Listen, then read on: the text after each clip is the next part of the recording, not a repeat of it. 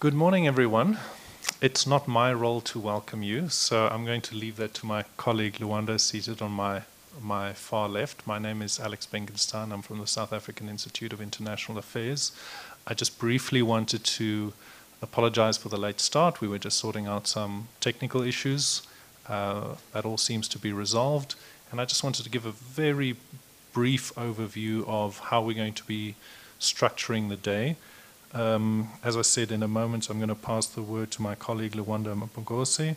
We're also going to have Claudio Amitrano here on my left um, for the welcome. Then we'll be receiving, receiving, hello, audio. Seem to have lost audio. Shall we try that one? It's working.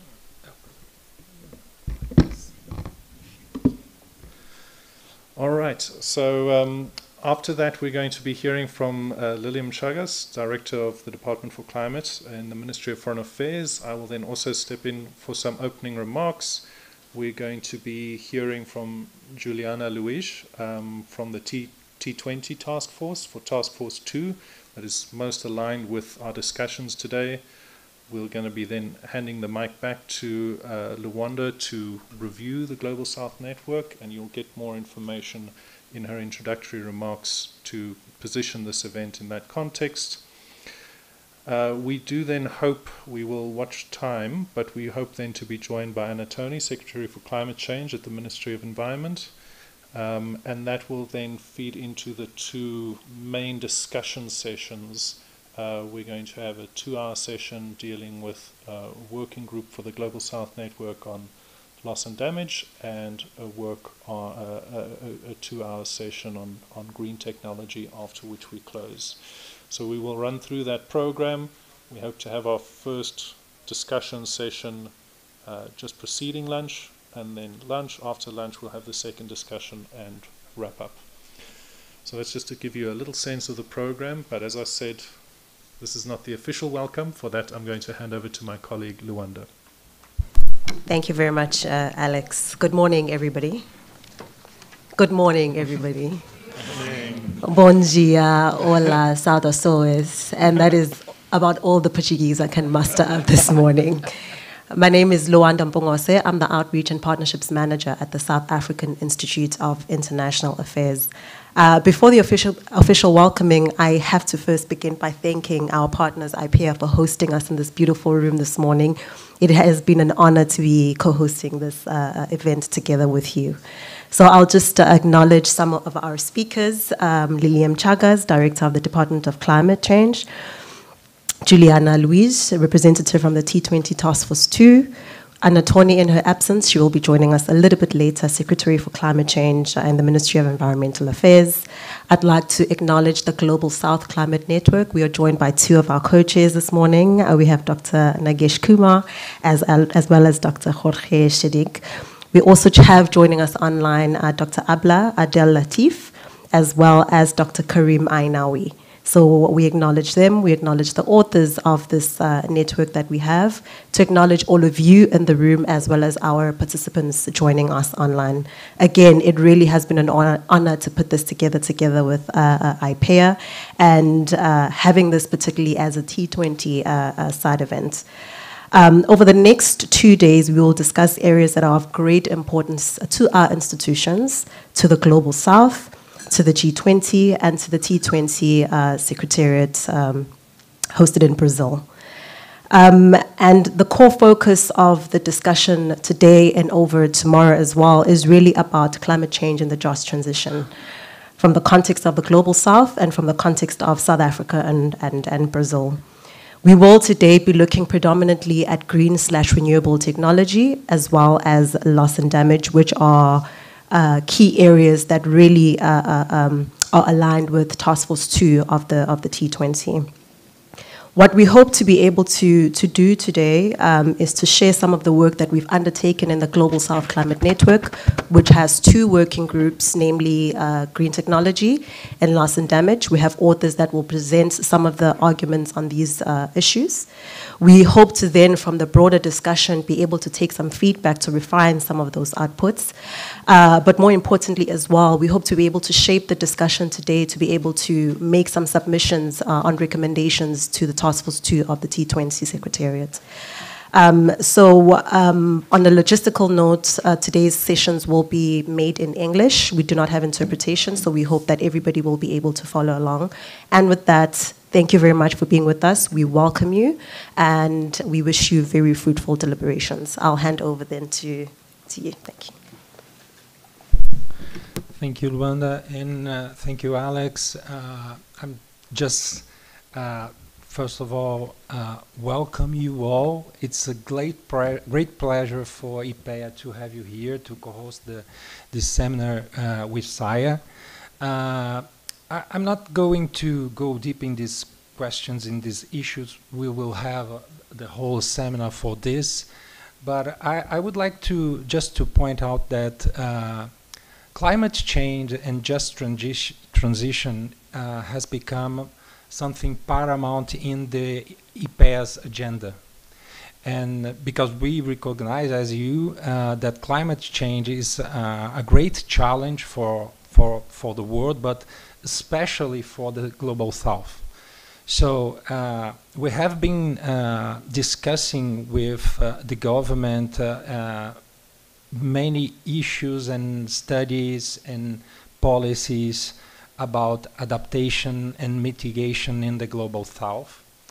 And uh, it's something that we think with our partners here in South Africa, India, and uh, all the, the, the, the, global south, we can uh, put forward some proposals for the global north to discuss this, these issues.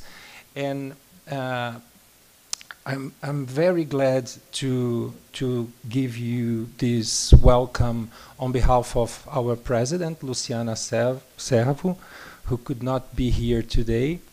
So, uh, with, with that, I am give you the word to, to Alex to, to, to go further. Thank you very much and be very welcome for this seminar.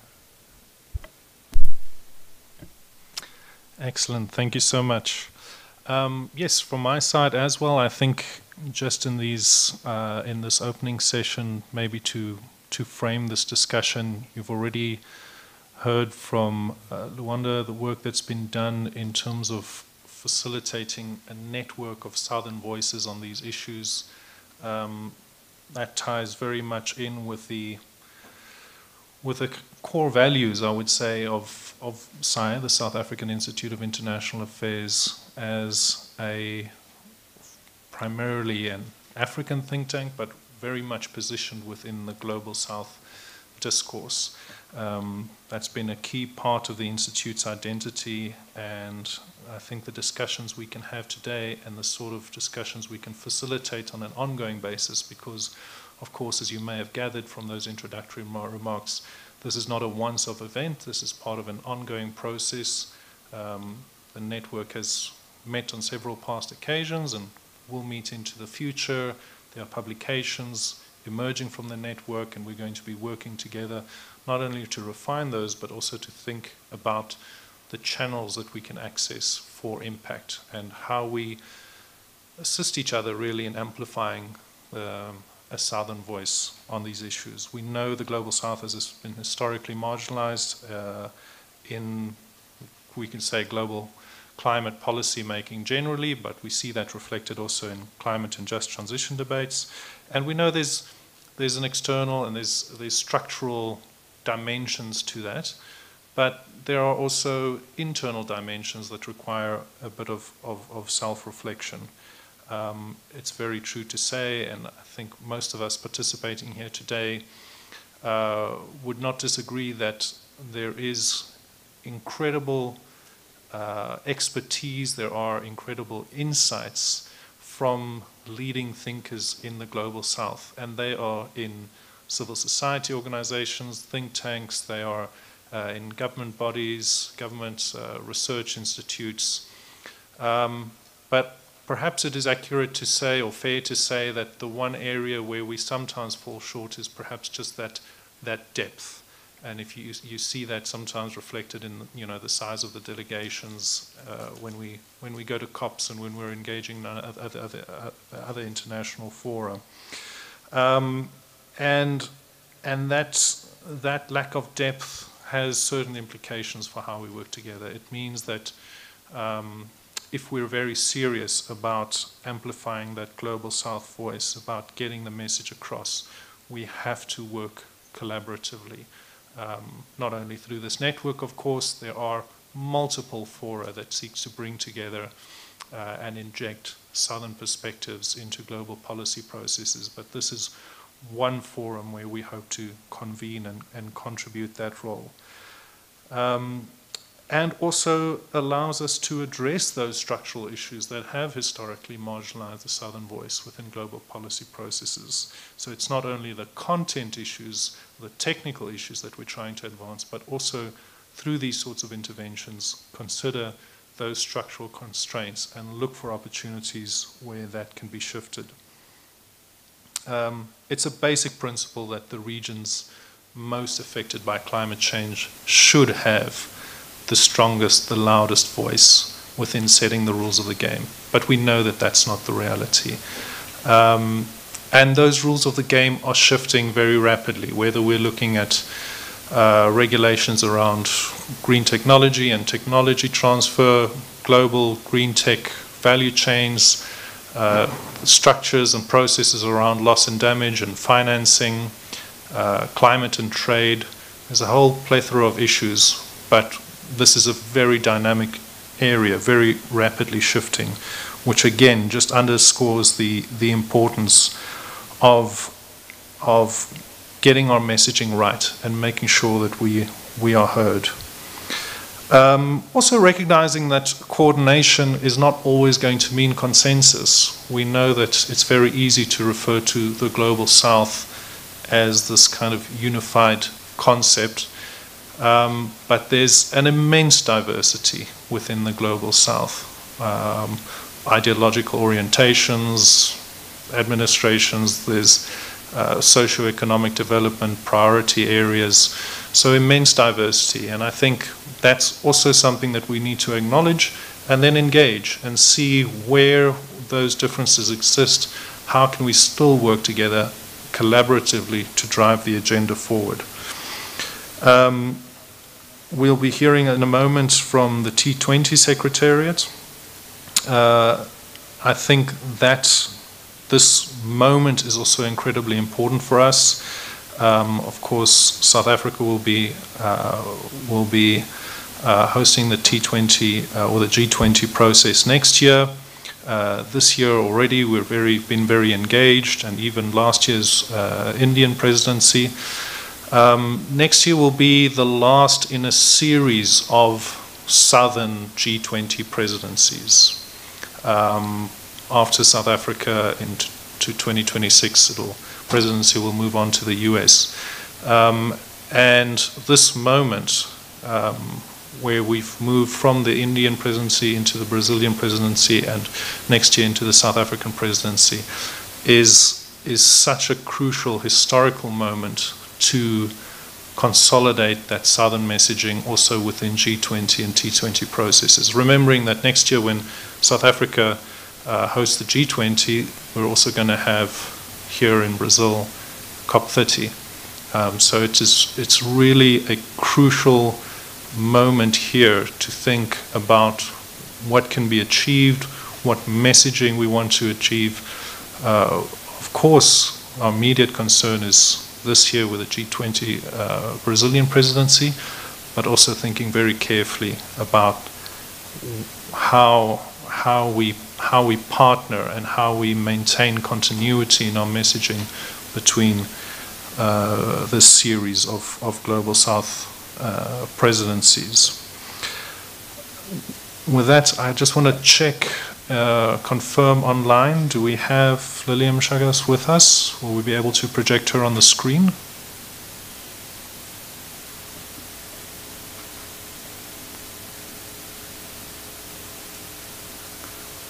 Liliam, are you able to, um, are you hearing us?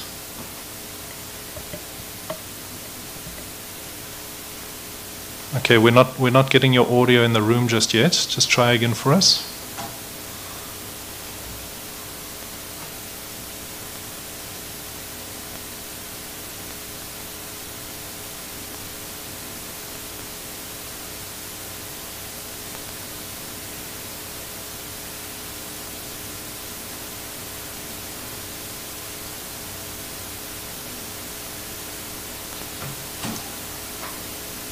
All right, I'm sorry, we're we're not getting your audio in the room.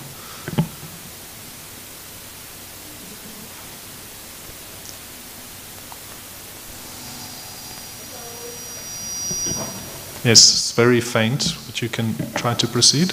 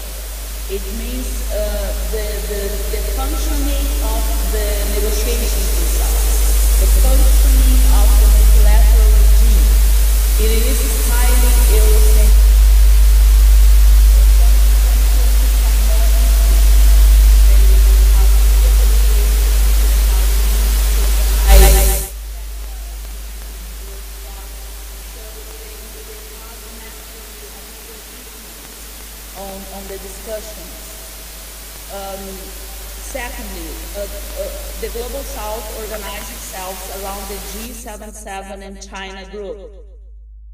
This group is uh, it, it comprises 134 34 countries. It means that two thirds of the whole uh, the whole constituency of the the UNFCCC uh, belongs to this negotiating group. So wherever, whenever this group, the G77, um, agrees on something, that idea, that concept, that decision will go forward.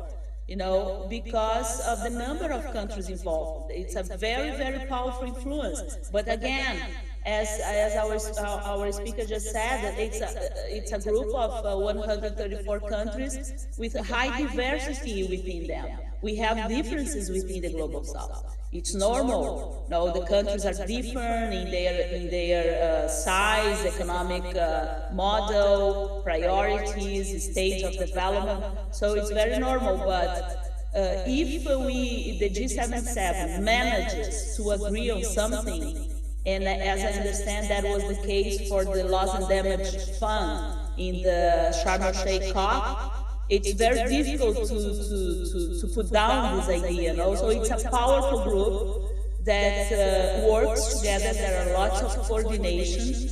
And uh, whenever our interests converge within the, the negotiations, it's a really powerful position.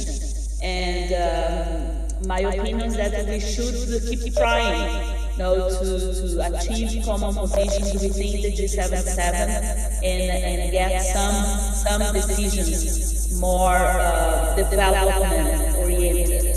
So this is uh, my first comment, you know, the structure of the negotiation, which uh, are unequal and uh, very much Eurocentric. because not only in terms of countries, but in terms of international agencies that uh, produce concepts and papers and data, and uh, they are all, uh, most of them are located, you know, in European and uh, in North America. Uh, the second uh, uh, inequality would be, or the second challenge for, for developing countries is uh, the concept of ambition. You know, ambition for, for the rich ones, it means mitigation. You know, countries have to reduce, must reduce their emissions of, uh, uh, of green gases that produce global warming and then we have only this this leg of the regime uh, being uh, being uh, stimulated. And um, for most developing countries, the, the main need is finance. How governments, how countries can finance their transition for a low carbon economy uh, in, in, reasonable ways. So finance is a major gap.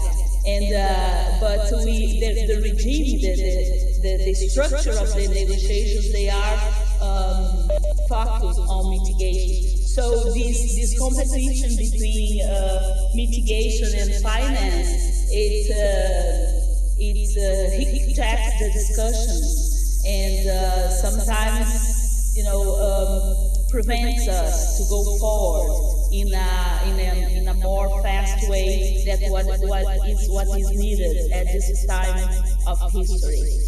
So uh, one of the, the, the, the, concepts that the Troika of presidents, uh, COP presidents, Troika, that means um, the United, the, the Emirates, United Emirates, uh, Azerbaijan and Brazil, one concept that we are we are pushing nowadays is the concept of reframing ambition. You know, the, the pillar of financing, how to finance uh, climate action, it should be in the front line. It should be uh, our priority no, at this point. So uh, reframing ambition is one of the challenges that we face uh, now. Uh, the third uh, comment I would like to make is um, between the three pillars of the international regime to combat, to tackle climate change, that, that are uh, mitigation, adaptation, and means of implementation, by far what is lacking, the pillar that has uh, been lacking behind is the third one, is means of implementation, financing, transfer of technology, capacity building. So from a South perspective, uh, means of implementation should be put forward.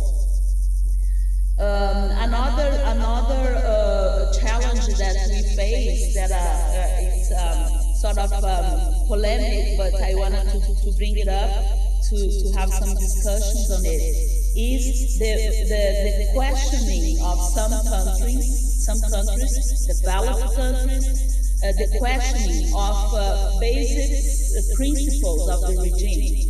The principle of uh, CBDR, the common but differentiated responsibilities, the, the concept of historical responsibilities, the commitments that developed countries have made within the, the, the, the agreements and that they, they didn't deliver you know, not only the, the 100 uh, uh, billion per year that should be flowing since uh, 2020, and they did not flow in the scale that was was uh, committed. Um, so uh, these principles, they, they, they sometimes they are questioned, and uh, it's our interest that they they they, they they are they should be reinforced. No, there is this, this attention around these basic principles. And um, lastly, that the challenge. Yes. Interrupting you. Lower your speaker because there are there is some echo here.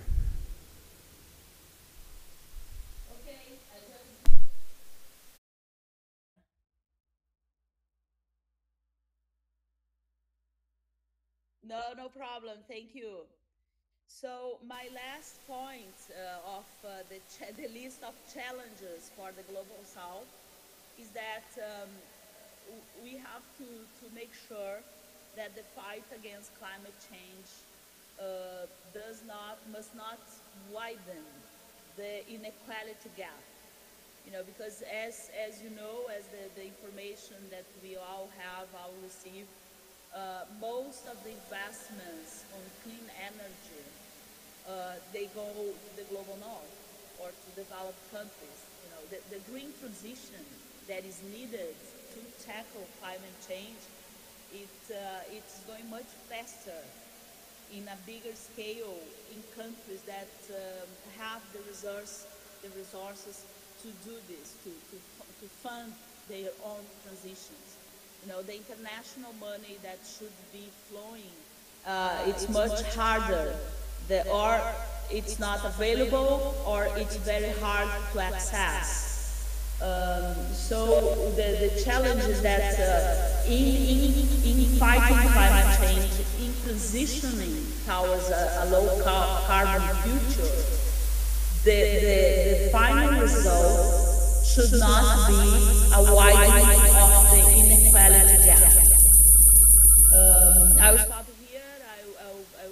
happy to, to, comment or, or, to be back to answer questions, whatever um, you need. Thank you very much for the invitation. It's a very interesting seminar, and um, I will be following these discussions uh, today and tomorrow. Thank you. Thank you so much. Um, we did we did have a little bit of problem with the audio, but we did manage to follow you in the room. And now there's some problem with my audio. Right. So I don't sound like I'm in a rock concert anymore. Um, all right. So uh, thank you very much, uh, uh Ms. Chagas, for, for uh, your remarks. I'm not going to uh, comment on them too much. I think it's very much aligned with with that framework. Uh, some of the issues you raised raised around uh, the imbalance of focus um, on mitigation, um, not uh, looking at the at the three pillars of adaptation and loss and damage, the financing, and I think uh, very aptly also where you refer to the green technology value chains and that dimension of um, ties in a little bit to what I was saying of the rules of the game changing. It's also the centers and the levers of of uh, economic competition and innovation is is shifting, um, and that means even further impetus for uh, knowledge transfer, technology transfer, uh, and collaboration. We're running a little bit behind, so I'm going to hand directly over to Juliana Luiz, uh, who is uh, going to be giving us a bit of an overview of the Brazilian uh, T20 uh, Task Force 2 specifically, which, as I said, would be our primary audience for recommendations emerging from this workshop. And to excuse uh, Sorry, Claudio. but I have to leave, and but I hope that you have a great seminar today and tomorrow. Thank you very much, Alex, and everyone. Bye bye. Very good. Thank you.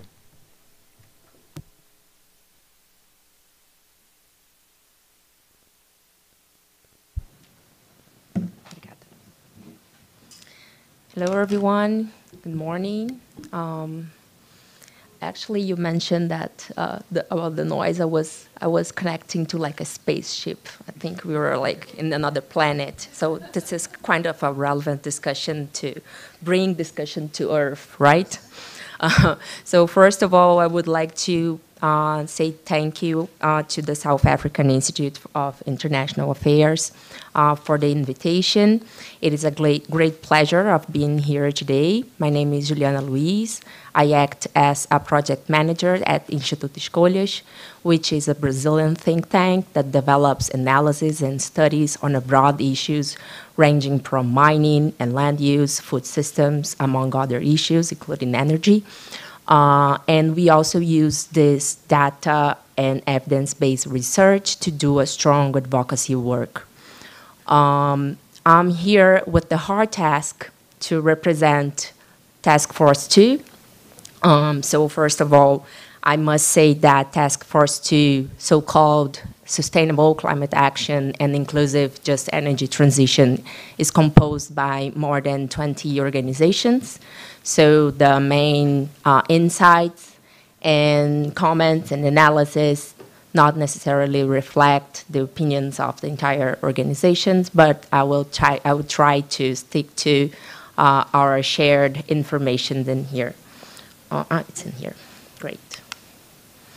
Well, I think everybody already knows, so um, I'm just um, making some statements about how T20 is currently structured. We have six task forces ranging from several issues. Important to say that those task forces, they have many alignments and connecting points between them. Uh, and this, this is not only because that several topics they, they resonate among each other, but also to reflect some of the Brazil's G20 presidency priorities. Uh, there are three priorities. Uh, the first one is combating hunger, poverty, and inequality, which is pretty much um, clearly seen in Task Force 1. Uh, the second priority is promoting sustainable development across social, economic, and environmental pillars. This is clearly resonated in the task force too, but also it goes across the other task forces as well. And last but not least, there is a third priority, which is fostering global governance reform, uh, clearly uh, seen in um, Task Force 6, which is strengthening multilateralism and global governance. Well, um, how Task Force 2 is structured? Uh, it's so-called Sustainable Climate Action. Obrigada. Sustainable Climate Action and Inclusive Just Energy Transition, and it was built under very clear context. The context is that the world is, fall is falling short in achieving sustainable development goals and Paris Agreement targets. Um, and due to the recent stock take, both on SDGs uh, and on uh, UNFCCC, uh, highlighted the, the, the gaps on achieving those goals. And great part of the challenge is rooted in financial issues. Uh, the finance gap was clearly stated by Liliam and also by the other ones in here. So um, T20 is really uh, discussing the finance gap. It's uh, a relevant issue uh, passing through all the task forces. The main objective of Task Force 2 is to address critical facets of climate action with a particular emphasis on issues related to energy transition. So energy transition is quite relevant for this task force. Uh, and, but it has a central focus on inclusivity and justice. Uh, so what are the goals and what are the, the efforts that organizations, think tanks, members are willing to achieve by uh, designing policy briefs, issue notes, uh, presenting uh, all the, the statements for uh, policymakers and decision makers. It hopes that uh, whatever it comes together, it uh, it will be used by G20 members to lead by example. Uh, also help to pave the way to support renewable energies and a just transition. And lastly, but not uh, by far less important, is perhaps uh, with the recommendations and input uh, collected by the group to raise the debate for critical upcoming moments. So I, I highlight COP29, which will bring negotiations of the new collective quantified goal on finance, but also uh, COP30 in Brazil for discussing the new NDCs. Um, the task force two is composed by, as I said, several organizations. The co-leads are Plataforma Cipó and IDDRI and co-chairing and acting as members, we have uh, the South African Institute of International Affairs hosting this event, and also Instituto Escolhas, represented by myself, but also other organizations uh, acting as co-chairs and members. As you can see, we have quite subtopics. Um, so they, they are seven subtopics. Most of them are connected between uh, each other. They, they have strong um, uh, connections and they dialogue a lot, uh, not only due to the finance gap, but other aspects um, related to Brazil's priorities, such as combating hunger and poverty and reforming global governance. Uh, in the first round, the task force received more than 200 abstracts, and now we have around we have uh, 110 policy briefs under evaluation. What is the scope for the subtopics? Well, subtopic one, uh, so called as fostering sustainable, inclusive, and just energy transition. Uh, it has as its main goal to develop policy proposals to ensure that uh, the necessary shift towards sustainable energy is inclusive and fair for all. So one of the key messages that the, the subtopic one wants to raise is that energy transition must be justice oriented it also needs to mitigate the adverse impacts that just transition will cause. Uh, there is another interesting aspect in the concept note regarding subtopic one, is that uh, a very much needed in-country capacity uh, must be put together for energy transition planning and implementation. Uh, among the accepted policy briefs, it was interesting to see that the messages are um, pretty much aligned. For instance, there are several uh, policy briefs that will raise the issue on energy transition that must be people-centered, such as guaranteeing public participation, gender inclusivity, and fairness uh, through the, the just transition process. Uh, but subtopic two uh, called as accelerating transition to a low carbon economy and sustainable consumption and production. Uh, how it uh, mirrors the debate and amplifies the debate of subtopic one. Uh, its main topic is to accelerate the shift towards sustainable consumption and production to promote social and economic development. Um, it has a clear statement that uh, in comparison to subtopic one, which is clearly narrowed, nar narrowed the debate on just energy transition, it, it says clearly that just transition must occur in all sectors. So we are uh, amplifying the debate to other sectors as well to include how we can transition away from unsustainable practices uh, it is clearly stated that economic development with, must occur without harming people, planet, and climate. The expansion of the just transition discussion is interesting. It, it, it was also reflected in the policy briefs. For instance, there are um, research-based analysis on just transition for other sectors, such as agriculture, food systems, and bioeconomy. The subtopic three, which is called um, Fostering Investments and Open Innovation for Social Bioeconomy and Nature-Based Solutions, has at its main goals to foster a shared understanding of the concepts of a social bioeconomy and nature-based solutions. This is the first time that uh, subtopics such as this pretty much uh, narrowed into the debate on bioeconomy is posed in T20 this is a reflection of a new initiative also uh, uh, developed by Brazil, which is the G20, Brazil's G20 Bioeconomy Initiative. And it has three clear goals. Uh, first is the need for scaling up investments for research, development, and innovation. Second is the need to, for sharing case studies and really practical ways for realizing a sustainable use of biodiversity. And the third one is the need to scale up financial and market mechanisms that guarantees the rights of local populations.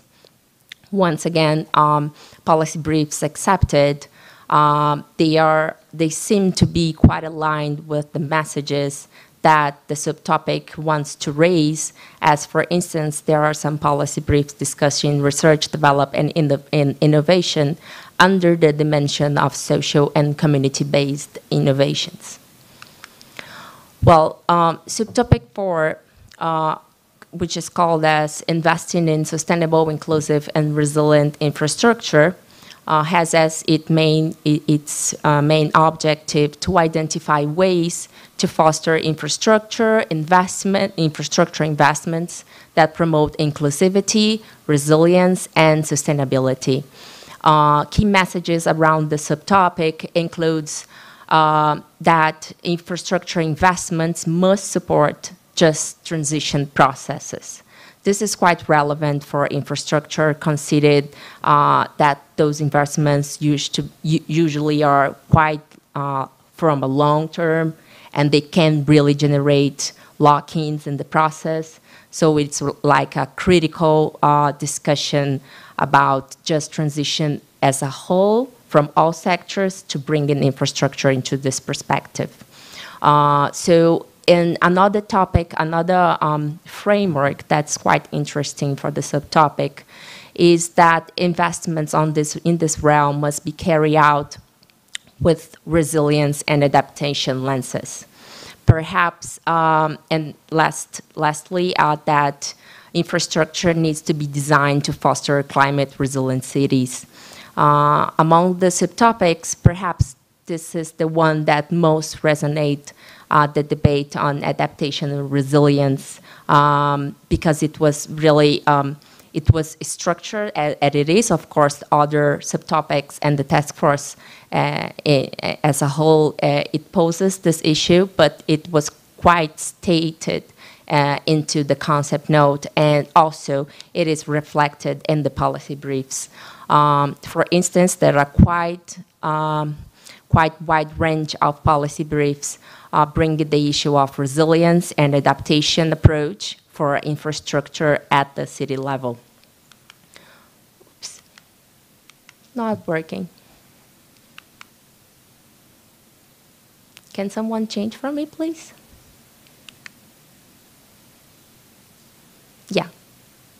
Uh, subtopic five which is called Let's Optimizing Access to Multilateral and Climate Funds and le Leveraging Private Capital for Climate Finance, has as its main uh, objective to identify ways to scale up climate finance, including through better access to multilateral and climate funds and great private sector investments. Uh, as I mentioned before, the finance gap is clearly posed in this one, but once again, it's a matter of this uh, relevant discussion uh, among all the all the subtopics. Key message around subtopic five is that there it once it, it has the concept note and the work uh, uh, build uh, around subtopic five has a more clear emphasis on energy transition so can be pretty much aligned with the other subtopics that has a focus on energy transition. Uh, and it has other two uh, relevant messages. One of them is that a catalytic, a catalytic role can be played by developed banks, national, regional, multilateral developed banks, and also, also by climate funds. And lastly, that uh, those funds must ensure, must be uh, um, um, help must be ensured for um, emerging and developing countries, global south countries in general. Uh, uh, um, among the policy briefs accepted, there are clear uh, messages around ensuring resources and investments for developing countries. Subtopic six, which is opera, opera, operationalizing climate justice through financing and technology transfer, has as its main objectives to propose concrete ways to operationalize climate justice between and within countries. The key messages, the focus of the subtopic six, is the need for a fair and equitable access of finance for developing countries, and also poses the issue of technology transfer and co-develop that must be, uh, the technology co-development that must be facilitated. It was interesting to see among the policy briefs accepted uh, not only proposals around technology transfers, but also the issue of building afford affordable technologies. So it's something, um, once again, there's also relevant issues around leveraging loss and damage finance and climate adjusted finance, um, but really resonates with the message of subtopic six. And lastly, we have subtopic seven, which is called as implementing just sustainability, reporting requirements, the role of ESG metrics. Its high, its main objectives is to highlight approaches and practices that foster transparency, accountability, and standardization concerning companies, environmental, social, and governance metrics and taxonomies. Uh, among the, the, it, it, the key messages of subtopic 7 it is the need that reporting requ requirements must work for all. This includes small and medium enterprises and developing countries. Another in, in interesting feature of the subtopic is that uh, the lesson learned during the process should, should and must support international standards. Uh, among the, um, the policy briefs accepted, there are well, really uh, connected uh, debate and also uh, an interesting discussion on how to integrate the, the biodiversity and social inclusion on taxonomies. Uh, to conclude my presentation and trying to stick on time, um, we have one of the, uh, one challenging during this two days event is to discuss how to strengthen Southern voices on the climate and just transition agenda.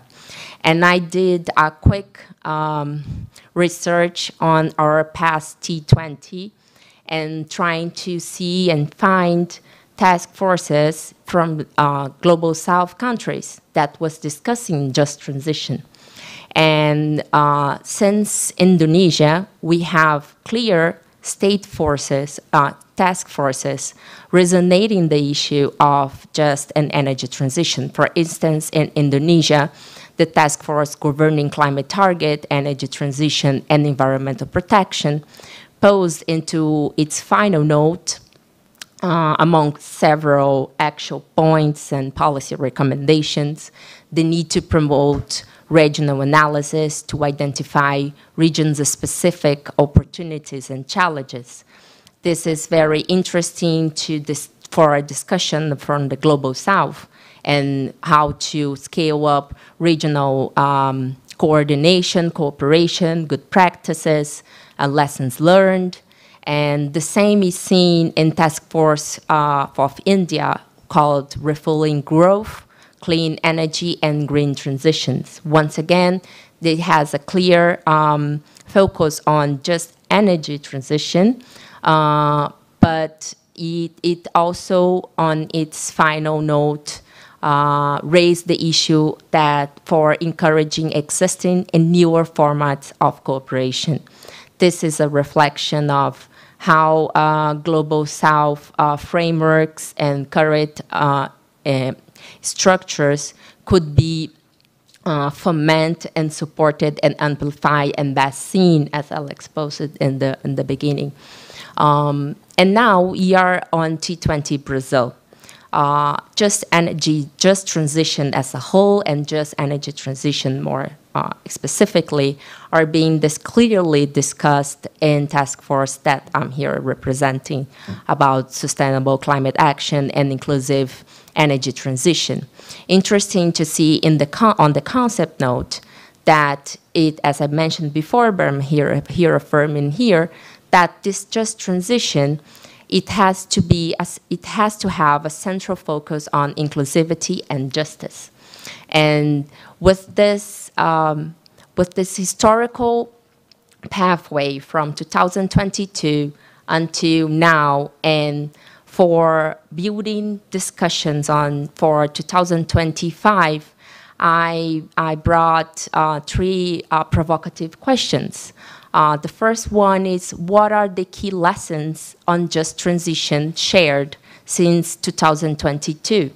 Uh, we are here working to strengthen Southern voices on the climate and just transition agendas. What were the groups and, and think tanks and organizations that were raising the issue based from a global south perspective since then? A second provocative question is what should be triggered now in 2024 to build momentum for next year. Uh, it's quite clear to see how a momentum was being raised since 2022.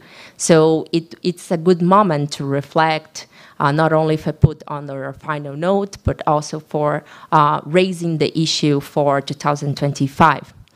And lastly, uh, the, the last question is how to uh, T20 South Africa should approach the just transition issue in 2025, not only based on my previous questions, but also uh, reflecting the momentum, reflecting uh, COP30, raising the issue of the financing gap, and, uh, and the, the lessons learned not only from past T20s, but also from the climate network that's being um, uh, built up in here.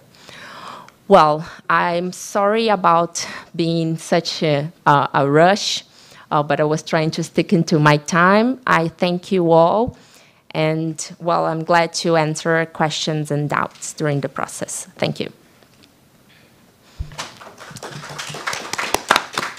Excellent. Excellent. Thank you so much. Yes, I do want to acknowledge that we have uh, Ms. Ana Toni with us, Secretary for Climate Change at the Ministry of Environment. Thank you very much for joining us. If your time is not too limited, I might ask Luanda to just provide some context again on the process for us, and then we'll hand over to you to speak. Thank you so much.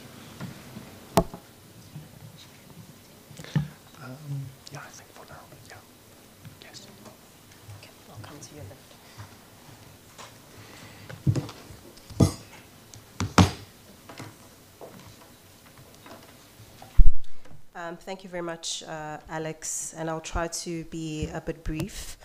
Um, I think um, the necessity of enhancing the Global South voices really has been articulated by previous speakers. Um, Liliam Chagas spoke to the fact that uh, there's just a very unequal system at the moment, very skewed against uh, the Global South.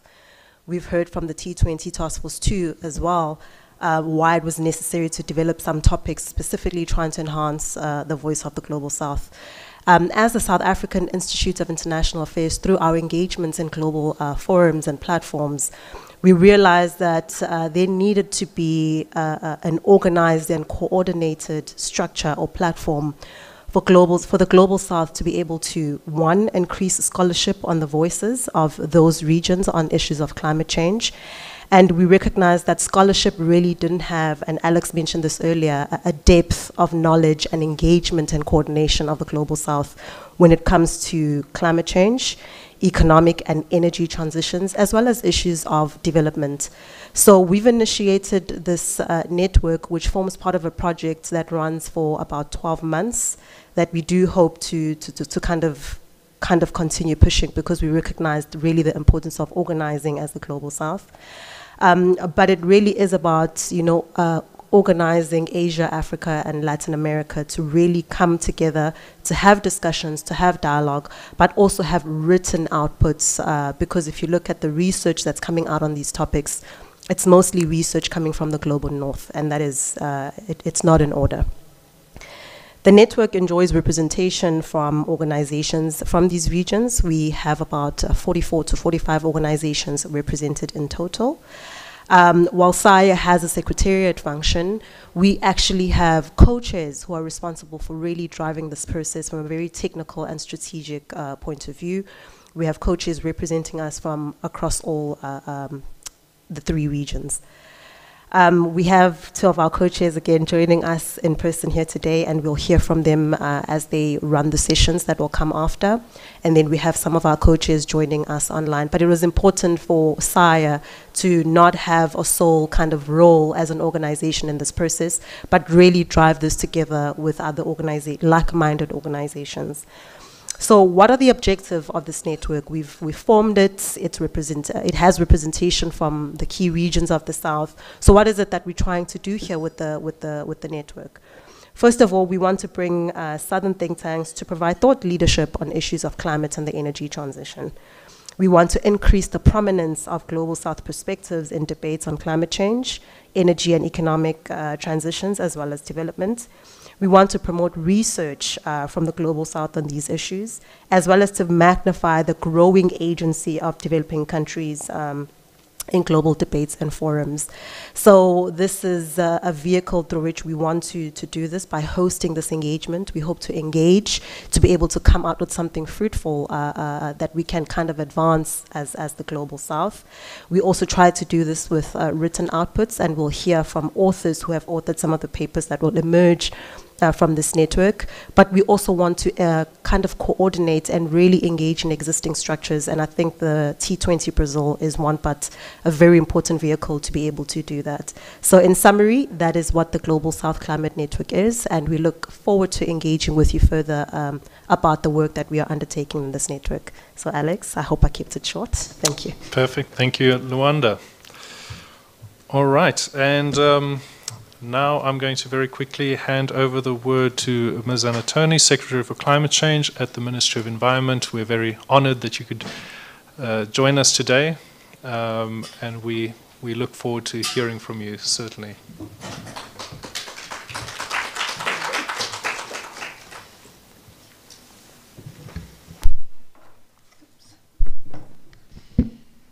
Uh, good morning, everyone. It's a pleasure to be here. Uh, very recently I was there, so it's nice. now I am in the government and and obviously I'm seeing George as well. How, how are you? So it's a pleasure. I think the T20 is a key component of G20, has always been, uh, has been a huge influence, the T20 on the G20 and beyond and especially on the South-South collaboration. So for me, it was important to come and um, now listen what you guys are doing and and tell a little bit what we have been doing uh, on the task force on climate change. So as, as you probably know, this task force is something new that the Brazilian presidency brought. Uh, for the first time, we bringing together the financial track with the, um, the Sherpa's track that has not happened before, and President Lula, under his leadership, he set up those two task forces, uh, climate and poverty. And I think that represents a little bit the vision of President Lula on those two key pillars, which is not only important for G20, but especially for the Brazilian uh, government as well the climate change and poverty have become a cross-cutting issue within the Brazilian government. Uh, we have 18 ministries dealing with climate change. We have a, a committee, a climate change interministerial committee that is responsible for putting together the Brazilian climate plan. Uh, and I think that that vision of ha having an interministerial now very large committee with 18 ministries uh, that is uh, going to put together the climate plan both for mitigation and adaptation is that uh, brought the vision for the, what we expected on G20 as well which is really uh, mainstreaming climate into development. That's what I think most of our countries in the south are already doing. We don't have climate we can't even have climate as a, a little box on the corner anymore because the consequences of climate change is already with us and we have been obliged to either adapt or to deal with loss, loss and damage or obviously thinking about a new model of development by mainstreaming also mitigation into our development plans. So the G20 uh, task force had as a premise that uh, ambitious climate change means uh, combining ambitions in terms of mitigation targets that all of us will need to be present in our new NDC in 2025, together with ambitious means of implementation and therefore finance. So I think for us, reframing ambition is quite important in, in a way that is, is no good if you only have ambitious targets that you're not able to implement, that you need ambitious targets, yes, we do need, and at the same time we do need ambitious means of implementation. Therefore, we set up um, as, as, an idea, we probably, and we just had the meeting last Thursday and Friday, we just finished the task force meeting, it was around 35 countries, was a really interesting meeting because I think for the first time in um, G20, uh, we had many, uh, people from the ministries of environment or, uh, or energy, uh, ministers from foreign affairs, uh, ministers of finance, and central banks.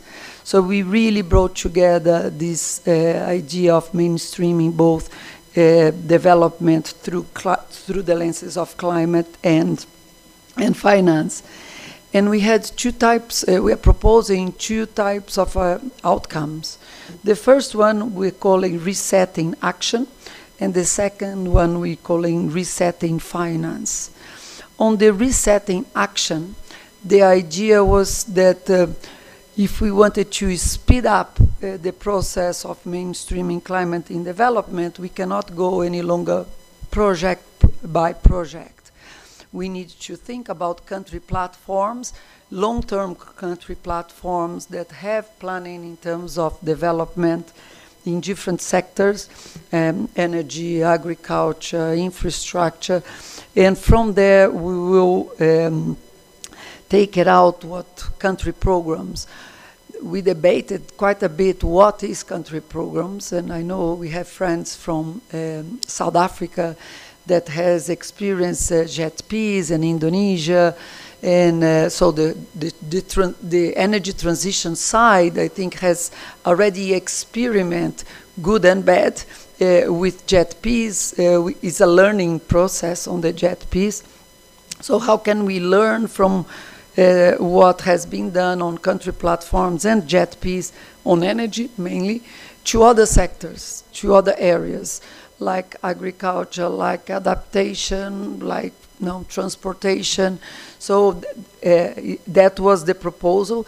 Uh, we know that both JETPs and country platforms has been a tool used mainly by financial institutions, multilateral financial institutions to organize themselves. And we feel if that is to work, it has to be bottom up. It has to be with country ownership. It has to be done together with development you know, ideas. It has to be in a just manner, thinking about employment, thinking about uh, people that is going to be affected by those programs. So rather than thinking top down, the idea of the resetting action is as I said, mainstreaming uh, climate under the development programs, creating country platforms, can then uh, go to uh, see which type of finance is there to support those actions. Uh, in relation to the resetting finance, is the other side of that, is uh, if countries are thinking about mainstreaming climate on adaptation climate and development all together, again, where's the money going to come from? We know that the debate at UNFCCC has been dominated by the 100 billion that has not been fulfilled by the developed countries. We know that, uh, and I think we will continue that, especially now uh, for COP29 on the new number that may be agreed. But we also know that 100 billion or 120 or 150, God knows which number we're going to get there, is not going to be enough.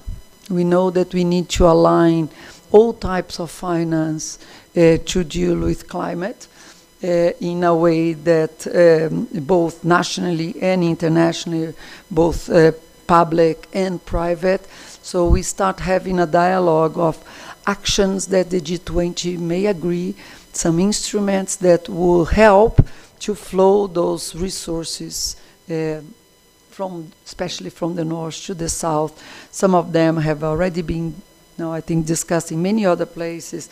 The debt, so the debt, the environmental swap, uh, how you diminish the the uh, the cost of investment, uh, obviously blended finance, but understanding that blended finance has its limits.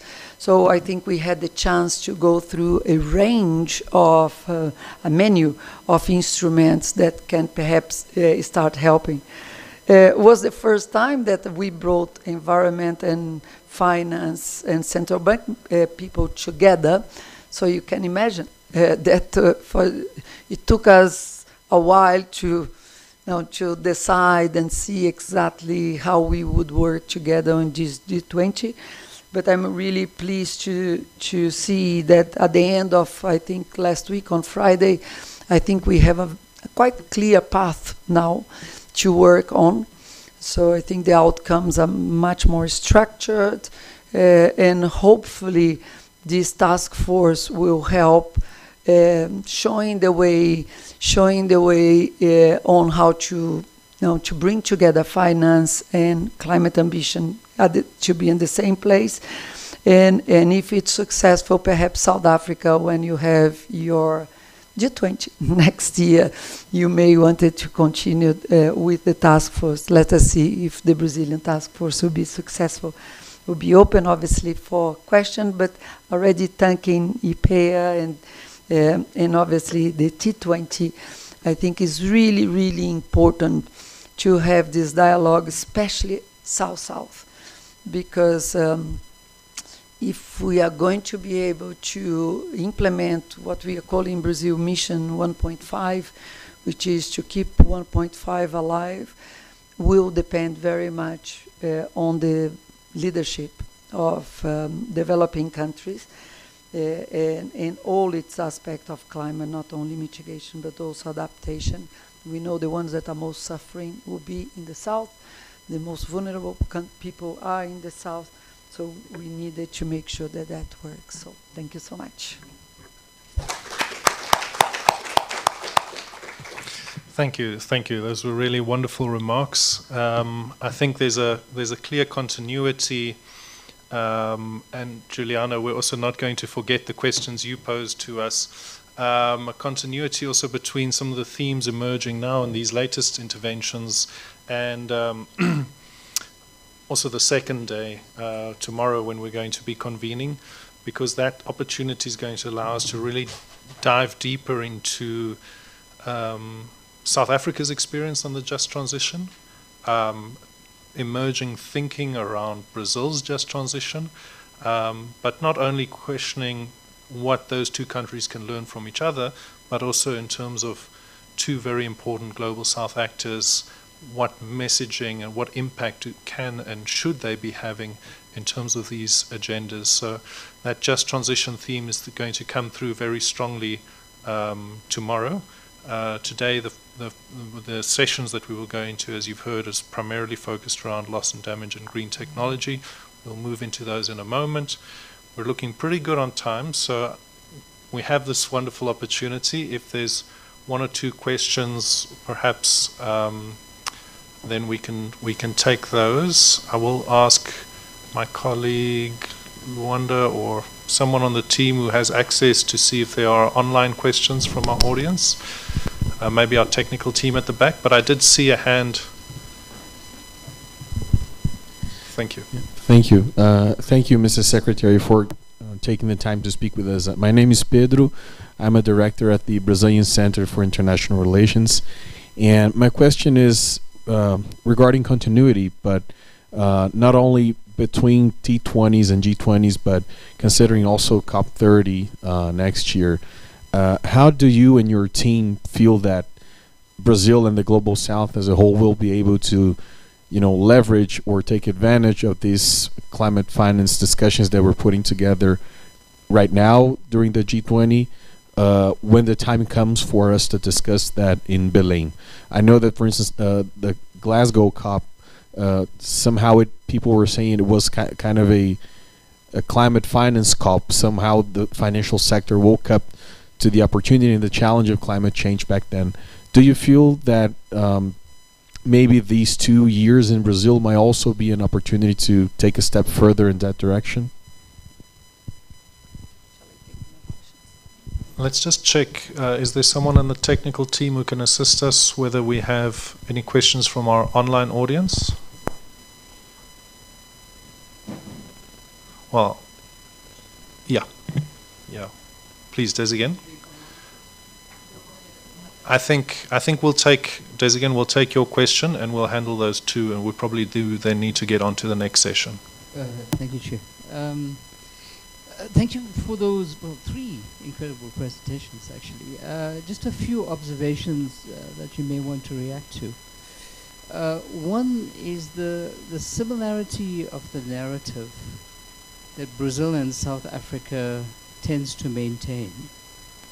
I think based primarily on on our own hosting of the summits, actually Rio, Johannesburg, Rio, uh, and bringing together the first the environmental agenda, now the climate agenda, much closer to the development agenda, isn't generally shared by other nations in the way they use the same opportunities to chair other systems, whether it's, it's the G20 or or IBSA or or the UNFCCC.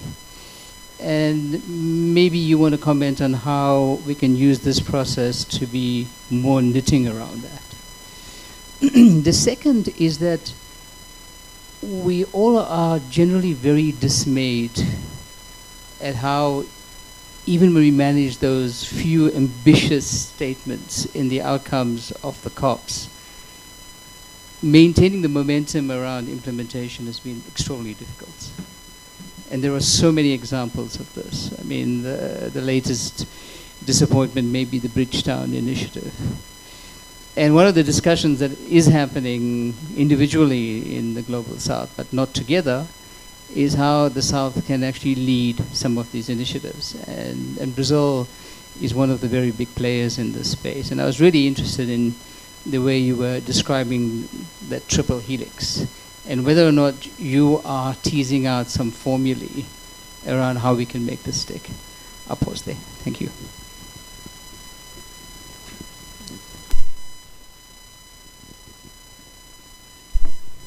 Hello. Um, I didn't acknowledge, but was really nice. I missed uh, Juliana's presentation with somebody that I'm sure contributed a lot to the debate. Um, in relation to the question of continuity and relationship there, I mean, obviously, in theory and in my mind, we do have a great chance to make these links between G20, COP29, and COP30. Uh, I think even from COP28, I think there is that uh, you know, linkage there. Uh, if you think that, as I said, the key outcome of the Global Stocktake, Pedro, was uh, that not only we have problems in terms of the targets to achieve 1.5, we are in 2.1 to 2.4, but a, even a bigger gap on implementation.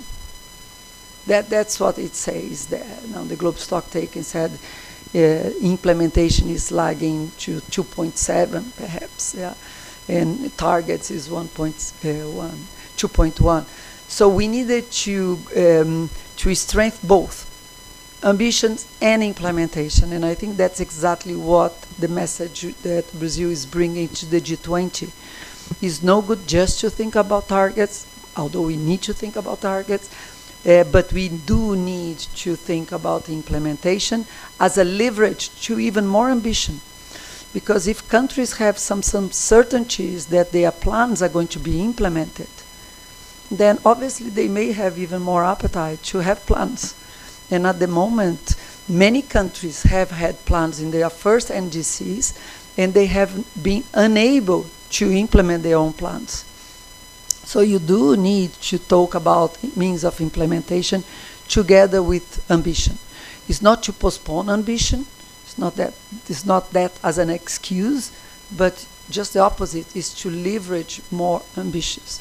And I think that is the intention for, as I said, I think we have a very big challenge, and therefore we do need the success of COP29, which is talking about finance, not only the 100 billion, but the broader financial issues in which some of the initiatives like the Bridgetown and others may have a good chance to be agreed there, which I really hope so, because we need to unlock that finance that's now blocked uh, in the north. And I think everybody understand that, and I think the question now is how to go forward with that. For COP30, uh, as everybody knows, the big deliverable of COP30 is ambitious NDCs to get to 1.5, the supposed uh, mission 1.5. But again, Brazil is saying uh, ambition disease means uh, not only targets, but means of implementation. So as in Brazil, we're doing our climate plan at the moment, in which we have uh, eight sectorial mitigation plans and 15 uh, adaptation plans. And each of those plans will be plans. They are not going to be just targets. They will be plans. They will, will know how much does it cost to implement each of them, which economic instruments we have, and others that we may need to, to create, or regulatory changes that we need to implement them. By the time we have them uh, ready, uh, each of them can be also be investment plans rather than just a climate plan. So if most of our countries are able to do that, and I know that's why we develop in the climate plan together with our finance minister uh, with the ecologic transformation, because now we see that linkage there. I think we can then have ambitious NDCs that will be implemented rather than just there. So I see th that link.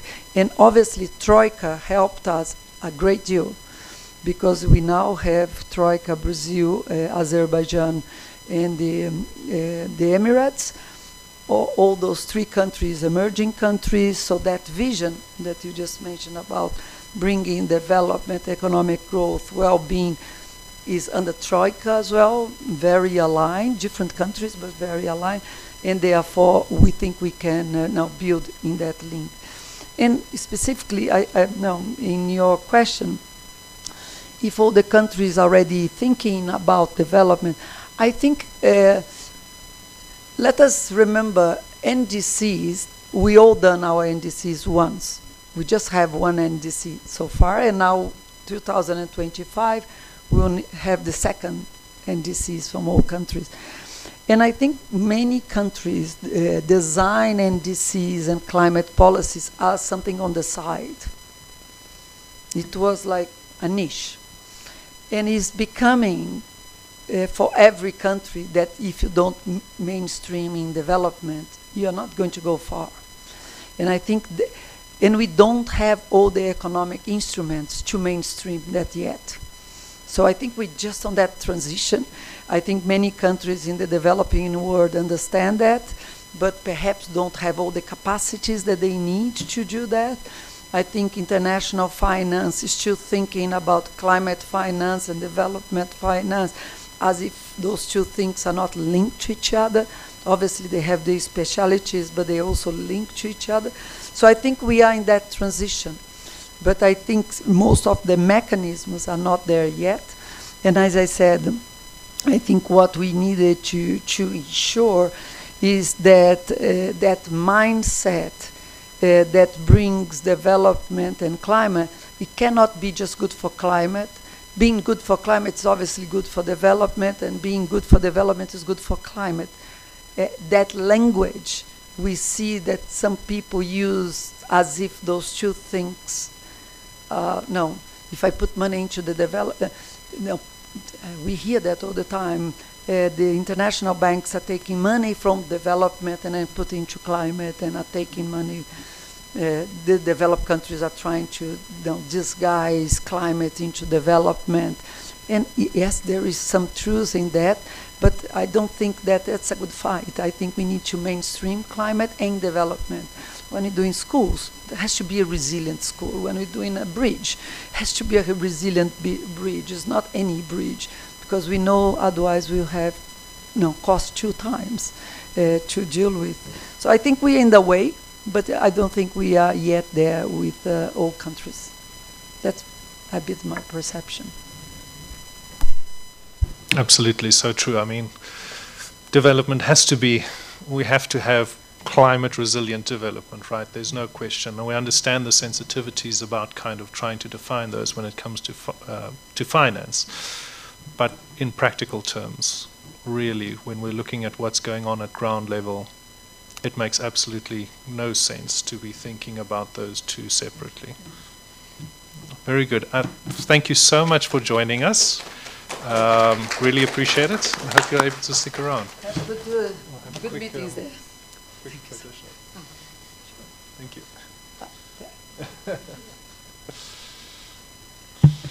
Thank you so much. Got to take the opportunity for a quick, quick photo opportunity.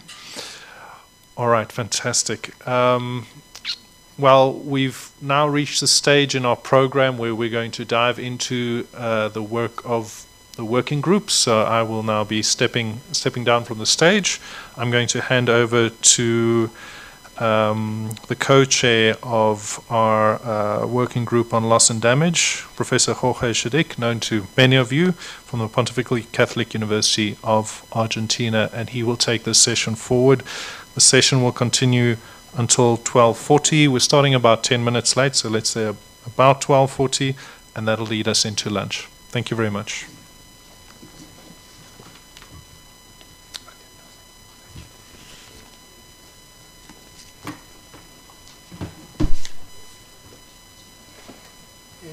Thank you very much, Jordan. Uh, First, I want to thank the South African Institute of International Affairs for putting together this initiative of these two working groups that are presenting their preliminary findings today.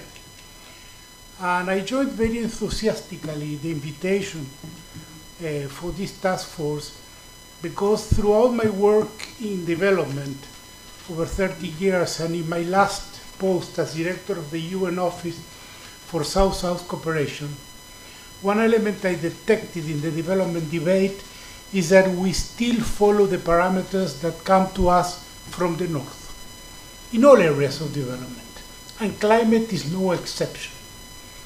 In addition to that, there is more capacity in the north. It was mentioned here in two different presentations. Uh, there is more academic tradition, there are more resources, so therefore they have more, uh, in addition to more ability to uh, articulate their political power in the, in the different international fora, so therefore they dominate the debate, in spite of the fact that we in the global south have the numbers and have the issues, we generally fight in their own dialectical and conceptual territory. Uh, so one of my jobs when I was director of the office was to promote the development of southern thinking. I sponsored many joint activities of think tanks of the South, and I'm very proud and very glad to see that we have arre- achieved critical mass. I think the people that are sitting around this table, around these chairs, I exclude myself, can argue face to face with any think tanker from the north. One challenge is to translate this thinking that we have into the political process. And that's the beauty of doing this in the context of the Brazilian and South Africa consecutive G20 presidencies. The G20 is a very powerful space, and although not specifically devoted to climate, if we manage to succeed in including these elements in the in the debate will help facilitate the, the COP process uh, upcoming, especially the Pará uh, COP30 that will take place next year here in Belém, in Brazil. Uh, one point I want to make before introducing the author of the draft collaboration that we're going to make on uh, loss and damage is that while studying the issue, not just for this exercise, but also as a professor I am at the Catholic University and in the Foreign Service Institute in Argentina is how complex these negotiations are and how difficult it is for us to articulate those negotiations into public knowledge and public messaging. It was very easy, the, particularly for the countries of the North, to make the case and also imply that it would have marginal costs for them to make a global contribution to change. Uh, but when push comes to shove, they tend to go back. Or look at what the farmers are doing in Europe. They've succeeded in, in basically uh, canceling the Mercosur European Union pact, pact because of the implications of climate change negotiations and opening up their markets to the south. But in the south, we don't have that articulation. We don't, we, it is very difficult for us to make the linkage. And I, one worry I have is that these just transitions we're talking about don't become an element for the countries of the North in the debate to justify keeping development at a lower stage in the global South. We cannot accept that uh, a farmer in Africa be given a guilt trip because he gets electricity. And the debate is going in that direction. So, in addition to the excellent contributions that are being made here, the great work that was presented here of the T20, the great job of IPEA, I'm very proud to be here in IPEA. Uh, we were very close partners while I had the honor of serving with the UN in Brazil. I was director of a joint partnership that was called the International Policy Center for Inclusive Growth.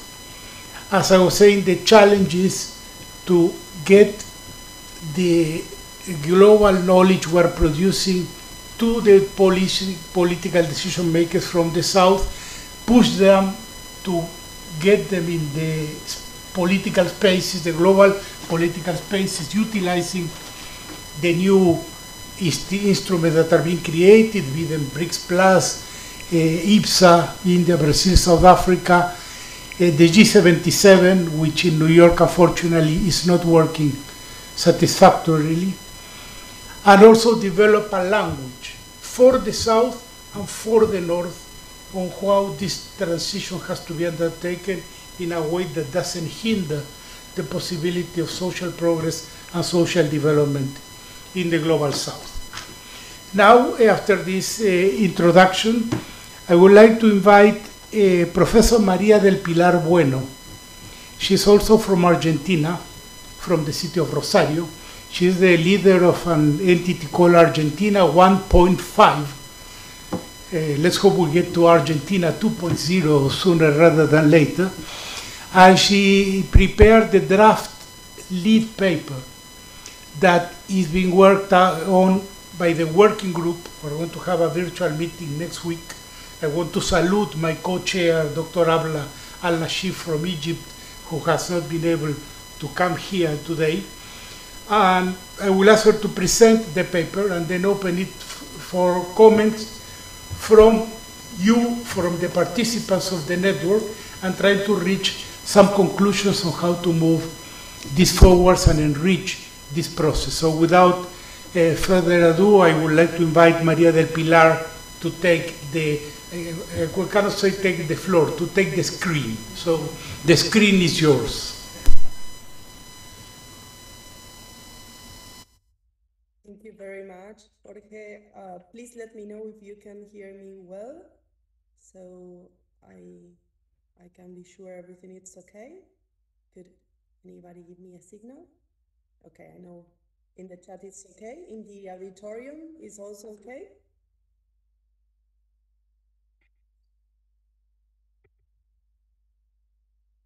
Great. Thank is there? Okay. Thank you very much. I don't know if if Aula would like to uh, speak first.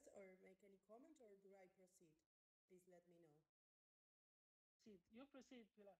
You proceed. Ola will make the comments later. Great to see you, and great to see you, Thank you for the introduction. leadership. And let me please start by saying um, that uh, I, I prepare a very brief presentation, but I don't know if it's available, just in case. Is um, okay. They are they are putting right now. Thank you very much. As, as I said, it's, it's a short one.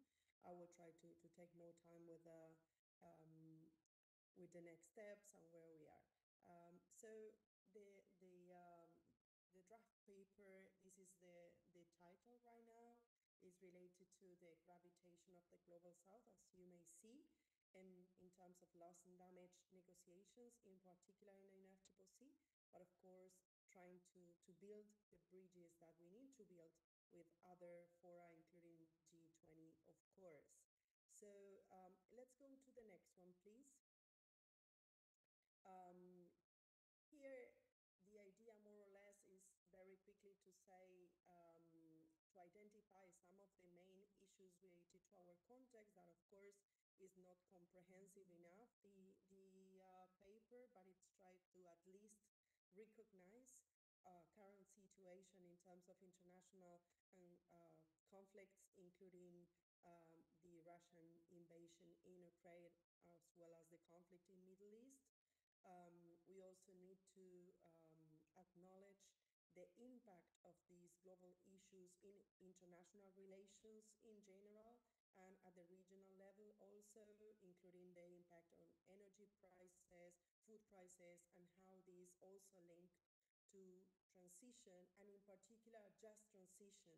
That is something that um, at least all people I, I heard in the previous presentation, including Jorge and Ana, of course, uh, all of them refer to this the importance of having this South South vision with respect to the transition, and for us, that is also to consider just transition, climate justice provisions.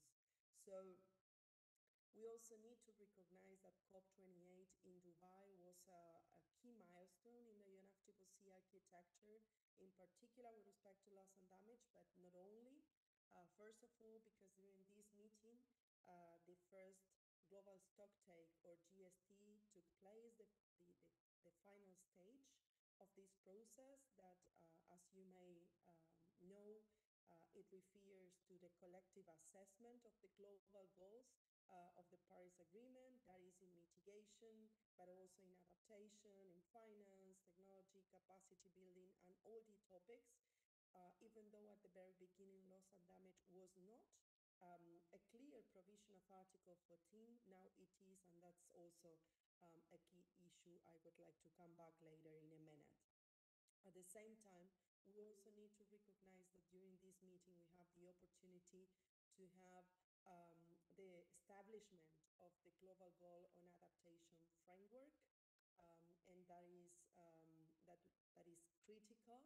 So it was a negotiation of, of a decade, but uh, finally of two years uh, from the Glasgow Sharm el Sheikh Program to uh, this um, UAE framework, including four targets on uh, the different moments of the adaptation iterative cycle and seven targets on sectors or different topics that will be uh, implemented. And also we have in the next years um, a new work program in order to develop the indicators.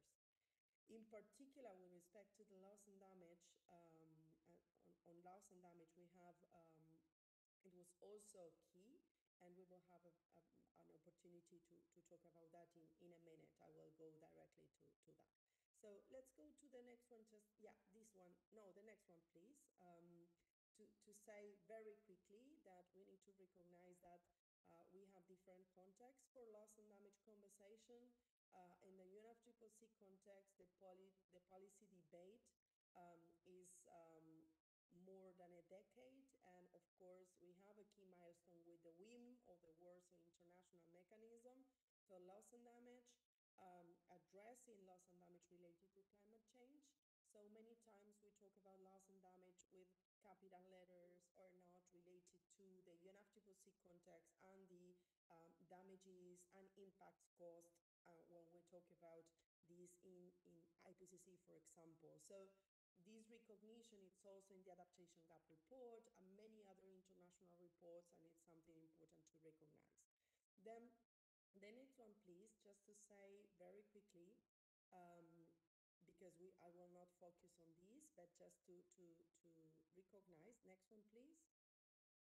Uh, that uh, the loss and damage debate in the UNFCCC uh, is focused both in economic and non-economic uh, losses and at the same time on uh, slow uh, onset events and um, all kind of um, extreme events or at least the recognized ones so this is also part, of the of the key discussions in the UNFCCC because um, in some sometimes uh, some mechanisms and, and some parties were more focused in some kind of events or more focused in some types of losses. So it's very critical that current architecture that we are going to talk about is focused in both type of events as well as in both type of losses. That's the main purpose of this image that is from the UNFCCC. Let's go to the next one, please. Um, so with respect to where we are in uh, this more than a decade uh, of work in loss and damage, we need to recognize that we have, of course, um, um, the, all the WIM architecture, the Warsaw International Mechanism, uh, even though a governance issue related to WIM is not solved.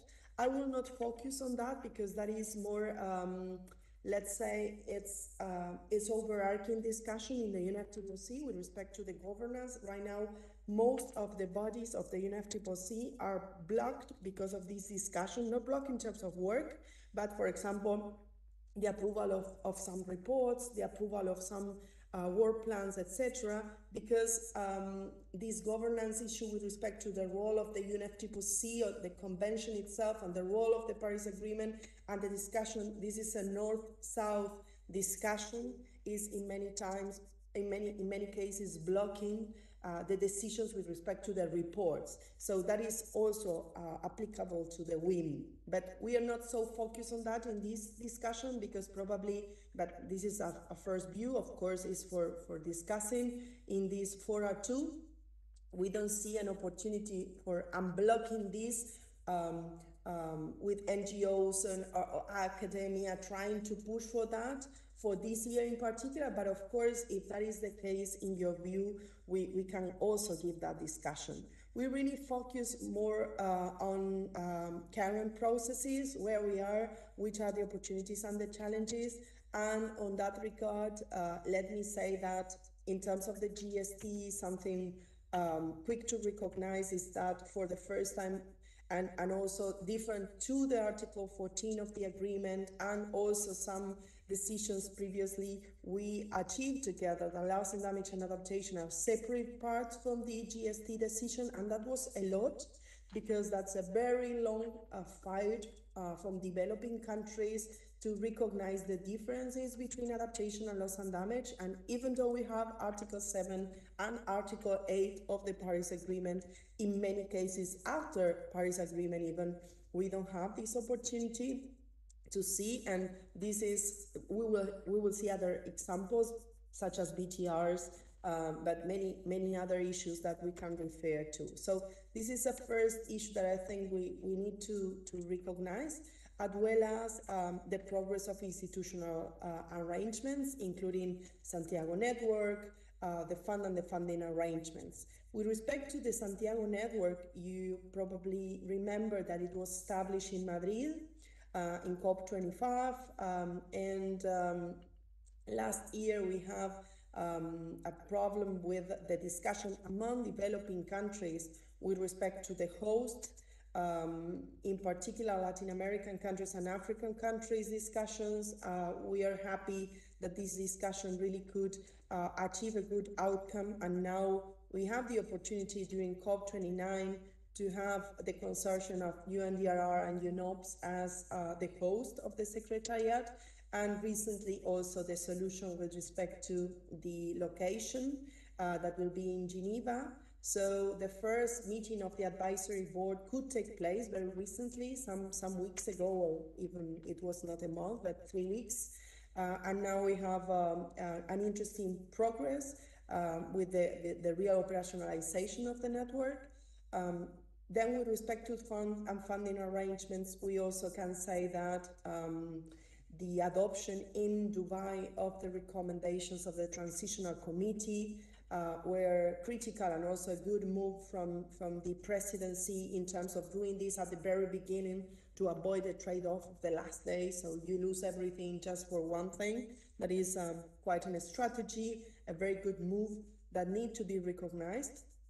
And in that way, um, of course, there was a big trade-off in the role of the World Bank as trustee and secretariat host, something that developing countries uh, with the G77 and China uh, leading that process didn't want. Uh, but at the same time, it was very clear during the five meetings of the Transitional Committee that was the only way. So to have a very strong and independent board is quite important right now to, to maintain that, um, that balance. Uh, also, uh, a good news, not good enough, but good news was uh, the different, uh, of course, uh, pledges that uh, some countries made to the fund, um, less than 800 millions in Dubai.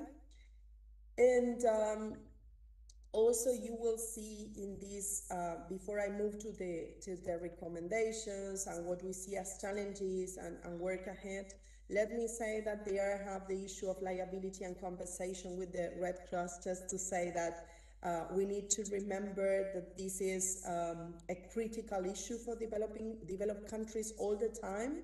This is included in Decision 1 CP21 accompanying the Paris Agreement in 2015 because it is a red line for them, as, as they said many times. So for many reasons, there are interpretation of current developments, both in terms of supporting developing countries with technical assistance with the Santiago Network and with finance in terms of fund and funding arrangements, uh, from their view, that cannot be interpreted as liability and compensation rec uh, recognition. So this is something that um, today or the day after, at some point, will need to be solved. Um, so this is also part of all the situation and all the context of this particular topic, as, as Jorge said before, a, a difficult one, um, but of course challenging, but interesting and very, very important as uh, recognizing the third pillar of the, of the uh, Paris Agreement in terms of action. Let's go to the next one. Uh, for that reason, to, to say that um, our view here is to trying to put that in a very clear way. So understand that um, the uh, loss and damage right now is the third pillar in the Paris Agreement. And from uh, COP28 to COP30 in Brazil, we will have a lot of opportunities, but also a lot of challenges. So this year, COP29 is the finance COP. We all know that. We are uh, mostly prepared for that.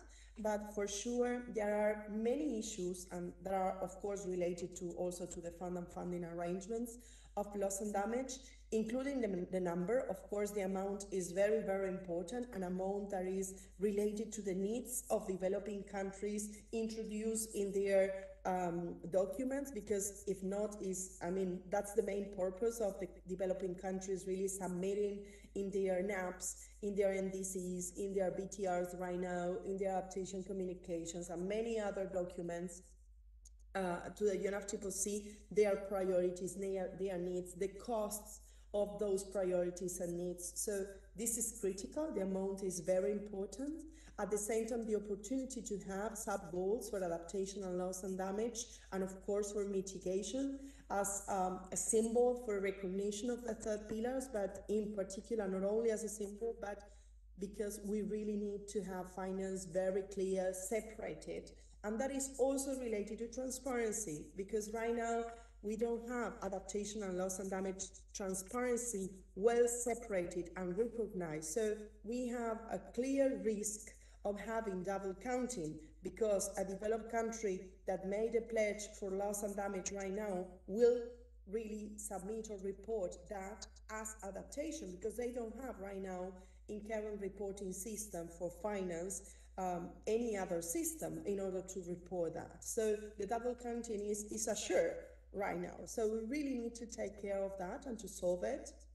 At the same time, the discussion on finance, in particular on loss and damage, but also in adaptation, is quite related to the access and expediting access for developing countries, but also for communities, for cities, because um, we know how difficult it is even for a country, but even more for a city or community to really access to, to, to funds. So this is also very important in all the context of finance and as well as the quality of the finance because uh, right now, as you may see in the different reports, even of the Standing Committee of UNFCCC, as well as OECD, Oxfam, and many others, we uh, now the balance is going quite more to loans and not grants. So this is not acceptable at all because it's not a principle of the convention, but at the same time, it really implies a burden in terms of debt of developing countries. So um, I think that this is this should be also recognized and considered very carefully. Eligibility criteria and donor base, you probably know that developed countries are now very strong trying to say that without a conversation on the donor base, they are not disposed to start the conversations really on the amount and the needs and everything, not only in loss and damage, but in everything, the whole package. And that is really not acceptable at all. The discussion on the donor-based eligibility criteria, criteria was also taken last year in the context of the fund and funding arrangements for loss and damage and was agreed with a clear um, commitment of developing countries of being together and coming together for this discussion. And I think that is critical for this year and the year uh, that we have ahead to Brazil.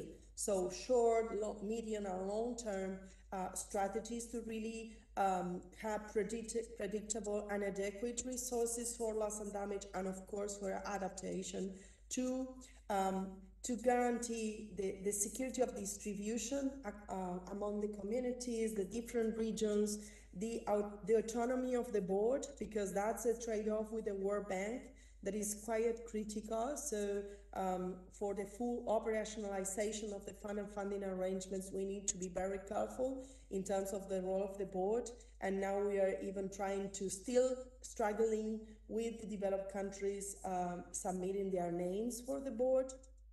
Also, Santiago Network need to be in the next two years fully operationalized to finalize and adopt all the guidelines, the procedures that started in this first um, board meeting in March. We will have two more meetings during the year. So it's important that for COP29, these um, documents are prepared and more or less agreed.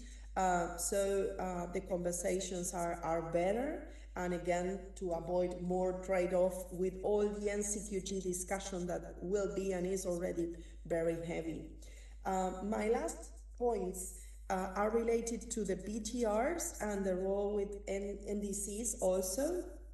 And I said, uh, we know that uh, Brazilian COP is, is, relate, is related to ambition, all the, the sides of ambition, not only mitigation, adaptation, but also means of implementation and loss and damage. So BTR's round of this year, 2024, really need to inform the next round of NDCs because this is the first cycle of ambition and we are starting the second uh, uh, cycle of ambition. So the relationship between the two processes is very important and the role that NGOs, academia, and many other uh, stakeholders is important here. We cannot let go the BTR and what was said there or, or what uh, the country said without really understanding the relationship with the cycle, the last cycle, and also the next cycle. So that's that's also a critical issue and the role of Brazil. Um, for the next COP but with this and the next round, but also uh, with respect to G20, that is a step in the middle and part of, of Troika uh, in both places.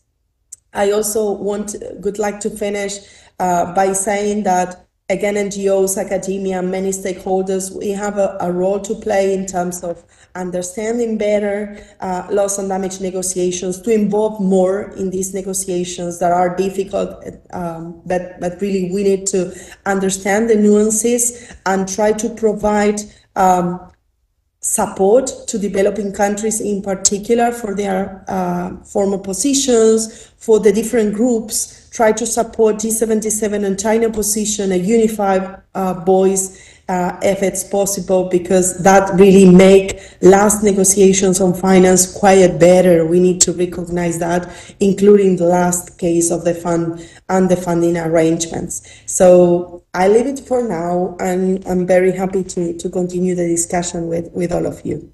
Thanks.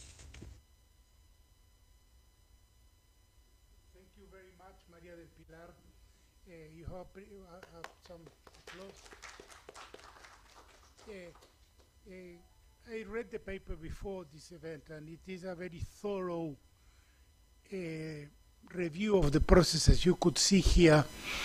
And the thoroughness is also uh, a demonstration of the extreme complexity of the process. So we're talking complexity within complexity because the, the negotiations, the climate negotiations in themselves are extremely convoluted, and we added a new element, which is critical for the South, and I think it's very important for this group because this is really a southern issue. Loss and damage is an area where we are in a position to make our mark.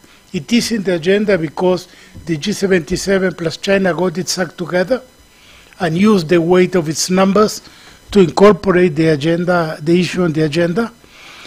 And now we have to make the decisions about the secretariat. We lost the initial battle with the with the World Bank.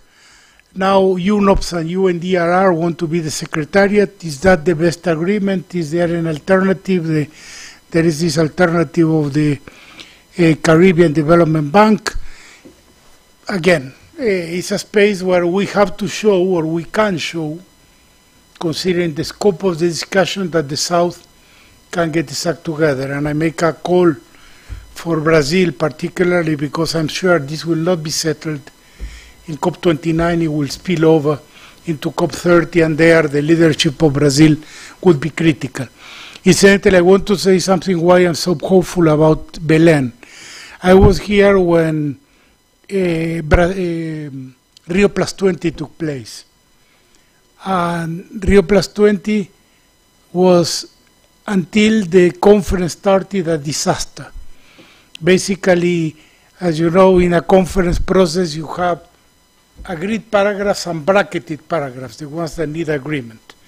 When the negotiating process ended, the only non-bracketed paragraphs are the ones saying, thank you, Brazil, for hosting the conference, and we'll meet again. So the rest was totally bracketed. But I have to say, during the time Brazil had been working. This is, is not a matter for today, so I make the tale brief. So they managed to get a document that they had been prepared in secret, taking into account the red lines of everybody, and they put it together, and we have now the 2030 agenda was basically born there. The SDGs are a creation of their keeping uh, common but differentiated responsibilities was there. The alternative measurement of development was there, and many other elements that now we feel are we take for granted or we feel that came from the 2015 agenda were born there, led by the Brazilian presidency. So I'm very confident that between the Brazilian team and the Itamaraty team, that is being led by the same people that led the Rio Plus 20 process will be able to to advance very positively, and I think we should feed them with the proper knowledge for them to handle this. Uh, in this session, I would like now my co-chair, if she's uh, to to take the the floor and perhaps lead us until the end of the session, if your time in Cairo allows you uh, Dr. Abla, so the floor is yours, my friend. Thank you so much, Jorge. Thank you so much. Uh, uh, let me start by saying that I will not be able to, to take you through the full session because I'm fasting. It's Ramadan in Egypt. And, and soon enough, it's going to be time for breaking fast. So I'll just, uh, I'll, I'll just do my part, listen to part of the, of the discussion, and then hand it back to you. And we're very aligned on all of this, Jorge. So well, uh, uh, uh, you, are, you are doing a great job. Um, let me start by thanking uh, SAIIA for the exercise, for the idea of the topic and having the working group, and the idea of focusing on a specific issue like loss and damage and dig deep into it. Because unfortunately, all the talk about climate seems to be on the generality, on the broad lines, and this does not take us in. So digging deep, I think, is a great uh, uh, move by SAIIA, so I, I thank him for this. And I wish I would have been able to go to Brazil to, uh, uh, to join in this, but unfortunately it was not possible. Pilar, I think you did a very good job, really thorough job in putting all the facts together. Literally, it's like somebody was starting to play cards and you have all the cards on the table, okay? And the minute you have all the cards on the table and the minute you have something that's written thoroughly, questions, more questions actually uh, um, emerge. So uh, let me make my comments in the form of actually few questions that, that, that emerged when I read your paper. This whole thing about is about climate justice. Okay? This whole thing. Alright? And the big question is whether climate justice is being realized with what we are observing so far. Okay? And my answer is despite everything that's happening, it's not being realized. Okay? And, and the rest of the questions are going to raise this issue further. Okay, I lived through COP27 when it took place in Sharm el-Sheikh in Egypt. Okay, and I remember very well how they were pushing and even added an extra day and worked, uh, you know, at dawn when they could hardly open their eyes in order to reach something in relation to specifically the loss and damage. And they did. They ended up creating a box, a very nice box, but it was an empty box. It had absolutely nothing. And it had to wait until COP28. Then COP28 did its move, and we are saying now, okay, we wait waiting for COP29, and then we're going to wait for COP30, and we're going to go for COP31 perhaps. The big issue is, can the world continue to keep walking on this treadmill? Because we seem to be walking on a treadmill. We are doing a lot of things, but we are not reaching. Can the world afford not to have compensation for the needs of the developing countries, okay, in specific, okay, where most of the damage is taking place due to climate issues. Can we afford to keep on waiting? Uh, as Pilar was saying, because this is the 27 was the outcome of 10 years of work. So 10 years of work, uh, 27 is like a lifetime. People are growing old and, and we don't see much up. So it is really a concern. Uh, and, and, uh, and then moving from one COP to the other COP. Okay, it's like from one year to the other year. In between, things could happen. In between, decisions can be taken and, things could move, but they don't move. Okay, so this is actually, for me, the big issue.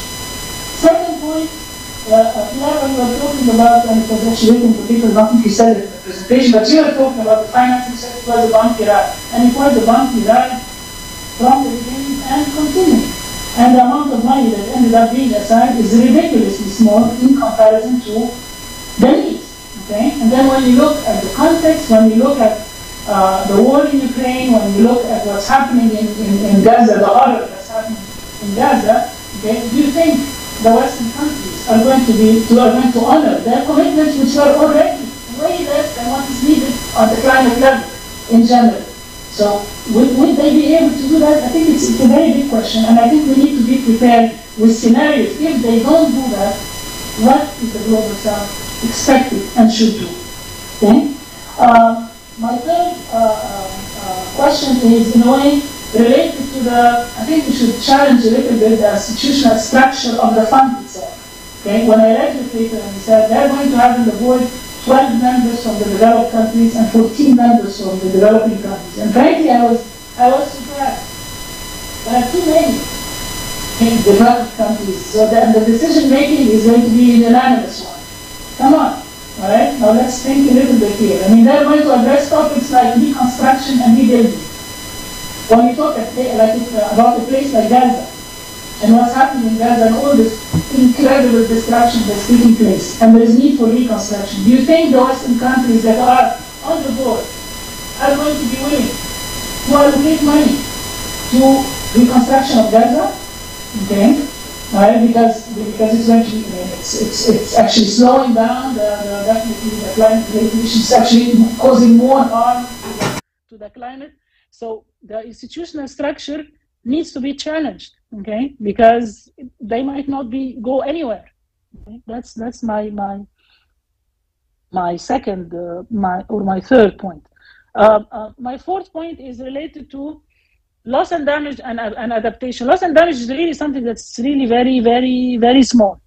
Okay, and it's meant to be to contribute to the uh, realization of, of, of justice. Okay, and there is always a fear in the global south that focus the minute they put money on the loss and damage they are going to take it from somewhere else i mean it's not going to they, we need money on loss and damage we need money on adaptation which is not even measured okay it's badly needed it's important okay? It's not it's not what is going to happen really? Okay is is is interest in loss and damage and all those institutional and governance and framework and all is it can it blur attention away from adaptation which is something that's extremely uh, uh, um, important and for which there is no measure okay? Then in my opinion comes the most important point okay? Do we have the preconditions for success in the loss and damage negotiations. Okay, I think a lot, uh, uh, like like Jorge mentioned as well, a lot falls on the on the shoulders of Brazil. Okay, and on on Lula's shoulders actually in specific. Okay, because a precondition for success is for the global south to have a voice. I mean, in, in the in the recommendations you made, the pillar, and you said that think tanks have to talk about what needs to be done. We have to insist on grants instead of loans we have to we have to we have to okay? have to comes from the global south. If you have 14 members on the board and 12 powerful members from the western world okay the bigger global south which has 80% of the population of the world at this point okay needs to be there. And to be there okay needs to be pushed for by G20 since it seems to be the thing where we can push things. G7 cannot help with anything. G20 has a better chance and the fact that it's in Brazil, and Brazil and its president, okay, have the, uh, their heart in the right place, okay, and they know exactly what needs uh, to be done, and that the global south is facing an unfair situation.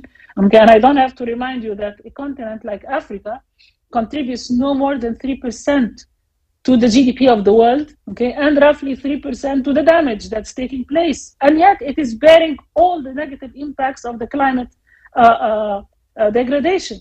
Okay, whether we're talking about uh, uh, desertification, we're talking about floods, we're talking about problems in agriculture, poverty, sickness. We're carrying all this. Okay, and yet okay, nobody is actually accounting for any of the historical rights of that of that continent, which has always been abused by the developed world. Okay, this calls for a louder voice of the global south. And the louder voice of the global south, unfortunately, is not going to take place within the existing system because, I mean, the fund itself is being hosted by the World Bank. Who are the players in the World Bank? Who are the players in the, in the IMF? Okay. We are talking about the same big Western countries that are actually responsible for the climate for the climate damage. There is a call for a new economic order. There is a call for a new complete system, not only uh, uh, um, a change in the financial architecture, which is a very nice uh, term, all right, which is actually scratching the surface. Okay, it's, it's cute, all right. Financial architecture, it's, it's it's very it's very poetic, all right. We what is needed is a much bigger change. Okay, we need a new Bretton Woods agreement. Bretton Woods agreement was done after the Second World War at the time, the balance of power was completely different than what is there now. Okay, we are now in a completely different situation, and the global south needs to be heard. And I think this is a very, very, very big responsibility on Brazil in in in in in, in hosting G20 and following it by uh, uh, uh, COP30 uh, uh, for for the climate issues. Uh, these were the points that I had in mind. What, as, as, as man, mentioned, we're going to have meetings with the work groups next week. I think with the working uh, with the working groups, uh, uh Pilar, we need to focus on the how question. The objectives are very well presented on your part with all the product. The how? How are we going to do that? Okay? And what are the different scenarios? So we need to challenge the situation, whether it's institutional or or or or fund or whatever, all the steps, okay, and and then say, okay, what are the different scenarios? If the Western world chooses not to commit enough funds, what should we do as a global South? What should we focus on? We say we have to set the priorities and subcategories. Okay, what subcategories? What are the priorities? I think the discussion with the group, the brainstorming on the basis of the very well written policy brief that you have with all the facts, I think it's going to make make us reach uh, a, a, lot of good results, a lot of scenarios on how things uh, um, can take place and can and can happen. And I think this is will fulfill the objective of, of, of SAIIA in digging deep into loss and damage by itself to, to see what can be done. Um, that's all I wanted to say. Thank you.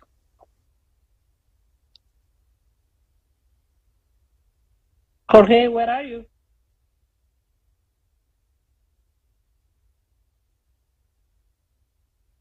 Thank you.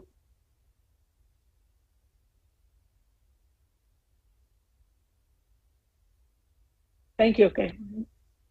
Bye. Questions or contributions from both the flow and those who are connected online uh, to this topic, both to the substance of it or some of the comments on process that were made principally by me and by Dr. Al Nashif. So the floor is open.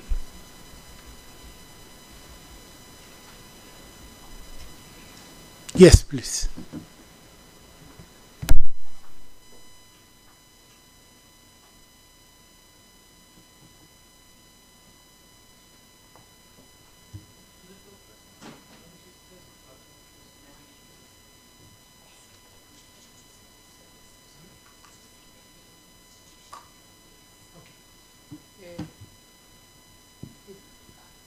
All the speakers give their name and institutions before making their points. Uh, thank you, Chair. It's uh, Dhesigen Naidoo from the uh, Presidential Climate Commission in South Africa. Uh, I, I, I, found uh, a colleague from Egypt's presentation both on point and very sobering. And I just want to add two more things to what she's already said. Uh, the first is that we're, we're seeing this year uh, major elections around the world, there are 49. And the shift to the right is clearly going to be one of the dominant characteristics. Uh, there are some indicators already with the ones that have happened. The big one coming up is the European parliamentary election, and then a series of other individual ones. And these have really, really big implications for what is achievable in this new term around these negotiations, which is demanding a global solidarity. Yeah? And I think we have to factor that into the equation. The second, and, and this might not be a popular comment, but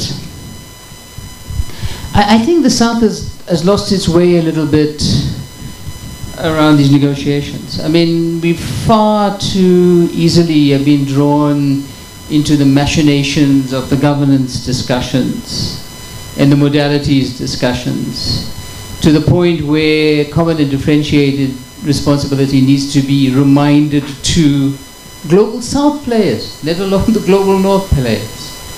Uh, and, and, and it means something, and it means something really important. We, the, the, the West has been damn successful around putting historical emissions to the bottom of the list. I mean, there are PR campaigns around India and China in particular, but other players in the global south in the last 10 years or so has yielded fruit. That we're now talking about big emitters at the calculation point in the immediate term and ignoring the fact that the accumulated effect is something that isn't there. So I, I think that what we should be thinking about uh, in a more structured way is what is achievable in the formal arena and what Brazil's trying to do around using this microcosm, a very important, very gigantic microcosm of the global community uh, practice in the G20 as a stepping up to the to COP30. It's brilliant, but we also need to be strategizing around what happens outside those theaters of operation, around re-injecting some of the things that I think we were riding a good wave on, especially in the 1990s, a little bit before that as well, and finding new ways to reinforce that debate around it. Because the whole issue around liability and attribution, uh, there, there are already plethora of papers that are coming out in scientific journals questioning the association of climate change and extreme weather events. And you can see exactly where this is going. And there are major funds becoming available to fund those kinds of research. It's like the cigarette research uh, of yesteryear is, is coming back all over again. So, you know, an appreciation of the both the complexity and the intensity of the problem and and a multi-level strategy, I think, is exactly what's needed now. Thanks, Chip. That's my contribution. Uh, I meant to that. I mean, I find that your contribution is very valuable. I think one of the objectives that we can try to get in the next 26 hours we'll be meeting is the how. No, I think we're all in agreement that the negotiations are being run in, in the visiting pitch and they are dictating the terms. And I feel this is a place where we have to work on how to level that playing field and not even level, just to to have the interests of the global south more prominent in this place. And you want to take the floor?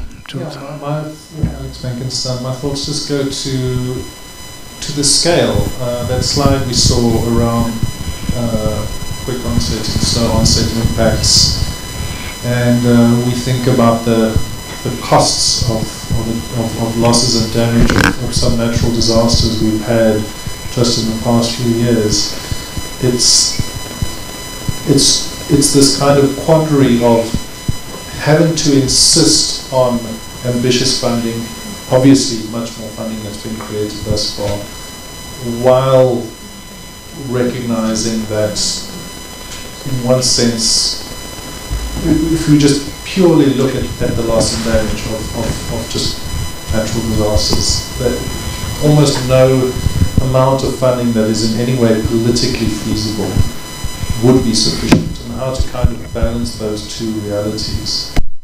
But also to, uh, and I myself am not, not too updated on, on how advanced this debate is, but start with some discussions around how this how this funding might be applied, some some principles. Um, I mean, my thoughts go uh, in our region to the Africa Risk Capacity, which is a, uh, an agency linked to the African Union Commission um, that is designed to operate regionally and in as an efficient way as possible, uh, support primarily farmers um, to to recover from from uh, from climate damage or damage to to their crops. And there's huge innovations there that uh, I think the point is is, is there that uh, we need to think about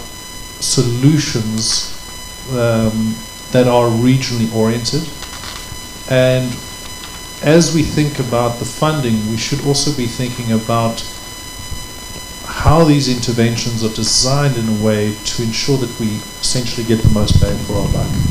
Um, how we use technology, big data, all sorts of uh, solutions um, to to increase increase the impact. So I guess the, uh, that's a bit rambling, but I guess the question is. Um, how do we see the process going through around agreeing to to principles around how those how that funding will be applied because there is of course a risk in the context of limited funding and in the context of need that vastly surpasses uh, the funding that's available that uh, it, it, it could it could turn into uh, uh, a race, a fight amongst countries of the global south to access this funding, and that itself might undermine the cohesion that's required to drive the uh, loss and damage agenda forward. Uh, thank you very much. Any other comments? Online we have comments. Please identify yourself and make the comments.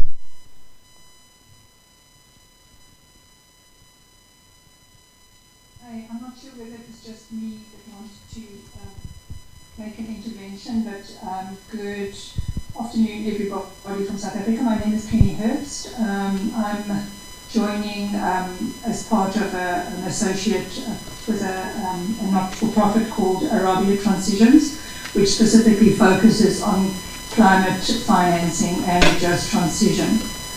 Um, thank you so much for, for everyone's contributions this morning. I, I kind of recognize from a, from a, a, a Brazil point of view that there's a lot of work structurally that's gone in to, um, for instance, the task force, which I would like to comment on, but I think we've moved since then and maybe I'll get another opportunity. But just on the, on the loss and damage, the loss and damage discussion, I very much do feel in this and everything else to do with the, the transition that the global south is being led and not leading. I mean, it's, it's very clear. Um, and, and I'm particularly concerned, even for loss and damage, that there are certain precedents that are being created and going to be created, which we're going to find are going to be very difficult to extricate um, the global south from. So I think it's really important that countries that are chasing the money, and there is a chase for the money, Alex, as you mentioned, um, that these precedents that are being created are, are not going to be for the, for the global good. So I think we should really take things quite seriously, and I'm quite sad just kind of listening to to this the whole morning there. But what I also want to wanted to um, highlight is that in this in this um, process of being led and, and, the global south not leading, there is one um, refrain that keeps on coming out of this, um, and that is the request for de-risking and de-risking by the countries um, themselves, because this is what happens ultimately, right? Any investment that needs to go into uh, um, into the space uh, um, has to have a revenue stream, and that revenue stream needs to be guaranteed. And I think, from a finance point of view, we are very, very far removed from a de-risking conversation, which um, needs to be brought to the fore. And I didn't see it in any of the slides over this so far this morning. If one looks at the loss and damage fund, for instance, I mean, what I see involving and the discussion, if it's a World Bank discussion, is that we go down a, a, a kind of a catastrophe bond mindset. Uh, um, you know, and this becomes an insurance vehicle.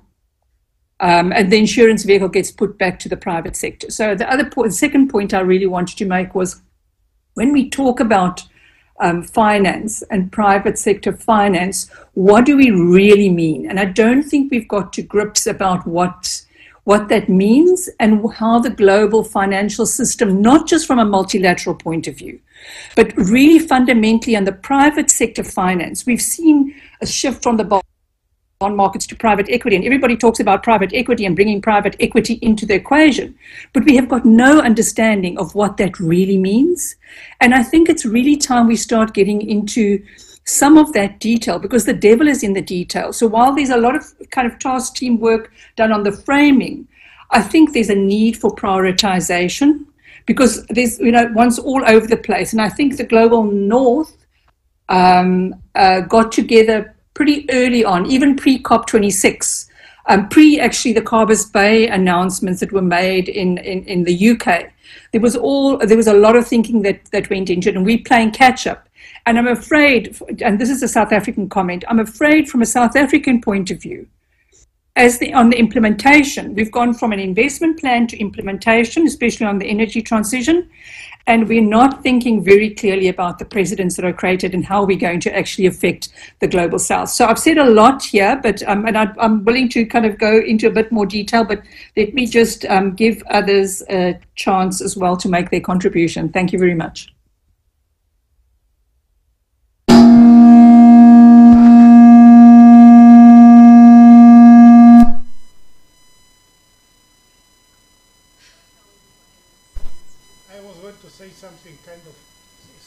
Strong, but not that strong. What I say is that uh, going back to this, uh, drawing back from my experience in development uh, as a development practitioner, what the speaker just said is very true. They are very smart, the international organizations and the donors, in creating precedents. So we create at the political level a beautiful window, and then during implementation it becomes something quite different probably of what imagined. It comes to mind the Global Environment Facility, that if you see many of their projects, although they have a significant financial volume, if you analyze the, the bones, the flesh and bones of their proposals, a humongous amount of money is spent on overhead, on consultancies, on ancillary work, and very little gets to the beneficiaries and to the uh, and to the the uh, ecosystems that need to be protected. And in that they have the complicity, and I don't mean it in a criminal sense, but in the in a practical sense, of us in the global south, because there is a whole ecosystem created to operate based on the incentives established by these sources of funding. So we need to perhaps review our own uh, colonial mentality, passive colonial mentality, when we go into the, into working with these funds, and this loss and damage brings us an opportunity to do that because it is being created from scratch. And if it goes along the lines that are being proposed by the rich countries, it will become a, a, a parody of itself. So uh, I think that's why the microphone made noise. Maybe my friends from the north guessed that I was going to say this and they sent some vibrations or something. So any other comments? Yes, please. Identify yourself again and Thank you. I'm Marcos Woortmann from IDS, Instituto Democracia e Sustentabilidade, from Brazil. And my comment uh, is concerned also the the over um, the uh, I'm missing the word in English. Um, the situation that we currently have in the world is that we're fighting for resources, for an emergency climate emergency that has been already described, has been already um, clearly um, stated through science for the last 40 years.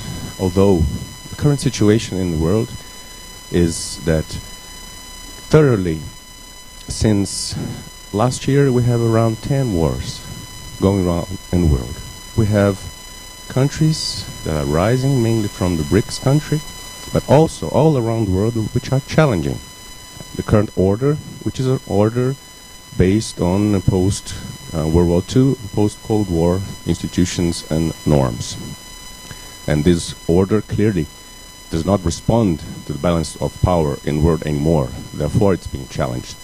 Nevertheless, this challenge and rise of new actors in the international scene, which is something that is absolutely desirable, is also being done at the cost of the rule of law. And exactly the rule of law that we need as a world in order to state and to define common goals. And instead, in many cases, of moving forward to bringing up and creating a new rule of law more adequate, this is being do, done through war. And this is something that unfortunately, we're not capable of competing for resources. So if we just take the amount of resources that have been directed to conflict, rearmament, uh, procurement of weapons, etc., etc., from the last couple of years from now, in a perspective that they are going to rise exponentially in the next years, the perspectives are grim. And this all comes in perspective of the key core issue that unfortunately is not being tackled, which is, the Security Council does not respond to the challenge of world governance anymore. And this is going to be fractured and is being currently fractured through old style 20th century geopolitics instead of cooperation, international values, and a new human rights centered, environmental, science based ethics. And I think this is something that we need urgently to be addressing. Thank you. Thank you very much for your comment that gives us a geopolitical perspective of this discussion, which again is taking place in a in a world that has tremendous issues that is not dealing with. It's probably part of the same equation, a world which has a structure that was put together, it worked in some ways for many years and now is no longer adapted to the realities of the planet in many ways. And climate is no exception. So, any other comments? Yeah, thank you very much. My name is Hariane Monteiro.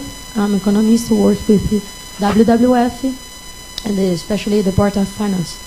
Uh, my question is just one provocation about us, uh, the situation of the world now.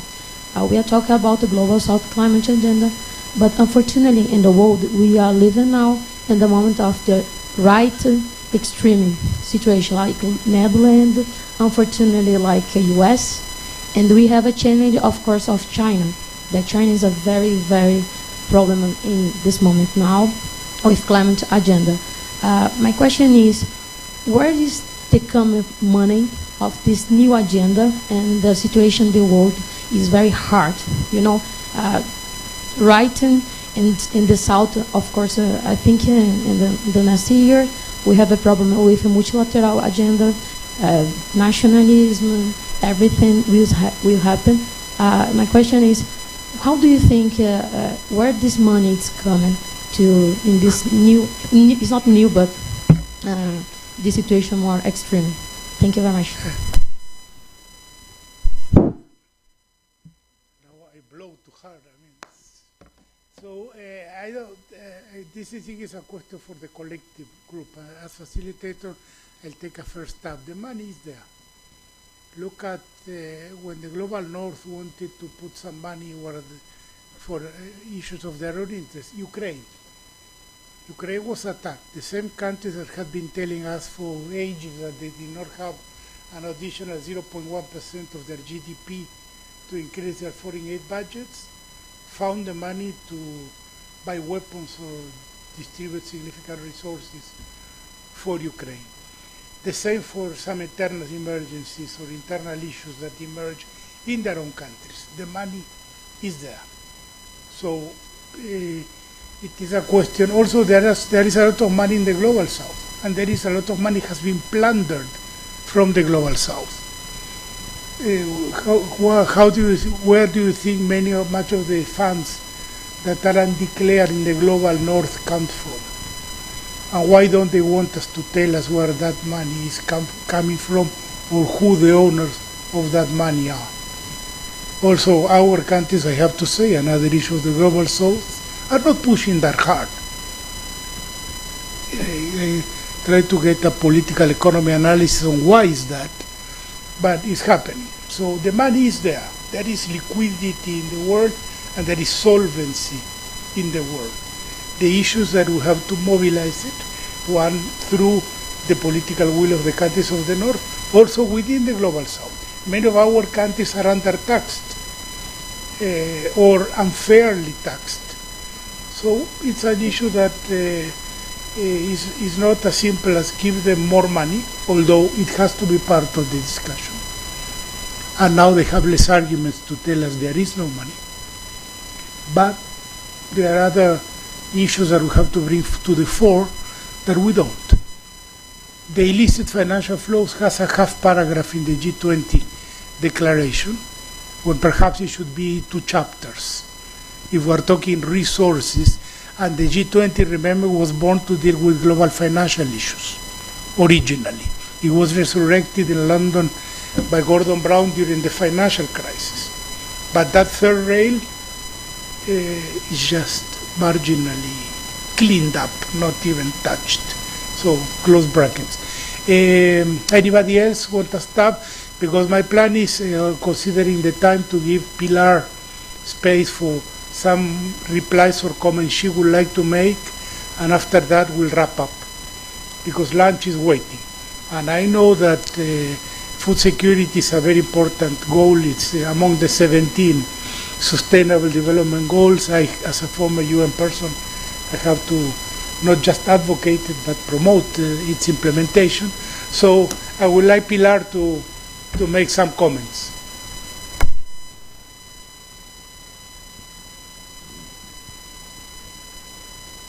Thank you very much, uh, Jorge and, and, and Abla, even though uh, um, I didn't have the opportunity to say it before, as well as to, to all the participants for, for all these comments, questions. Um, I think they, uh, all, this, all this debate will be critical in order to have um, a document that will be useful in terms of our common objectives. So, so thank you very, very much for that and and and thank you to SAIIA as always to to to set the the scenery to to doing this. Um, some uh, yeah quick reactions to to what I heard. Of course, I I will need many of them are food for thought, so I will need more time to digest. But um, some first reactions, uh, not exhaustive enough with respect to, to scoping the, the work in terms of climate justice, I can't agree more. And I think that that's something that we can really work more a little bit.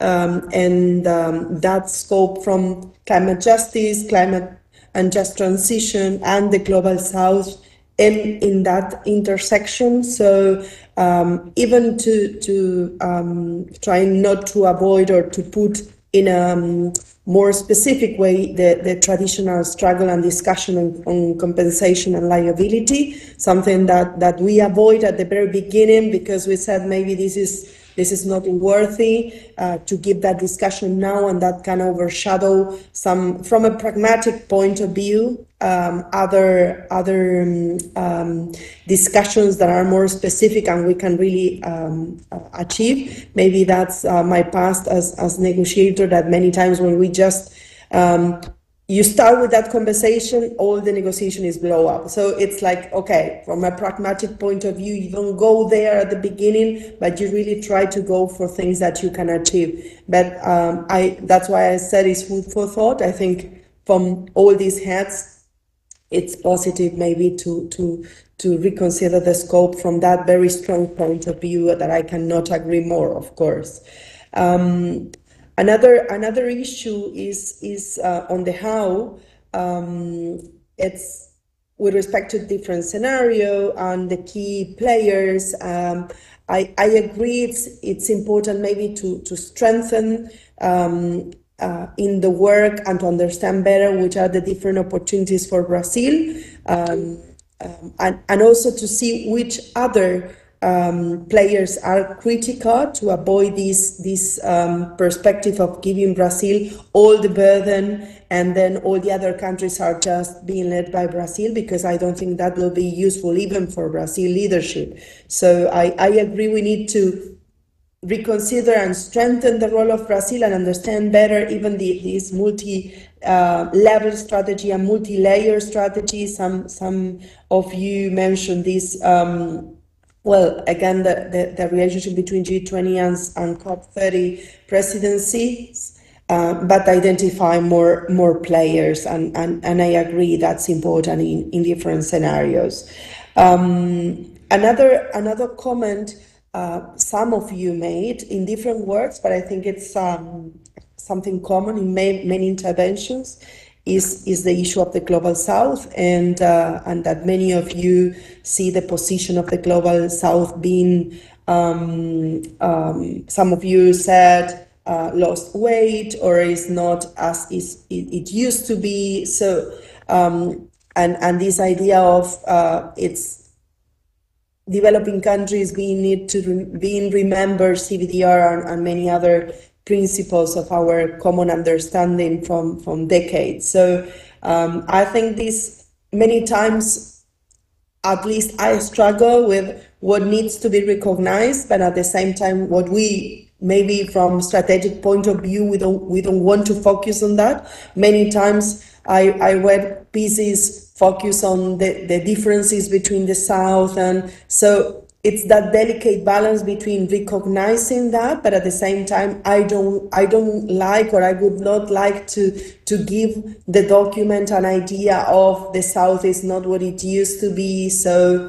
now where we are. So it's recognized but at the same time from from that point of view to to say we are strong enough at least to have a fund and a funding arrangements on loss and damage that uh, two years ago we didn't even dream to have it. So we have it, even though, as as you also said, now it's an empty shop, and we need to to to put uh, money there and processes and, and and the needs in the center. So that delicate balance, it's something that that uh, I think we we need to consider carefully how, how we are going to to do that.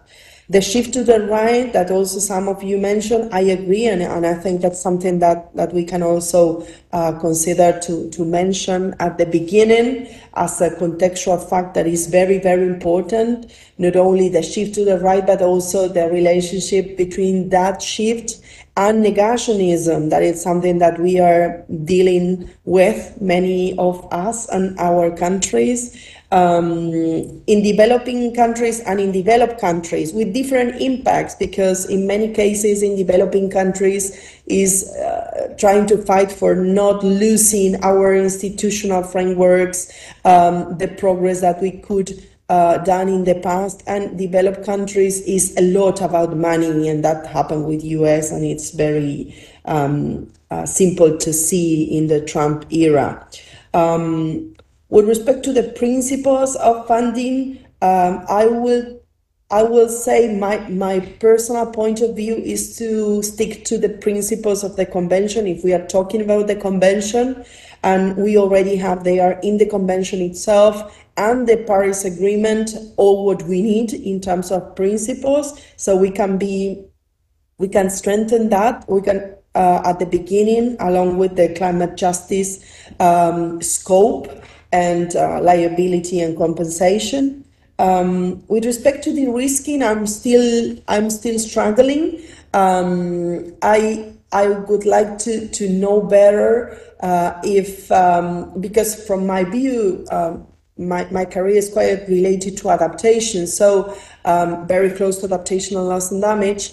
Um, so it's my, my question is from a, even a scientific and political point of view, um, one of the main opportunities in terms of reducing losses and damages in the future is financing adaptation. So um, my first reaction will be that one.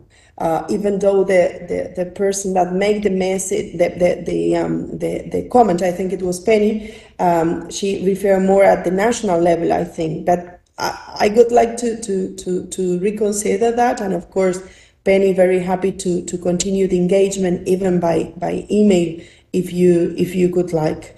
Um, yeah, these are some of my first reactions, but this is really a very interesting um, exchange. Uh, we have a lot of challenges ahead, and a paper is just an, an, an starting point in order to have this very uh, good discussion and, and how to recognize that, but at the same time to give tools to the different stakeholders and countries related to these negotiations in order to have um, the best outcomes we can have in this context that we also need to recognize because then we seek for unicorns that, that we know that we are not going to have. So that again, that balance between the what we really want, what we deserve, what we have to have in terms of the emergency, but at the same time that we know that is possible and a little bit more. Um, yeah, thank you very much again. Pilar, and thank you to all the participants. I would like our colleagues from SAIIA or IPEA if they want to say something before the close of the session. From my perspective as moderator, the session is over and I give the floor to our colleagues from SAIIA. Thank you very much, Jorge. That was fantastic facilitation. Um, yes, so I just want to talk through some logistics now, especially for our online audience. Um the groups here physically, uh, we are going to break for lunch now. Uh, we'll be reconvening at 1.30 Brasilia time. Online audience will have to check what that means for you in your country. But it's, it's about an hour and 20 minutes from now. It's about an hour and 20 minutes from now. Um, that's it for the online group. Uh, please do join us again for the afternoon session. For the group physically here, we are going to have a group photo. Um, there will be someone outside the door to direct you. You want the photo up here? Okay, very good. We will do the photo up here. Uh, once the group photo is done, there is a shuttle which will take us to the lunch venue. So be careful of wandering off because you might miss lunch. All right, thank you very much.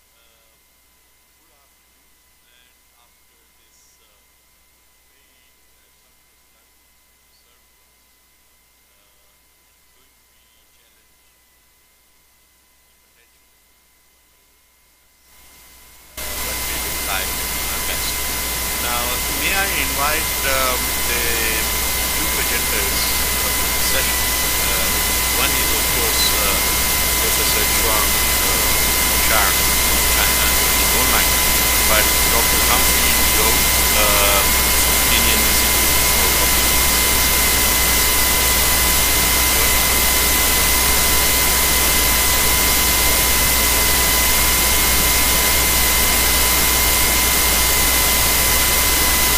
And do we have uh, Dr. Chang uh, online from China? Kindly connect.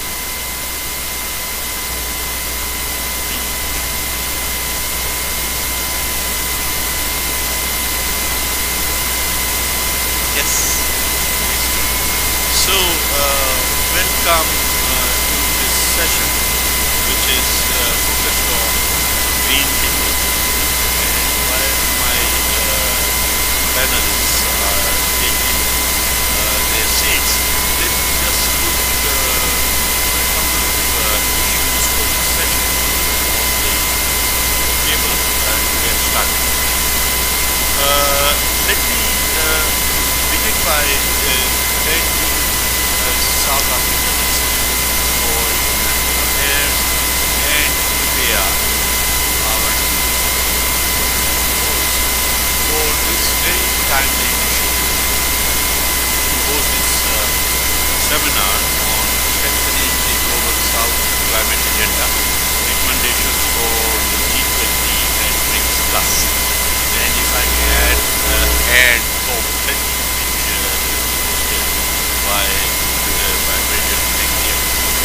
So, uh, the timing of this uh, workshop could not have been better uh, because uh, Brazil is gearing up for the G20 summit uh, later this year.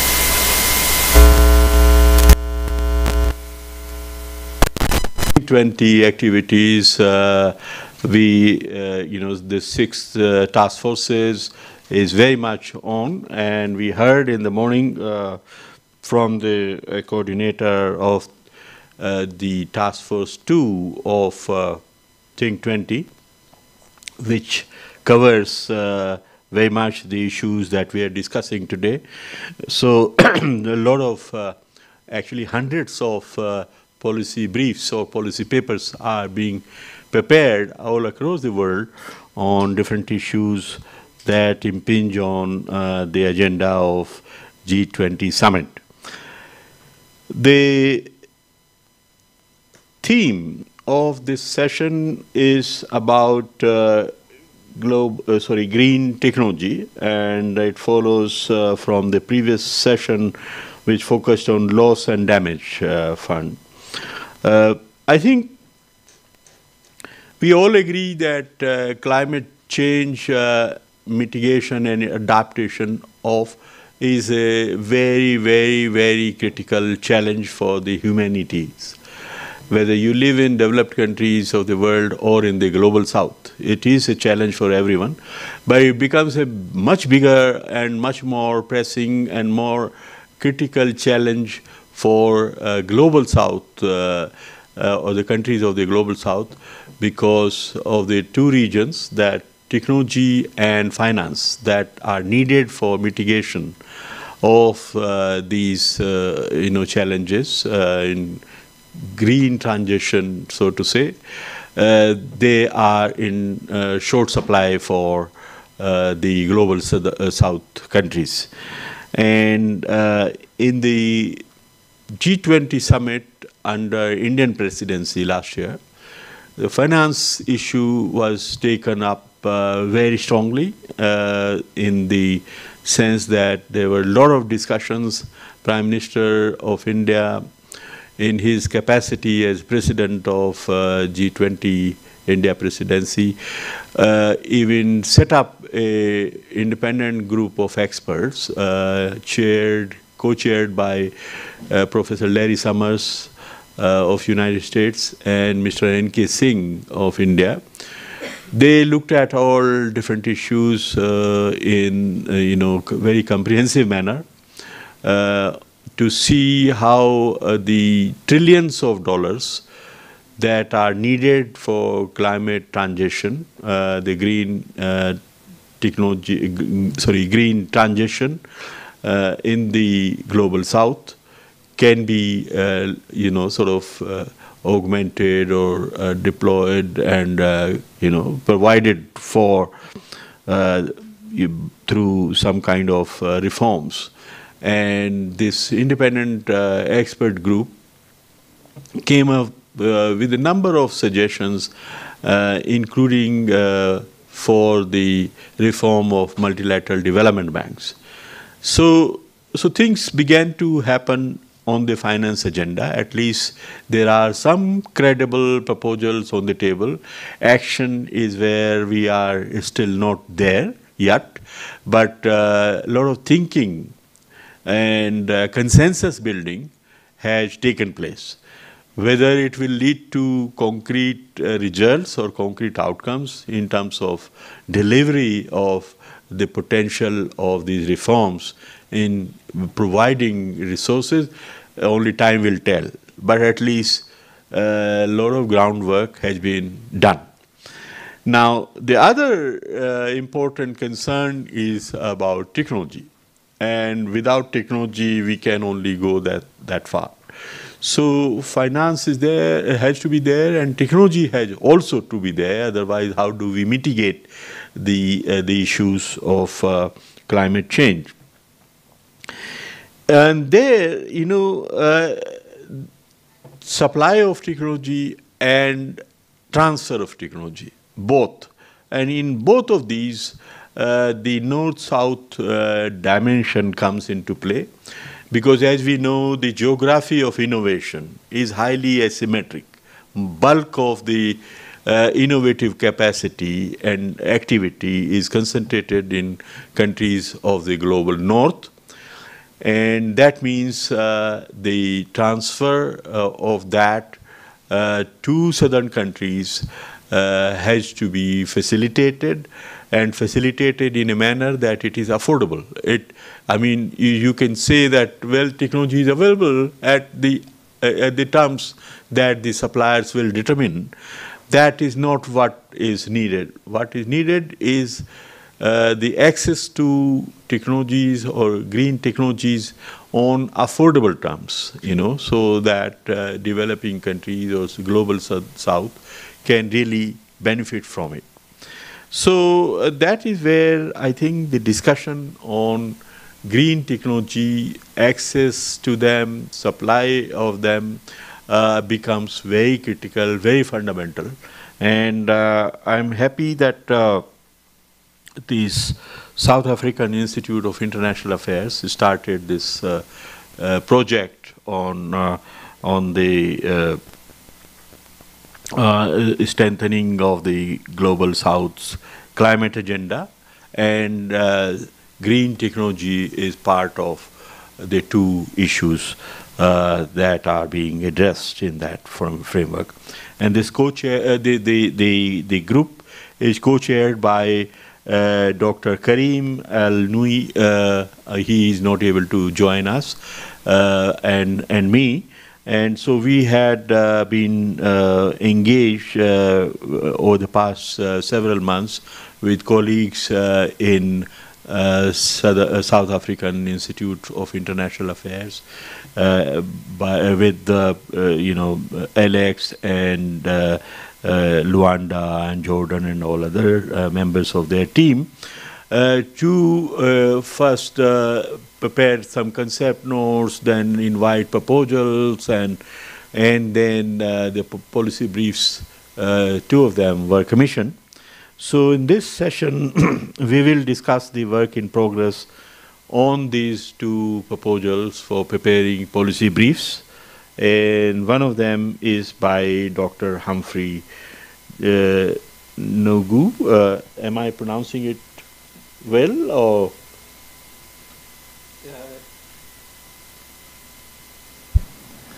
It's Njogu. Okay. Yeah, Kenyan. so, yeah, so, Njogu, so yeah. sorry. Uh, so uh, Humphrey, uh, I think uh, we can begin with you, and then I will inv- invite uh, Professor Chang from China for the second presentation. So, how much time you think you will need uh, for your presentation?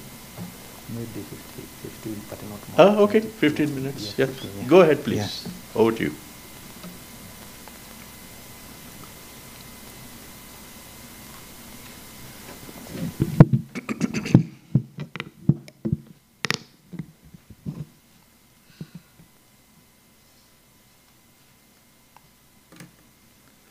Yeah, thank, thank you very much, uh, Professor uh, Kumala, for actually introducing to us what uh, this subject is, uh, is all about.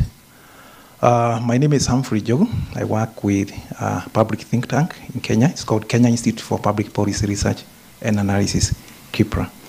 Um, we've been um, um, contracted uh, to do a policy brief on the state of play on green technologies in Africa. Know, just trying to understand what uh, we are doing uh, from an African point of view.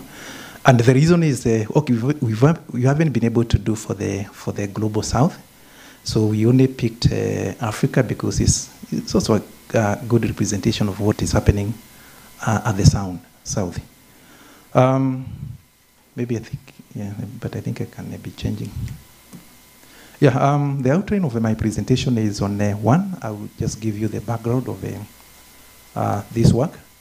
I will also give you the current situation where we are, uh, outline the issues that we are facing, and finally give, the, give you recommendations that uh, we are putting forward. Remember, this is at the preliminary. We haven't actually been able to farm up on this. Um,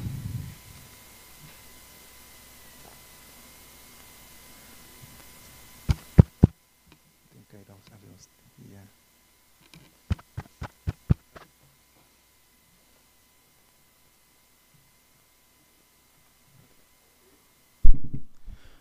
Yeah, this is much much better. Um, sorry for, for the for the for the for the interruption. Um, just provide the background of uh, where why, why uh, we we are doing this. Uh, we all know that uh, Africa uh, is actually the first fastest growing um, uh, continent with a huge population. Um, but at the same time, we also have the lowest rates when it comes to access to, to energy globally. So this is a big, big motivator to why this uh, this uh, this piece of policy brief is important. Uh, again, six, about 600 million uh, uh, people in Africa lack access to electricity, and the trend is also likely to also to worsen by 2050. About actually uh, 1.2 billion will not be having access to electricity if we don't do something on this.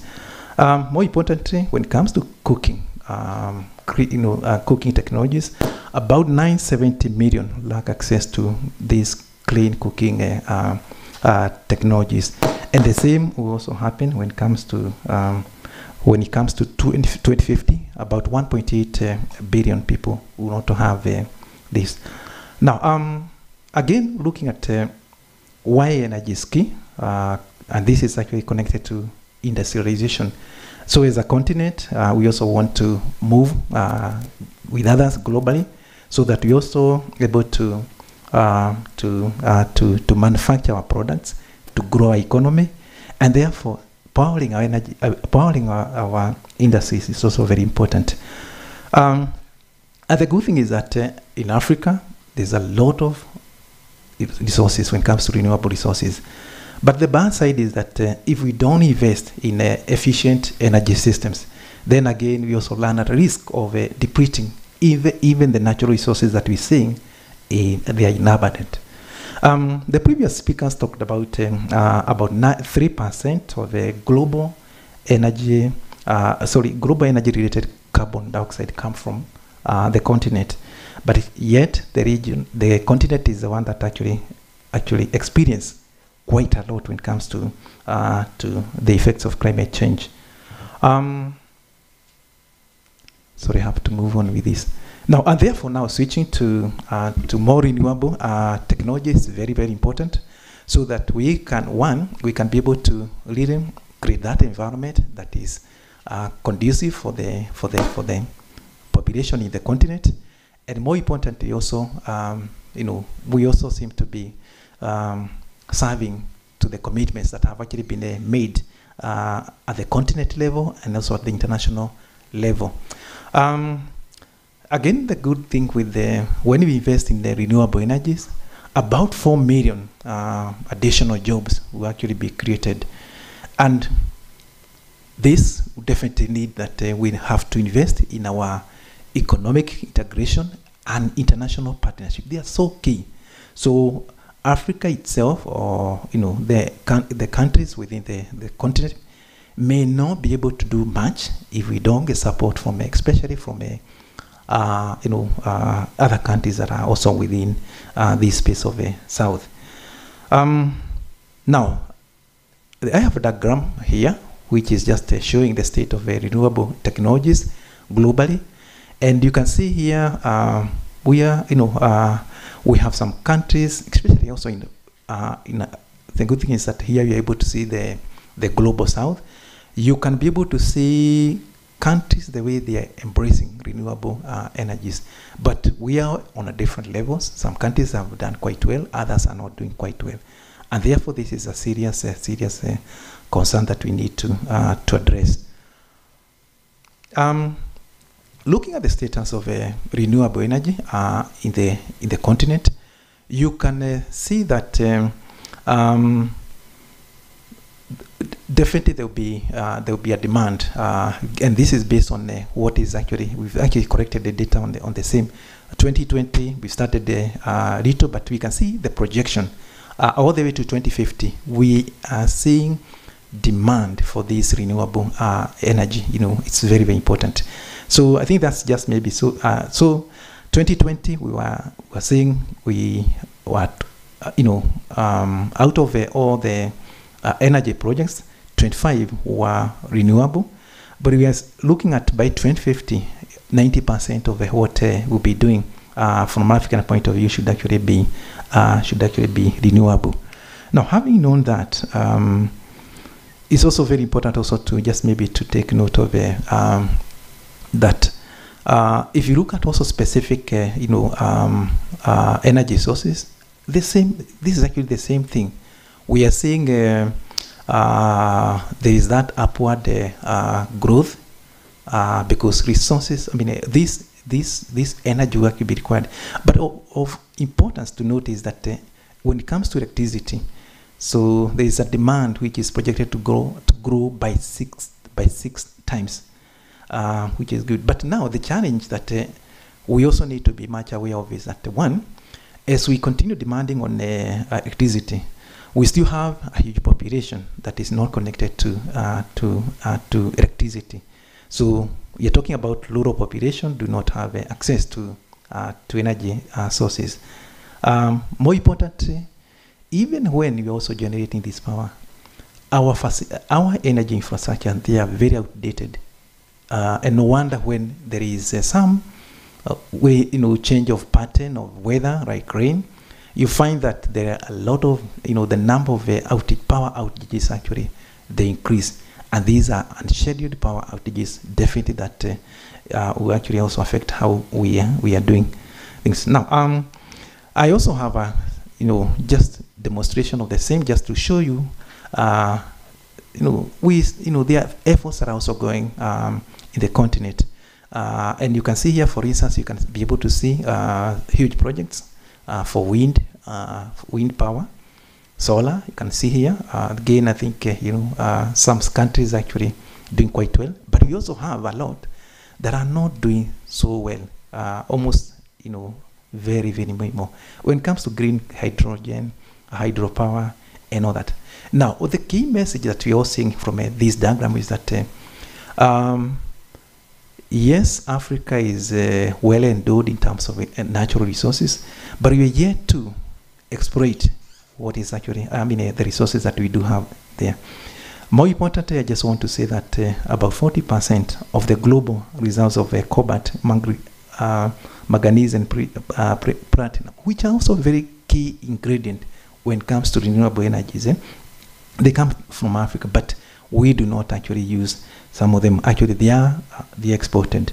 Now, um, now very quickly, I just want maybe to talk about uh, demand and supply of green technologies. So the demand for green uh, uh, technology, uh, just like what I just mentioned uh, earlier on, is set to continue growing and it will grow significantly. Um, yes, as we, this is also happening globally. So we are talking about a continent where, again, we haven't been able to actualize universal, universal access to energy. So we find that uh, we're also going to be left behind. Again, when, you when it comes to supply, the, now the supply side, side, side of, uh, uh, of this, uh, we can be able to say that uh, we have uh, a few key suppliers of renewable energy technologies. I think that Professor Kumar talked about this. We have a few countries that are actually driving this space. And of course, you all know China is uh, a key player in this space. We have uh, US, Japan, uh, Germany. They drive uh, these renewable technologies, um, which is a good thing. And again, also, also uh, you know, a bad thing because as a you know as a developing you know continent, then it means if we don't have the means of importing this, definitely um, actualizing universal access will still remain uh, a distant you know a distant dream that uh, we still need to reflect on. Now, um, more importantly, I just want to want to say that uh, much of the materials that actually coming, f- you know, that actually contribute to the development of these uh, green uh, technologies actually come from uh, from Africa. So, and therefore, I think we have no reason to remain behind and all that. So, I have picked um, a few industries just to demonstrate that um, you know the situation where we are in terms of uh, uh, in terms of uh, this. Um, so the first industry that I just want I have actually just picked is transport, and uh, particularly we're looking at the aspect of uh, e-mobility, electric vehicles. Um, so sorry, my data is a little bit outdated. I think yeah, I got this from um, it's a global report. I think they have uh, they were able. I think they have done up to 2021 or 2022. Now, um, if you look at this, you find that uh, yes, we can talk about uh, e-vehicles for, especially like you, okay for China. You can see actually it's uh, because they've actually done quite well. well. But when you talk about uh, when you look at um, Africa the, or the the South, global South, then you find that uh, uh, actually we actually lump, you know lump together with the other. So that means that uh, our contribution is too small. And I happen to, uh, you know, we happen to look at the what could be the reasons why we actually left behind. Um, so we do have some uh, challenges. And just before I go to the challenges, eh, we have data from a Statistica, um, which uh, again also telling us that the status uh, per country. And I picked a few countries. So South Africa, uh, and this is data that covers up to 2022. Um, there were about a thousand uh, full electric vehicles, not hybrid, but uh, full electric vehicles. Kenya at that time also had about 350. I know the situation may have changed because of uh, maybe one, two years difference. Um, looking at country like uh, Ethiopia, Ethiopia has really decided this is their way. They are fully embracing uh, EVs or electric vehicles.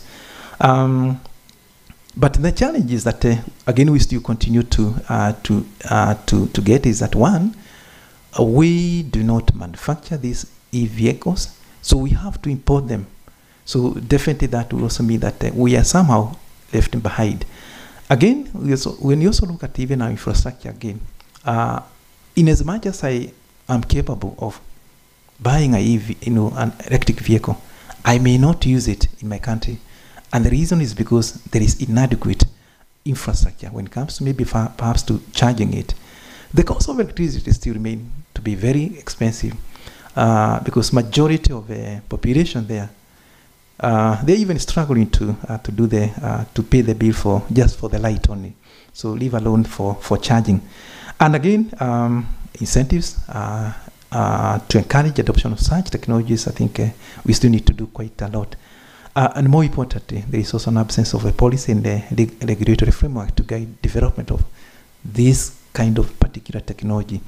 Now, uh, next, I picked uh, just an aspect of solar, uh, solar energy. And uh, we can see here from uh, this diagram. So despite that we actually have a lot of resources, sunlight is quite a lot. So we have only been able to install a capacity of one, only 1%. Um, and the reasons is because one, uh, if you talk to many people, they will tell you that the panels, the, the solar panels, they're expensive because they have to be imported. Uh, more importantly, again, uh, there is also taxes, issues of taxes. Uh, when we import, government is also an, is an avenue of generating more money from this.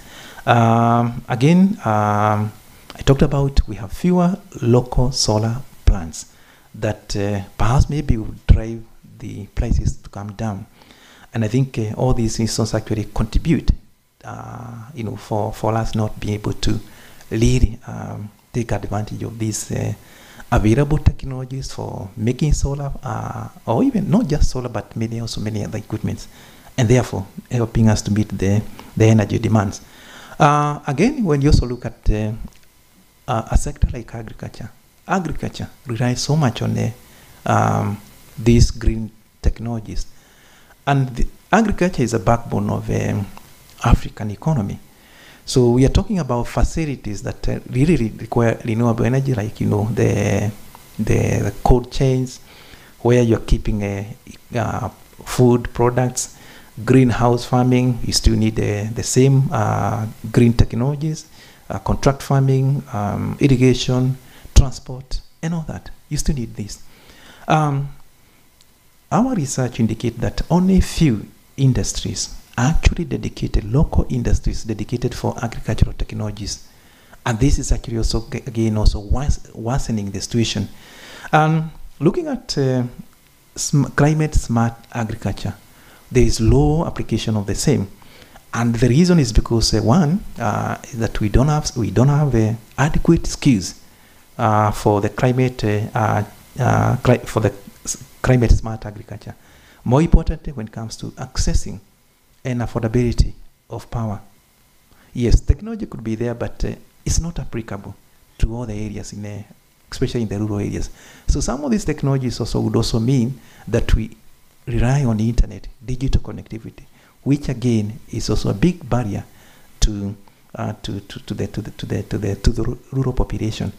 And uh, therefore, this constraint or appears to be a big barrier to adoption of the uh, these renewable technologies that uh, we have. Now, um, now second last uh, um, industry that we also looked at uh, is health. So health um, really uh, relies so much on renewable energies. Talk about um, radiology, health treatment, vaccine storage, waste management, mean, there's huge, I mean, a, a wide range of application of uh, renewable technologies in the health sector. Uh, yet, you find that uh, accessing the energy itself is an issue. The technology is also an issue. And I just also happen to look at just maybe the ownership of nuclear power.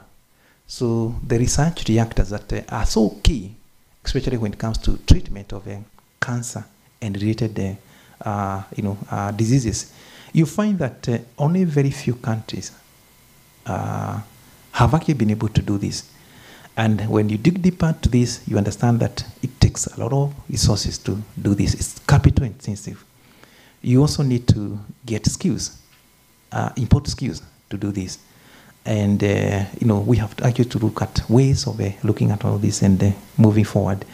Now, um, there are good things when it comes to startups, energy startups, that are bringing new ways, new knowledge, new uh, techniques of addressing issues, um, and especially driven by the digital technology. Um, I, we've picked uh, a number of them. Uh, there is one that is uh, offering uh, solar, solar, I mean payment, eh? actually supporting the people to pay solar, solar power. It's called M-KOPA, um, which I think is proving to be a quite innovative way of addressing uh, issues of, uh, of, uh, of energy in, in Africa. Uh, there is also the mobile gas where you pay as you use. So you're only paying, you're given a cylinder of gas and you're only able to pay, uh, you know, based on the amount that you actually, you've paid. So amazing things are happening. Uh, but again, you also find that when it comes to scaling this up, it's an issue. So yes, techno- technologies are there, but scaling up these technologies again uh, would uh, mean that we do more. Um, support, getting at support, especially for the, the startups and um, innovators, has always been a, a big issue that we need to think about. Uh, infrastructure I talked about, which is actually uh, cutting across. Now, um, I would also want to say that uh, despite all this, um, I think really working on the reliability of power will still remain to be a challenge that uh, we all need to think about. Now, KIPPRA did um, a study. We um, did a survey, especially to see uh, how um, manufacturing firms are affected by power outages. And this is just selected farms that we did. And we did up to, you know, just we did a study of five years. And you can see that um, when it comes to when there are power outages, companies or institutions or these manufacturing firms are really experiencing, uh, you know, huge losses. And this is just an illustration of just the same. So this means that uh, if they were also to rely on some uh, renewable energies, then definitely that would also mean that uh, uh, they will also need to spend more. And know that I think uh, you know, and I think the same thing is also explained here. Uh, so the next slide again is also looking at the total revenue loss for scheduled and unscheduled outages. So and the reason is just to, just to show you that reliability of power is is actually a big issue. So here we are looking at what it means when you have a scheduled outage and when you have unscheduled outage. And definitely that it's actually telling us when you have an unscheduled power outage, uh, losses are far, far more than when actually you have been uh, told to do the same. So we also, again, also asked a question on the same, on uh, just to understand the share of electricity cost and self-generation in operation expenditure. So I mean, so because power outages they are so common, so manufacturing firms have resorted to having their solar, you know, having a solar panel or able they are able to generate their own electricity. So, and this is like how it responded across various uh, industries. eh. So you can see here building and uh, manufacturing. You can see how they they actually see, treating the cost of power. It's about four percent of total cost. Uh, but where we found uh, to, I mean, across, I think across all these, uh, we have, uh, we have, you know, industries actually expressing a concern that with unreliability of electricity and investing in these uh, renewable technologies, get definitely that, you know, that's additional cost that, uh, you know, uh, manufacturing firms will need to spend on.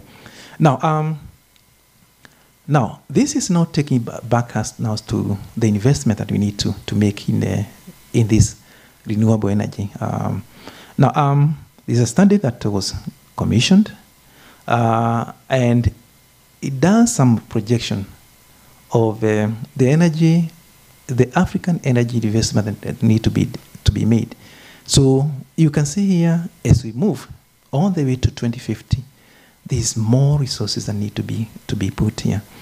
And as, as we plan to do this, we all know that, uh, especially where we are, uh, we have, I think, to get a zero carbon electric grid, I think it's very common. I mean, it's not common, eh? So, meaning that even if we have this electric grid, most, most of them actually generating, a, uh, you know, carbon. Again, more important is that we have, uh, we also rely on um, outdated distribution systems. So, in as much as we also investing in, in our in our improving our electricity distribution and all that using better technologies, we still need also to really overhaul the system in terms of generation um, to the distribution, to the connecting our consumers, and also making sure that what is also being consumed, uh, we are also using this. Uh, we are, use, we are using uh, you know better technologies to do this. Um, so we needed to really invest quite a lot in, when it comes to uh, to this. Now, uh, I have a number of uh, just issues that I just want maybe to. Yeah. Yeah, thank you, thank you, thank you. So um, this should actually be my second last slide. Now, um, I've been able to summarize the, the issues and challenges that uh, um, African continent is facing all the way from the Emirates, we have all the issues um, cutting across inadequate energy infrastructure, affordability and adoption of uh, these green technologies, uh, skills, capital, awareness, incentives. We have competing interests. And uh, again, when there's also disruption of power, you know, relying so much on what is produced from outside, uh, then we have COVID, we have Ukraine war. We are not able to actually to really support our environment. So um, there are a lot of issues that we need to be, uh, you know, to take into account. Last but not least, I just want to mention uh, a factor or a barrier that was mentioned uh, in the beginning: limited data. So, in as much as we want to tell our story about uh, what is happening, uh, data is actually being kept by the by, by by the north, you know, by the global north. So, meaning that we are not also able to really tell our story well. So this is an issue that uh, we uh, we are facing. Now, um, my last slide. Um, what are the recommendations that uh, we are putting in the brief? A number of them. One, we need to market uh, the uh, the continent. We have always been seen as uh, you know, not things you know the, the continent you know bad things are not reported, but there are also many good things that that are also happening there. So marketing from a positive point of view need to happen um, enhancing our infrastructure, if there is anything that you can do, all these green technologies will still need to depend on a uh, well laid down infrastructure. Um, when it comes to the transfer of, of uh, technologies, so especially when we have also imported, we also need to structure this in a way that it's very clear that uh, this is the take or this is the contribution that uh, also the locals are also going to, uh, to, to, to, to make um, more collaboration and networking, especially within the global south, is very important. Protection of, um, uh, uh, of intellectual property, especially the products that are actually uh, designed and also produced within within the continent that also need to be to be taken into account. Investing more in R&D is important, and uh, again also um, funding our innovators would also be very important. Last but not least, also building skills would also be very important. So in a nutshell, uh, we have, uh, this is actually what we've been able to put, uh, it's a policy brief, uh, just to tell uh, a story of, there are a lot of things happening in Africa, lots of resources that are there, but we still need to do more so that we can be able to really take advantage of the technologies that are there and, you know, improve energy access uh, in the continent. Thank you. Thank you, Humphrey, for putting on the table a very comprehensive sort of survey of uh, what uh, constrains uh, African continent in respect to access to uh, green transition, green technologies, and all that.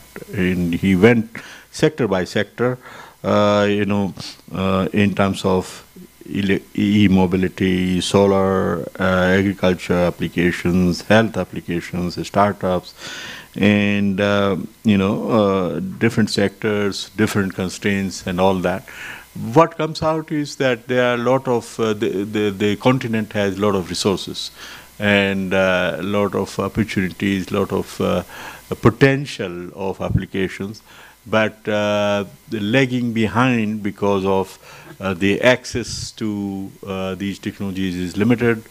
the generally owned and controlled by the countries of the north. And uh, in terms of uh, uh, you know summary of these issues, uh, he finds that affordable adoption of technologies uh, is limited, uh, including local technology content is very low, and he makes number of very important recommendations, including uh, highlighting or advocating market uh, marketing the continent for green technologies, strengthen IPR protection, invest in R&D, including uh, you know collaborative research, uh, enhancing skills, and structured in uh, technology transfer. So, so very sort of very comprehensive overview of the issues and uh, how to address the challenges. I think uh, we uh, are all uh, sort of, uh, you know, benefited from uh, your presentation. and I, what I find is that most of the issues that affect the African continent in respect of this clean energy, clean transition or green transition very similar to uh, what is faced by other continents uh, of the global south. Uh, maybe degrees, uh, you know, a little bit less or more, uh, depending upon where you are. But uh, I could relate most of the issues you have raised to my part of the world, South Asia. There are also similar kind of issues, maybe a bit lesser in degree, but they are all there. Now, uh, with that, uh, let us turn to the second presentation of this session, uh, which is by Professor Chang of China Agricultural University, who is joining online. Are you uh, there, uh, Professor Chang? Yes, I Hi. see Hi, good on the screen. So, Yeah. Can, can you, you hear could- me? yes. Go ahead, please. You have the floor, or you have the screen, as Okay. said. Thank you, thank you for uh, for for this. Uh, no, we can't hear you. Oh, you. Are you can't muted? Hear me? No. Uh, can you hear me now? No, you still can't hear you. So, Oh. hold on. Uh, tech is working.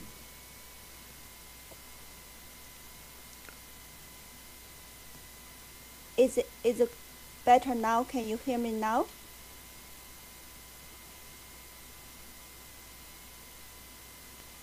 Hello, can you hear me?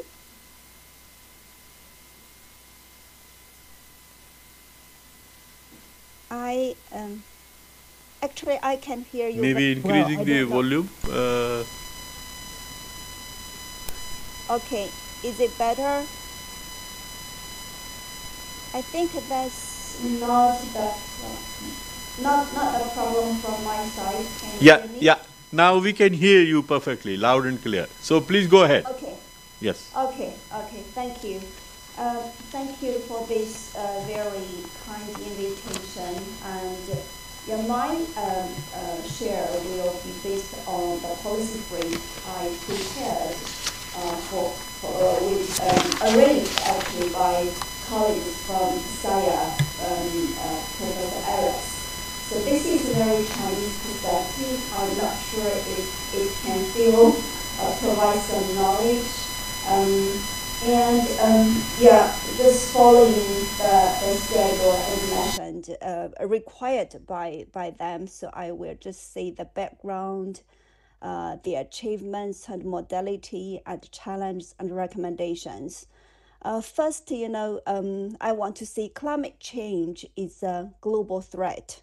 Uh, however, the impact of glo- uh, climate change uh, distributes unfairly among uh, different countries. You know, especially for those qu- countries who are yet achieving industrialization, they are suffering from the climate change most.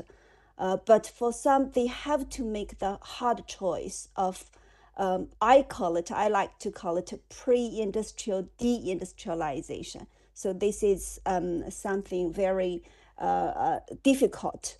Uh, and uh, for these countries, probably, you know, green industrialization or green technology could be a way out to tackle the, the, the challenge. And um, as the largest country from the global south, we, we usually say China is a member of the global south. You know, China has experienced the rapid industrialization and urbanization in the last four decades.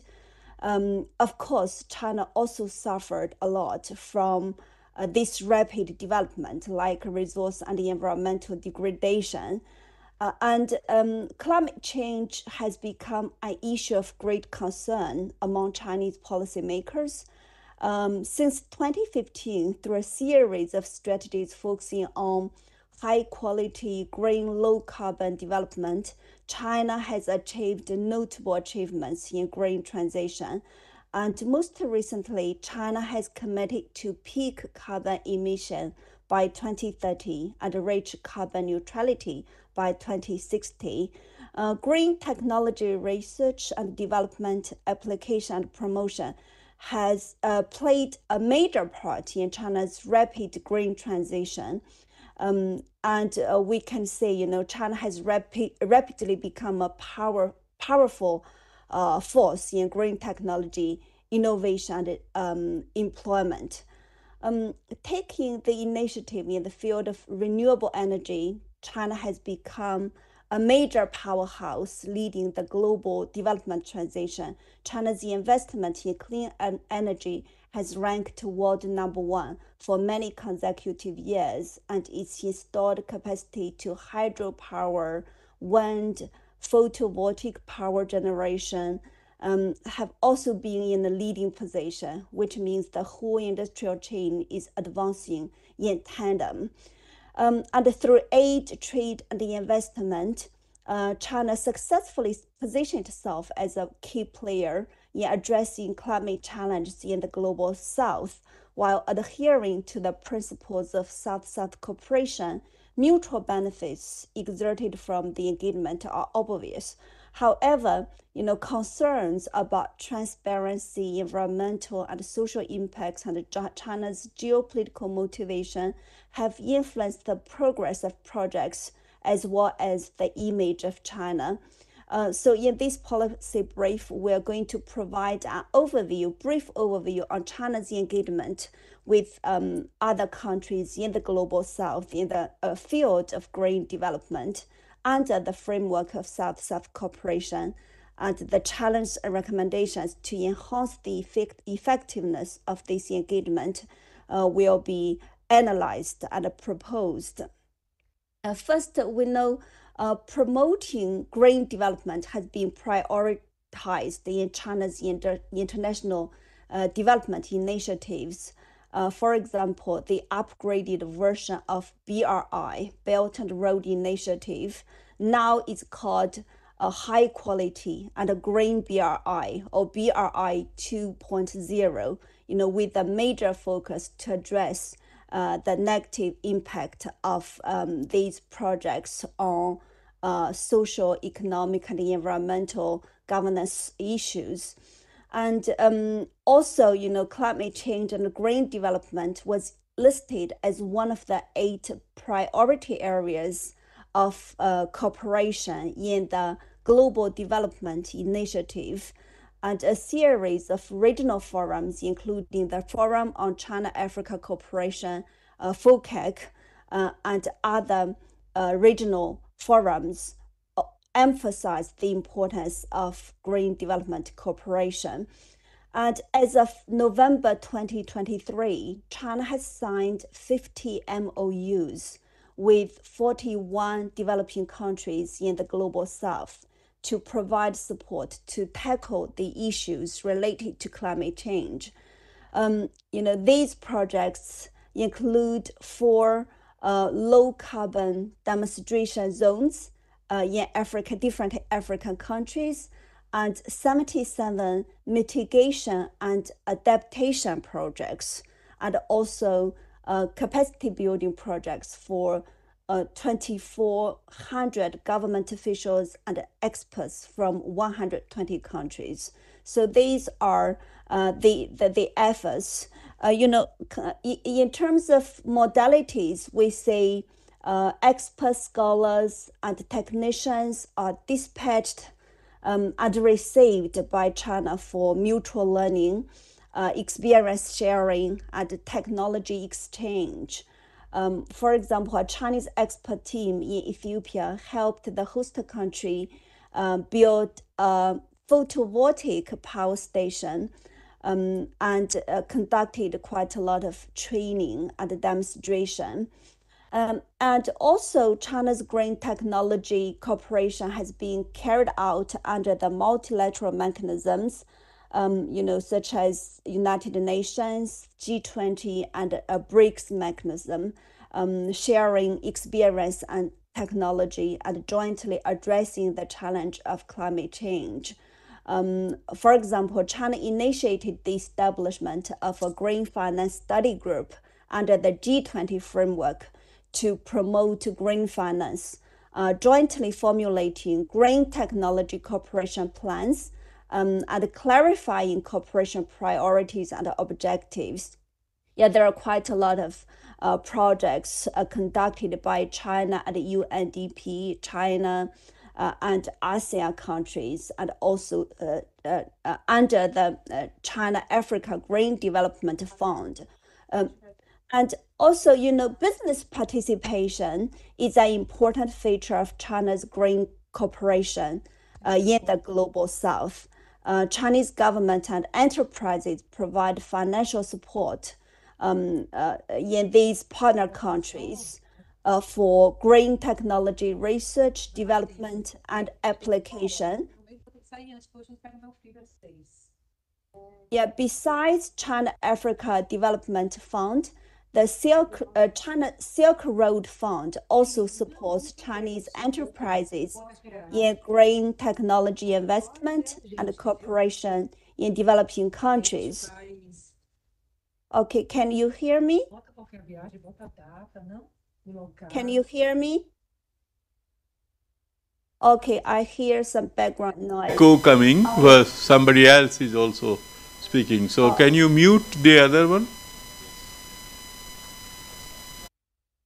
So please go go ahead, please. Uh, Dr. Yeah, I, I want to mention, you know, uh, China-Brazil joint venture pro, um, uh, actually produces uh, electric vehicles uh, for the Brazilian uh, market. That that is a very successful um, joint venture project, and also China India. Um, company, joint company, joint venture company develops and produce wind power equipment for the Indian market. And of course, there are some uh, uh, cooperation between Chinese enterprises and South African enterprises, you know, they work together to conduct research and development on carbon uh, capture and storage technology cooperation, uh, developed global leading technology. Um, so these are some su successful um, uh, cases for business participation. Uh, and China's green uh, technology transfer greatly contributes to the trade and investment in green development between China and partner countries. Uh, for example, Chinese photovoltaic modules have been exported to more than 100 countries and regions, and the Chinese wind power equipment has been um, exported to more than 70 countries um, and regions uh, you know, helping developing countries to increase the utilization rate of wind power. Uh, of course, this also benefits uh, China uh, a lot. yeah, Chinese green capital um, has um, also, you know, gone global with China's green technology diffusion, uh, investment in wind farms in Indonesia, biomass power plants in Brazil, uh, helping partner countries reduce their dependence on, on fossil fuels. Yeah, likewise, this trade and investment has also greatly facilitated uh, the application and promotion of China's green technology transfer. So one thing uh, worth to mention is that China's green technology is not limited to uh, green energy and the traffic sector. Uh, agriculture development um, has also uh, being prioritized. Um, I, I can just provide one example, you know, um, the Juncao technology developed by National Engineering Research Center of Fujian Agriculture and Forestry University, um, uh, you know, allowing smallholder farmers to grow mushrooms from dried, chopped grasses without chopping down trees and damaging the environment. Um, and this project were promoted and applied. Um, that this technology um, uh, were applied in 17 countries in, in, the global south. Rwanda, I, I heard that the one in Rwanda has been very successful. Um, you know, without a uh, doubt, China is now a global leader in renewable energy investment and deployment uh, due to its efforts in, address, in addressing climate change um, issues both at home and abroad. Um, as its global footprints on green development expanded, China's endeavors to be a global leader uh, also face significant challenges in both uh, narratives and realities. Uh, the first challenge I, I would like to say is the, the win-win approach. Uh, you know, with the objective of simultaneous pursuit of economic benefits and the environmental sustainability um, sometimes is hard to accomplish. Uh, for China, who always consider itself as a member of the global south uh, and world's largest south-south cooperation provider, win-win scenario is a more feasible and sustainable way to drive economic growth as well as to promote environmental sustainability in partner countries. But how to balance the two objectives um, sometimes is very thorny. Um, critics point out that pursuing economic growth often overshadowed the environmental agenda and dubbed China's new ambition as green mercantilism. And second uh, challenge is the gap between commitments and impacts. Um, it's, it's large in the short term. Um, take BRI as an example. Uh, see BRI initiated in 2013, uh, encompassing a network of roads, railroads, ports, uh, and pipelines aims to enhance regional connectivity and embrace a brighter economic future for all countries along the line, uh, has already involved infrastructure development and investment in more than 70 countries and international organizations um, in last 10 years.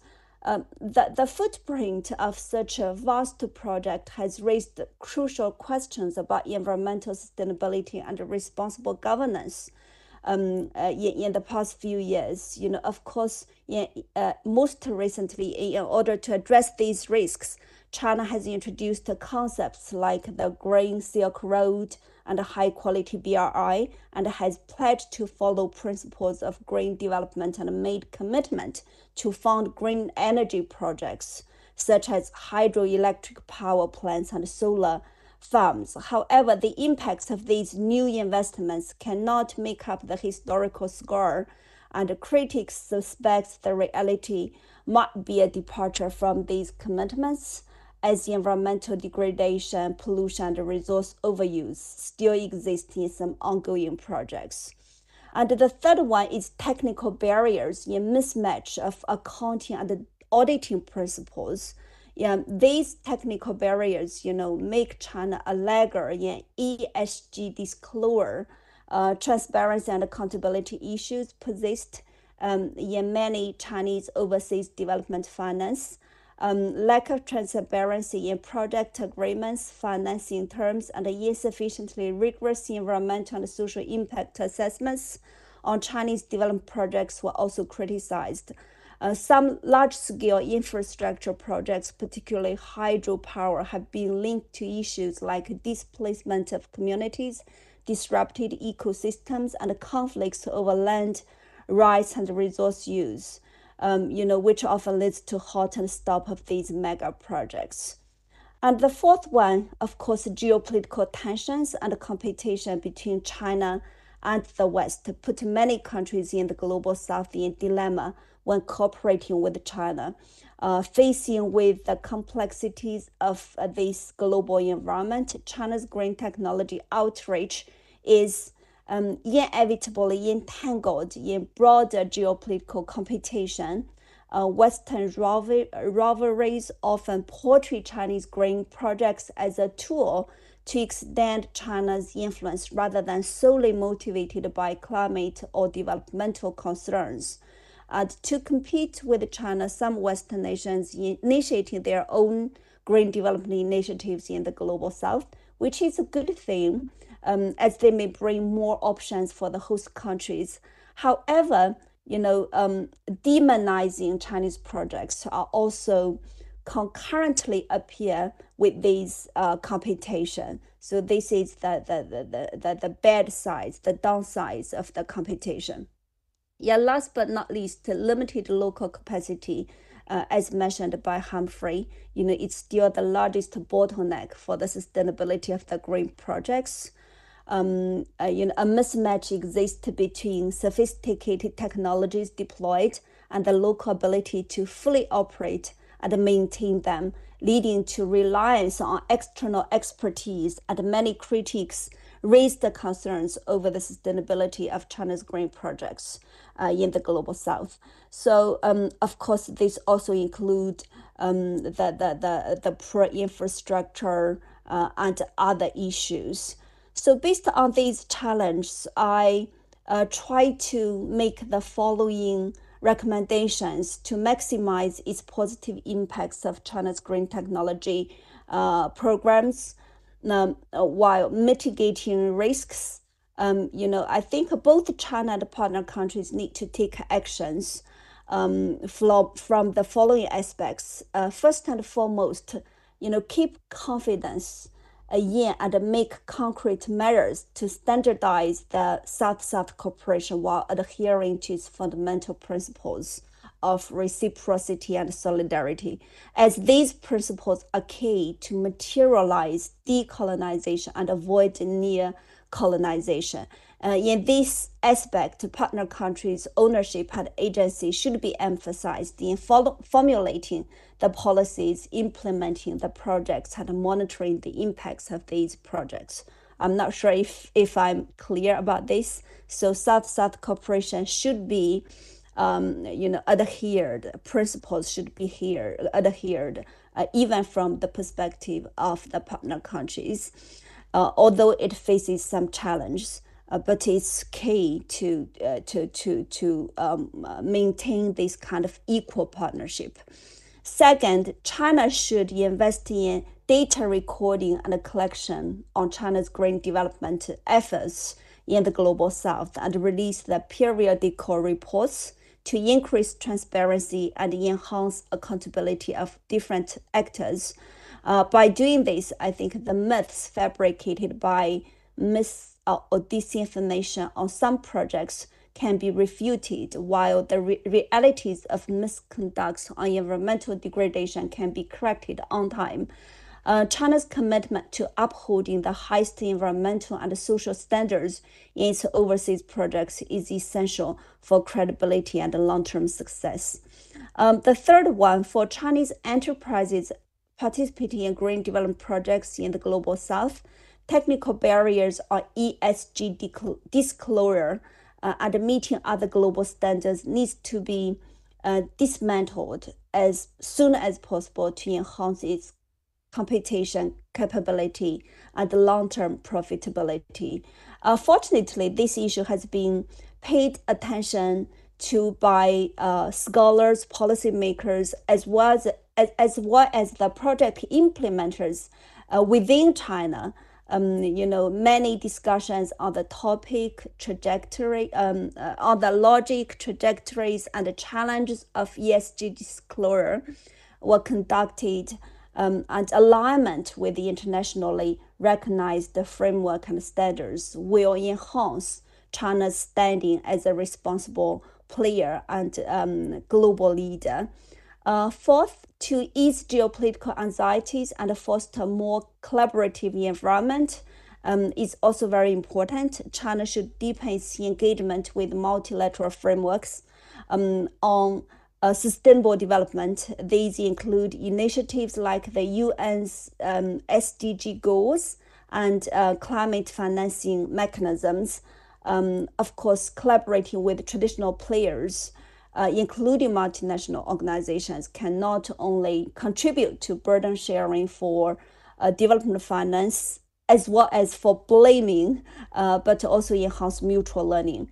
Uh, lastly, a focus on genuine, impactful technology transfer is extremely important. Uh, this should include and go beyond uh, the basic skills such as installation and training courses, uh, partnership on research and development with the ambition to empower local innovation ecosystems, uh, mean the global south should be promoted, as mentioned by the previous uh, speaker, you know, to help those uh, startup enterprises to incubate uh, the local enterprises are extremely important for the success of these uh, kind of cooperation. Okay, I just stop here. Thank you.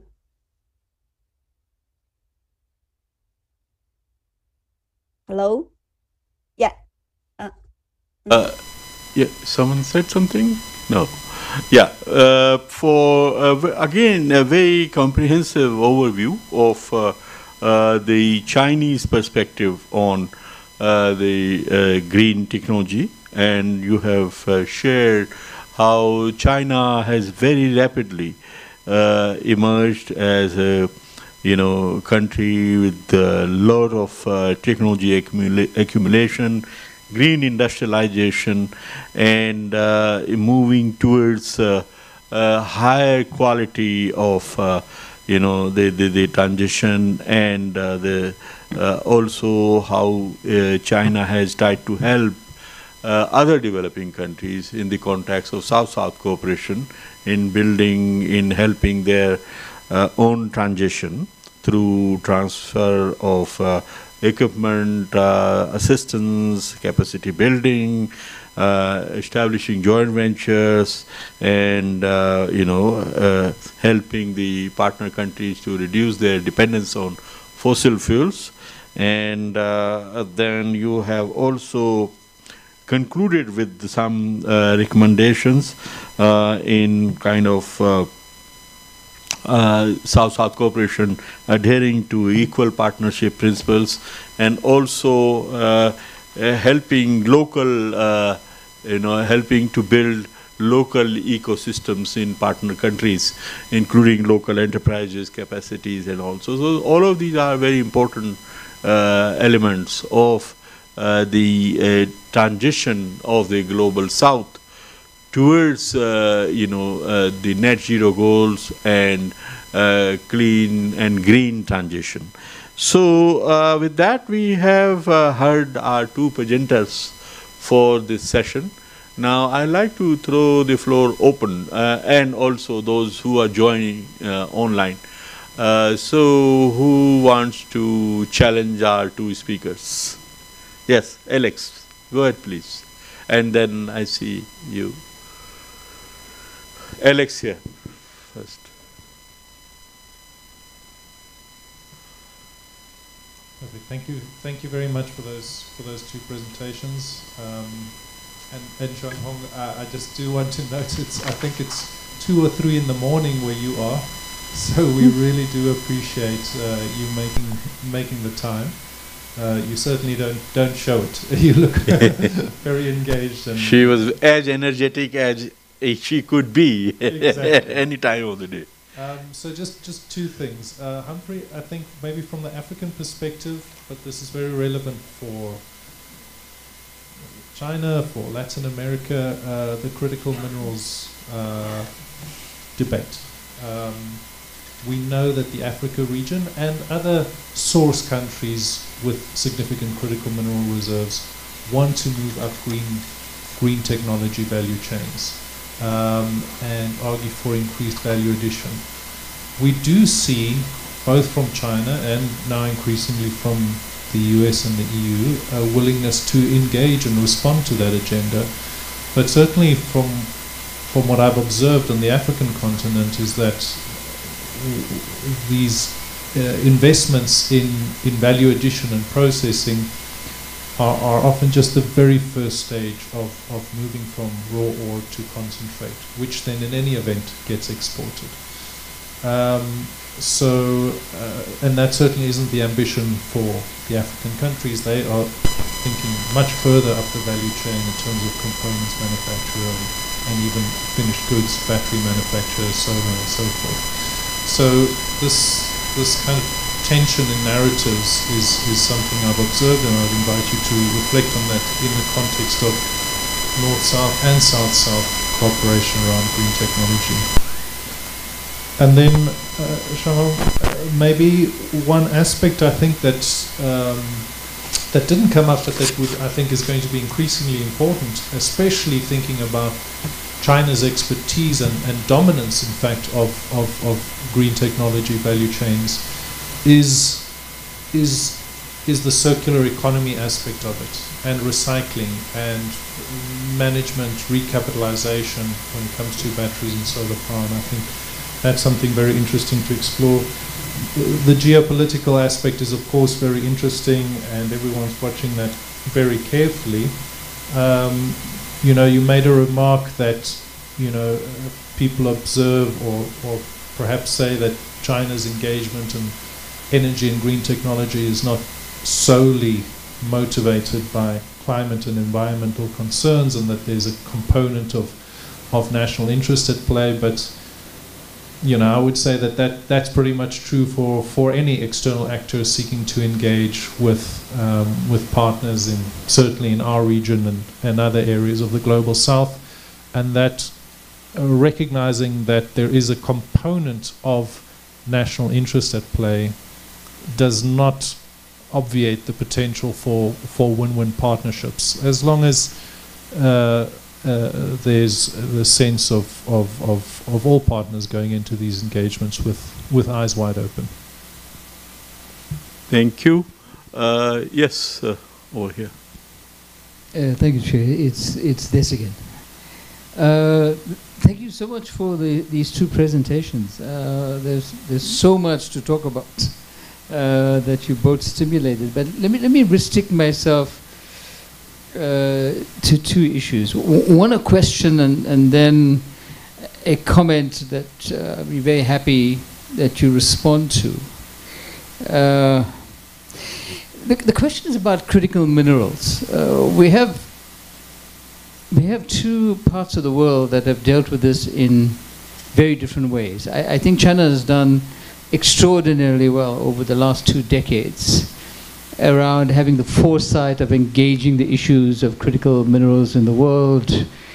And right now, according to the Wilson Center report, China actually has 70% of the beneficiation chain, regardless of where the critical minerals are, are actually mined, which is a, a terrific place to be.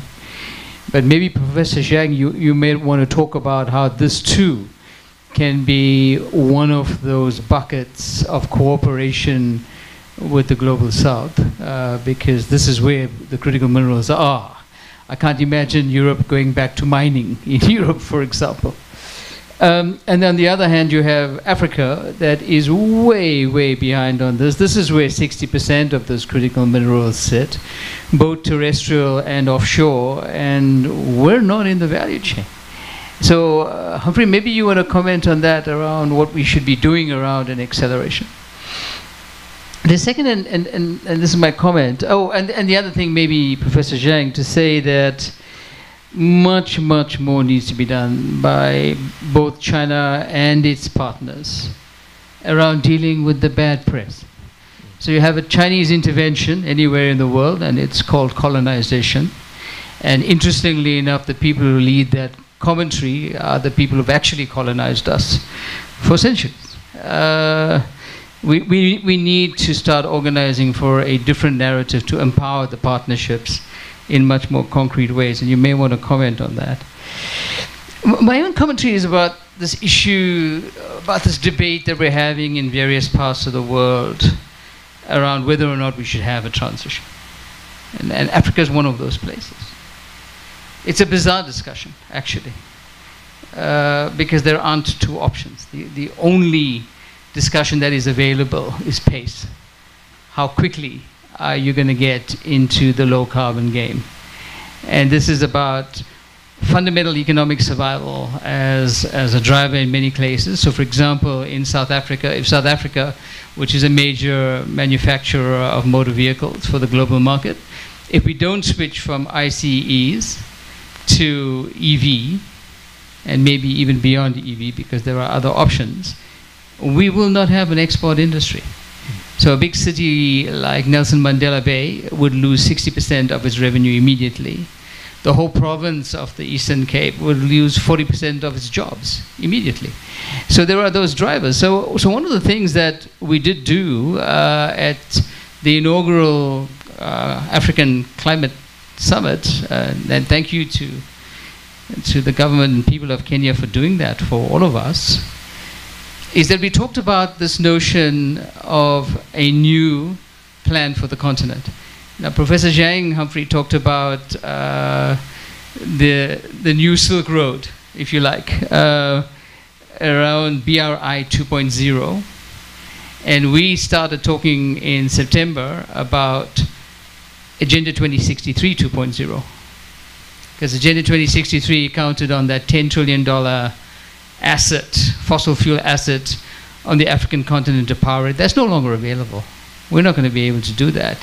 So what does what does Africa's version of BRI 2.0 look like around Agenda 2063? And how can this South-South alliance, because we have very powerful players in the South-South alliance now, how can that South-South alliance organize to become a serious club in the world around shifting that gear in Africa in Latin America as it's already actually happening in Asia. So, I mean, Asia has the benefit of two mega green directed economies in China and India. So it has a lot more momentum, but clearly the other two places in the world would like to catch up. Chair, I'll, I'll stop there. Thank you. Thank you. Uh, any others? Online? Yeah, okay. Yes. Uh, microphone.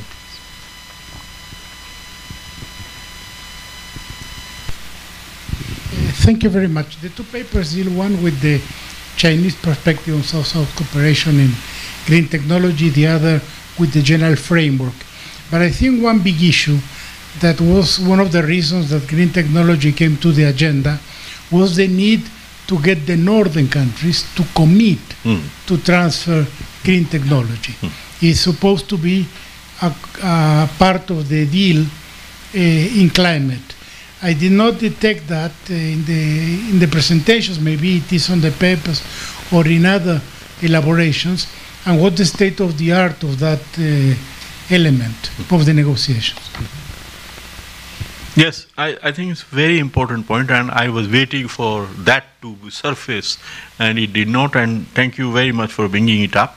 Uh, I think uh, when TRIPS uh, was adopted uh, in as a part of uh, the Uruguay round agenda and all, uh, the assurance was that TRIPS will facilitate transfer of technology. There is Article 7 explicitly, uh, uh, you know, explicitly saying that it would help to transfer of technology, but the provisions of transfer of technology in TRIPS agreement are very vague and left to be best endeavor clauses.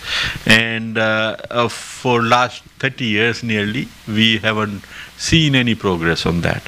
So what are we going to do with respect to access to technologies that are locked in the uh, you know with the global companies uh, and protected by uh, the patents or intellectual property rights and how do we access them in an affordable manner? That should be certainly one agenda on the table when we are talking of access to green technologies so with that, uh, uh, we have uh, heard two very good presentations and a number of issues raised by uh, colleagues in the room. And I want to just check if anyone online uh, has any points to uh, to presenters. Any hands on the screen? No. Uh, so we, we so so in that case, I will turn to two presenters. Uh, first, in the same order as they spoke. So first to Humphrey, and then to Professor Chang. So Humphrey, you have the floor. If you want to respond to.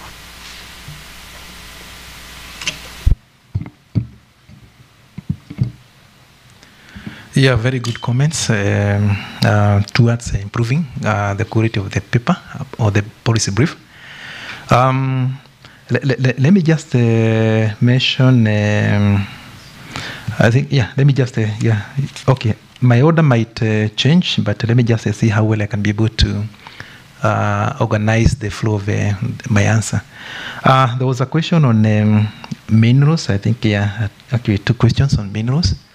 Yeah, I, I know this question when it comes to these precious minerals, it's a, it, actually it's a concern um, because you find that um, Africa is considered as a source of these materials, which are very key when it comes to designing and also assembling of uh, these these uh, products that we see, uh, amazing uh, you know products uh, that are going to be to be used later on. Um, you find that uh, our role actually is either we are just producers of the raw materials or at the consumer side. Eh?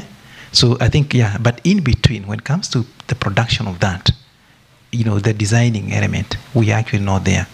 So and I, I think this is a big, big uh, concern, uh, which I think. Uh, um, I think the debate that uh, Alex you mentioned, I think we really need to, we really actually need to see how well we can strategize, strategize ourselves and be on the table, so that uh, we can uh, actually present our case. I think it's not too late; it can still happen, because I believe when you go and say, or actually you're negotiating, I have all the resources, and this is what you know I'm demanding, you know, demanding you to do.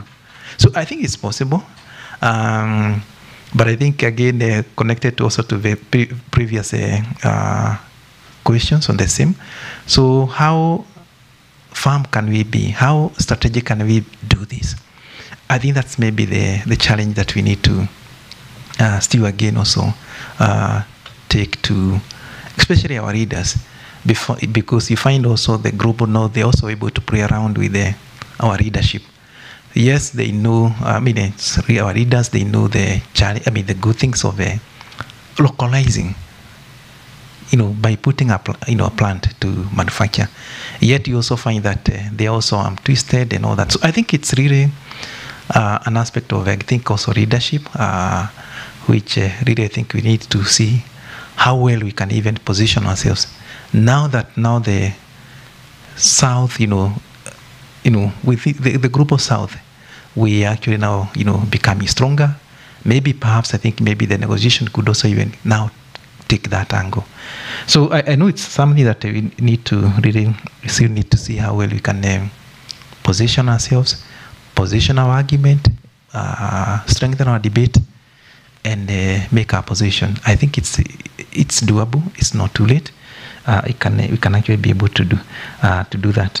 So yeah, I think this is maybe the question uh, uh, on the on the on the on this, and being ambitious. I know in the past uh, the continent has, has not been very very ambitious, and this is because.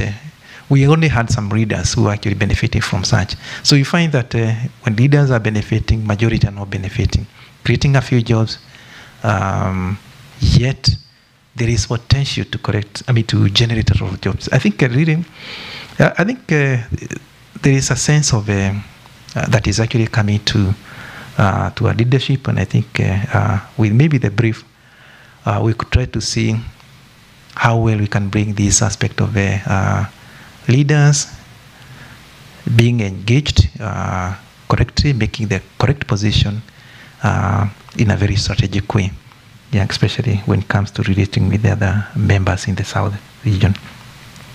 Now, um, there's also a question on um, um, jobs. I, I, think, yeah, I don't know. Yeah, um, yes, I know.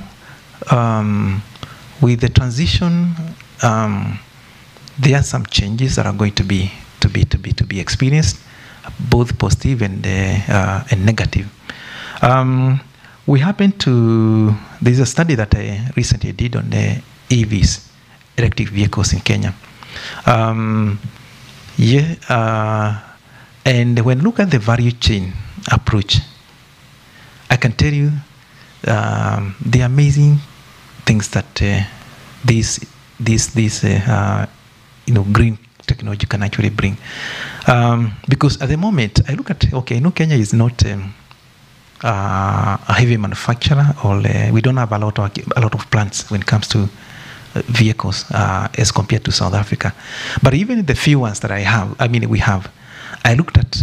We have only been able. We've, I think, employed not so many people, Um, but when I see with EVs, I'm seeing a whole total chain, right from um, uh, especially the ones who are, I, I know, okay, not everyone will really be able to, uh, to have a new EV. There is also that possibility, which I think is also happening, I think in India and all that, what we are calling it retrofit, retrofitting. So that means that uh, we're taking an old vehicle or a fossil fuel engine, converting it to be, uh, to be, to be electric. Uh, it's already an industry uh, in some countries. So it's something that uh, is also doable, um, which can also generate a lot of jobs. Think again also when it comes to, because you're also going to enhance electricity production, distribution. So definitely there also be a lot of jobs. Again, there are also some uh, other supporting industry like IT, because these EVs, they are largely driven by, you know, based on software. So again, you also find that uh, the software industry is also going to be generated. So I think for me, uh, in as much as you say there are some jobs that are going to be lo- uh, lost, yes, very true. But again, also it's also an avenue of uh, now seeing uh, a whole new industries that are going to be created and uh, generate a lot of jobs. Um, but I think again, yeah, it's something that you also need to to approach cautiously, in a very um, a careful manner, so that again uh, we are not uh, uh, putting uh, thousands or millions of people jobless. Yeah, I think it's something that also need to be well planned, so that when people uh, actually they are moving from one uh, technology, it's also the, maybe the same people that are also going to be trained to go for the new uh, for these new technologies. Um, last but not least, um,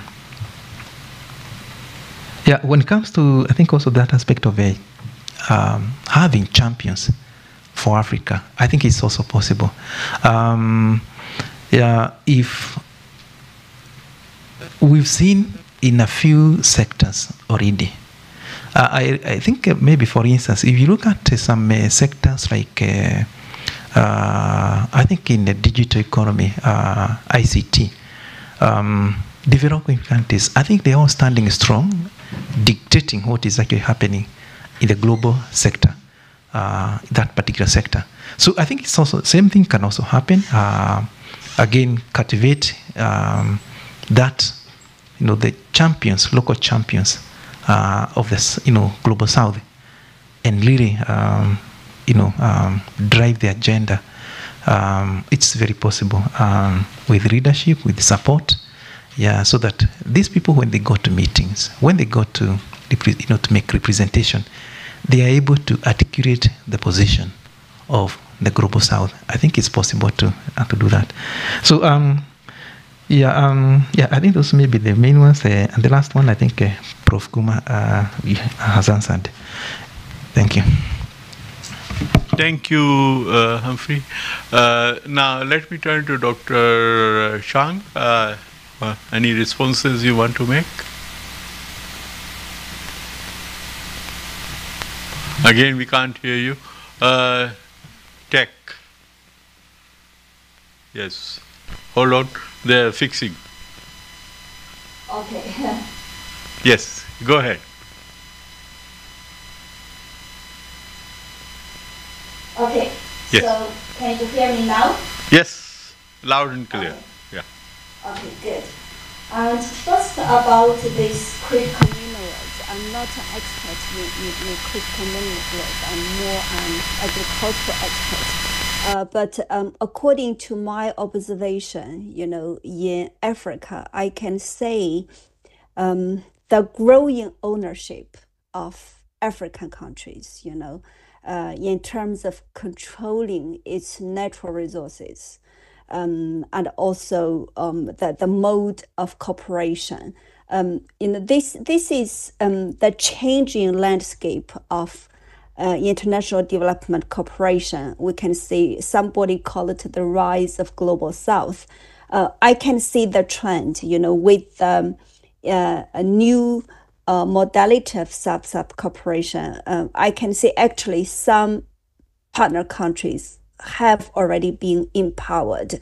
Um, and in terms of uh, critical minerals, you know, um, actually, there are a lot of um, cases. If you uh, dig into it, uh, you you can say, um, you know, it's um, China's engagement with the local uh, partners is different from uh, uh, traditional donors. I think you know more technology infrastructure uh, projects uh, were were followed to tackle this kind of uh, gap. Um, and of course, you know, um, there are some problems uh, of the, the host countries um, in terms of capacity building or uh, development financing, all those kind of issues. So, so that's that's my uh, observation.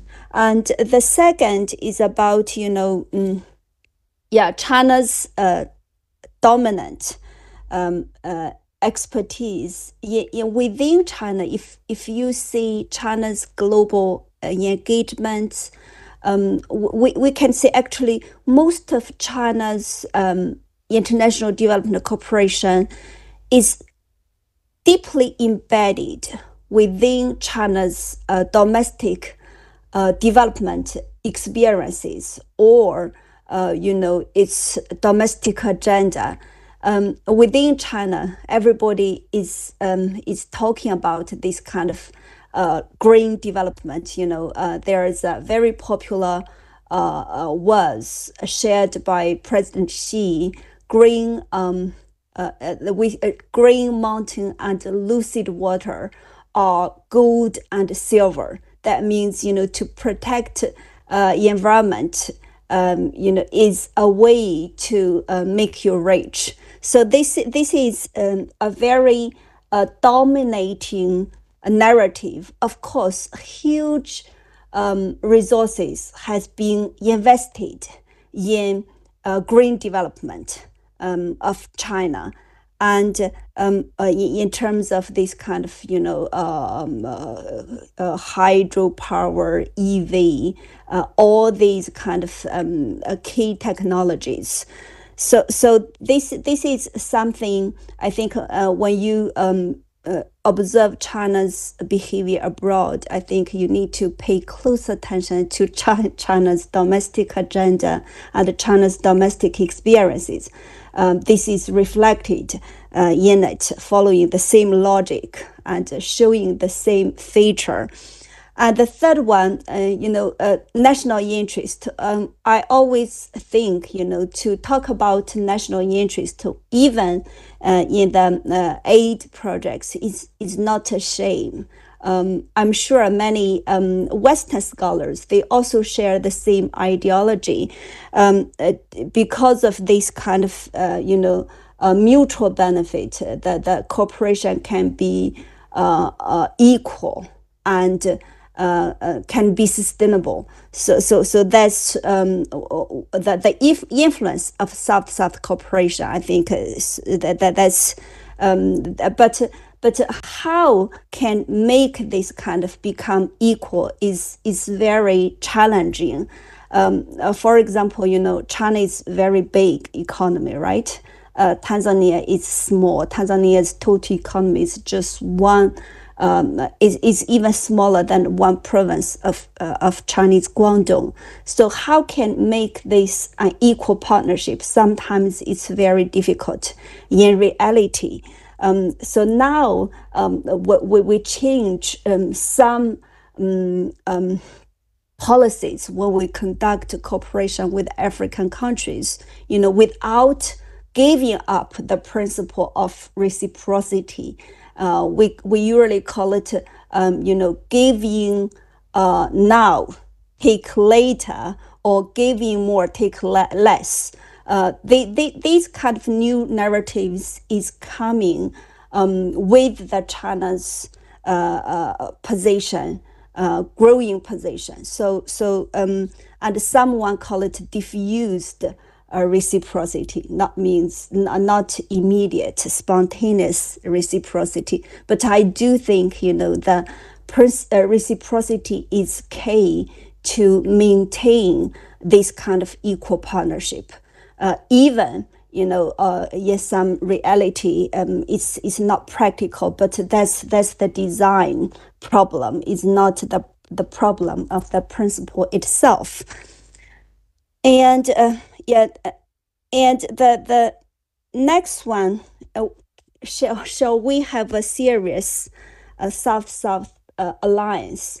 Uh, if we traced back the history of South South cooperation, we can say, you know, uh, South South cooperation had been very weak over the last uh, 50 years from 1955 to um, early uh, 21st century. I think that the main problem is the, the weak position of um, its economic position uh, and also, um, you know, um, the, the, the, the, uh, the weak uh, uh, voice um, and fragmented um, uh, uh, fragmentation of these South-South cooperation partners. Now, um, South-South cooperation is becoming uh, more important and getting attention because of the rise of the emerging economies.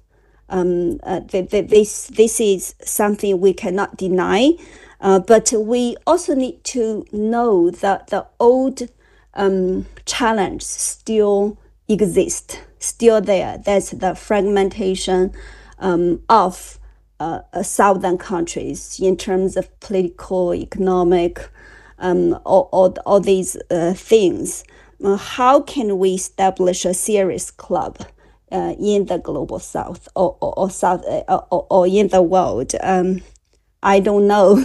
I don't know. We, we really need to think about this uh, issue collectively um, and um, and to to be more inclusive you know not just to exclude the traditional donors probably uh, i think many traditional donors started to accept uh, this kind of south south cooperation uh, modality we should welcome them i think as long as they they they, they uh, they um, agree, right? It's it's um, if we think about the changing economic uh, scenario um, of uh, even some traditional donors, uh, and I think probably um, South-South cooperation uh, principles of South-South cooperation um, will become more popular and um, su- substantive uh, in the future. Um, I, I, I, I don't know if I addressed uh, all your questions. I, I think I, I should shut up and uh, um, to, to hear more comments. Uh-huh.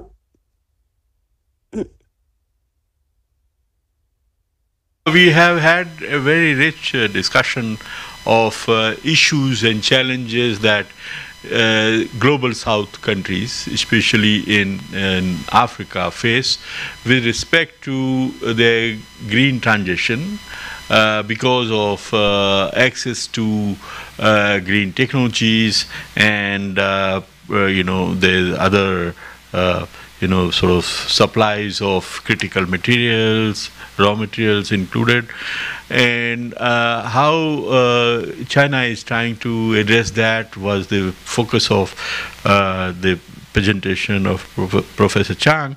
But in this context, I want to also put on the table that uh, as a part of the T20 Task Force 2, uh, which was briefed uh, this morning, I happen to be involved in preparing one policy brief uh, along with some partners, including uh, uh, Kevin Gallagher and uh, Rachel Thrasher from uh, Boston University Global Policy uh, Global Develop Global Development Policy Center.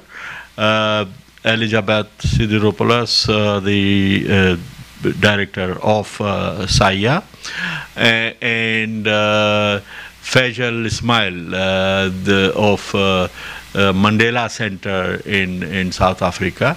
So we have just submitted a very early draft and we are hoping to get some inputs and uh, comments on that.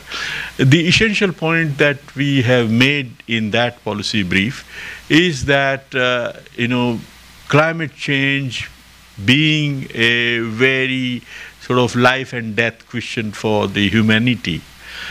Uh, we need to you know, sort of provide for some uh, options for exercising flexibility uh, with respect to intellectual property rights.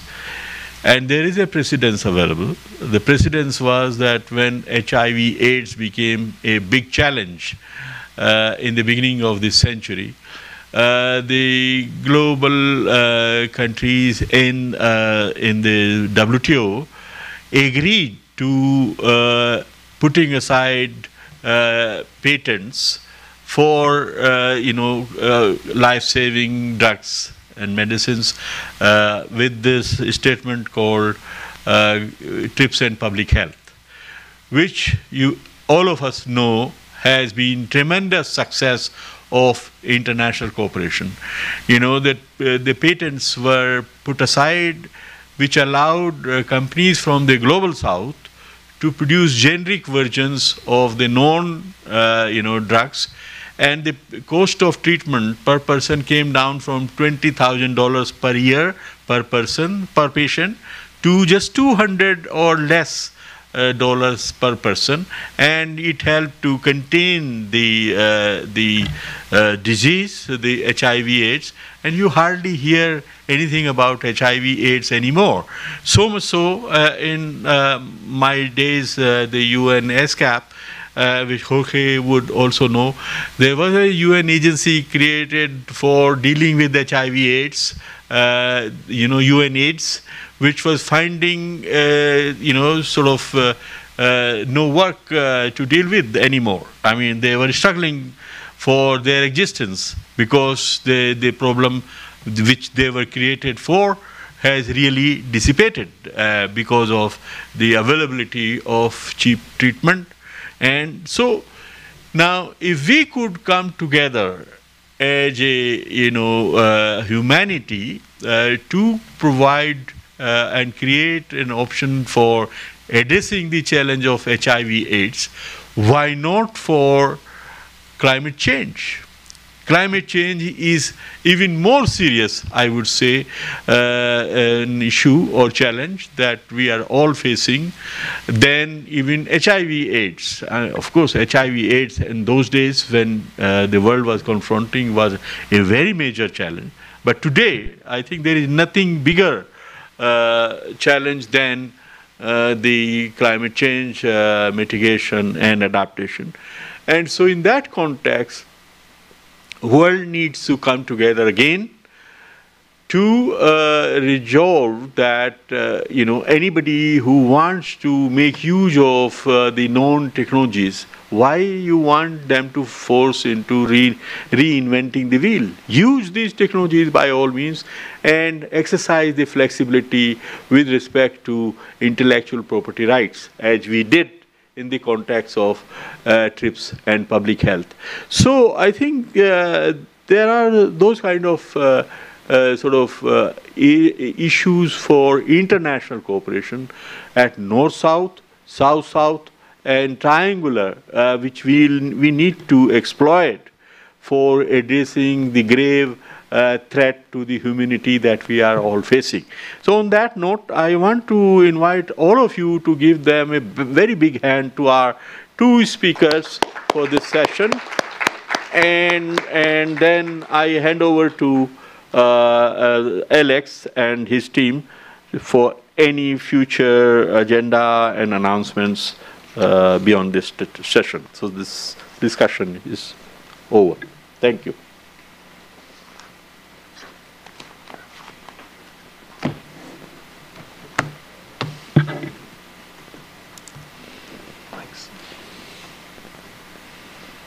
All right, thank you so much. That, is the audio coming through?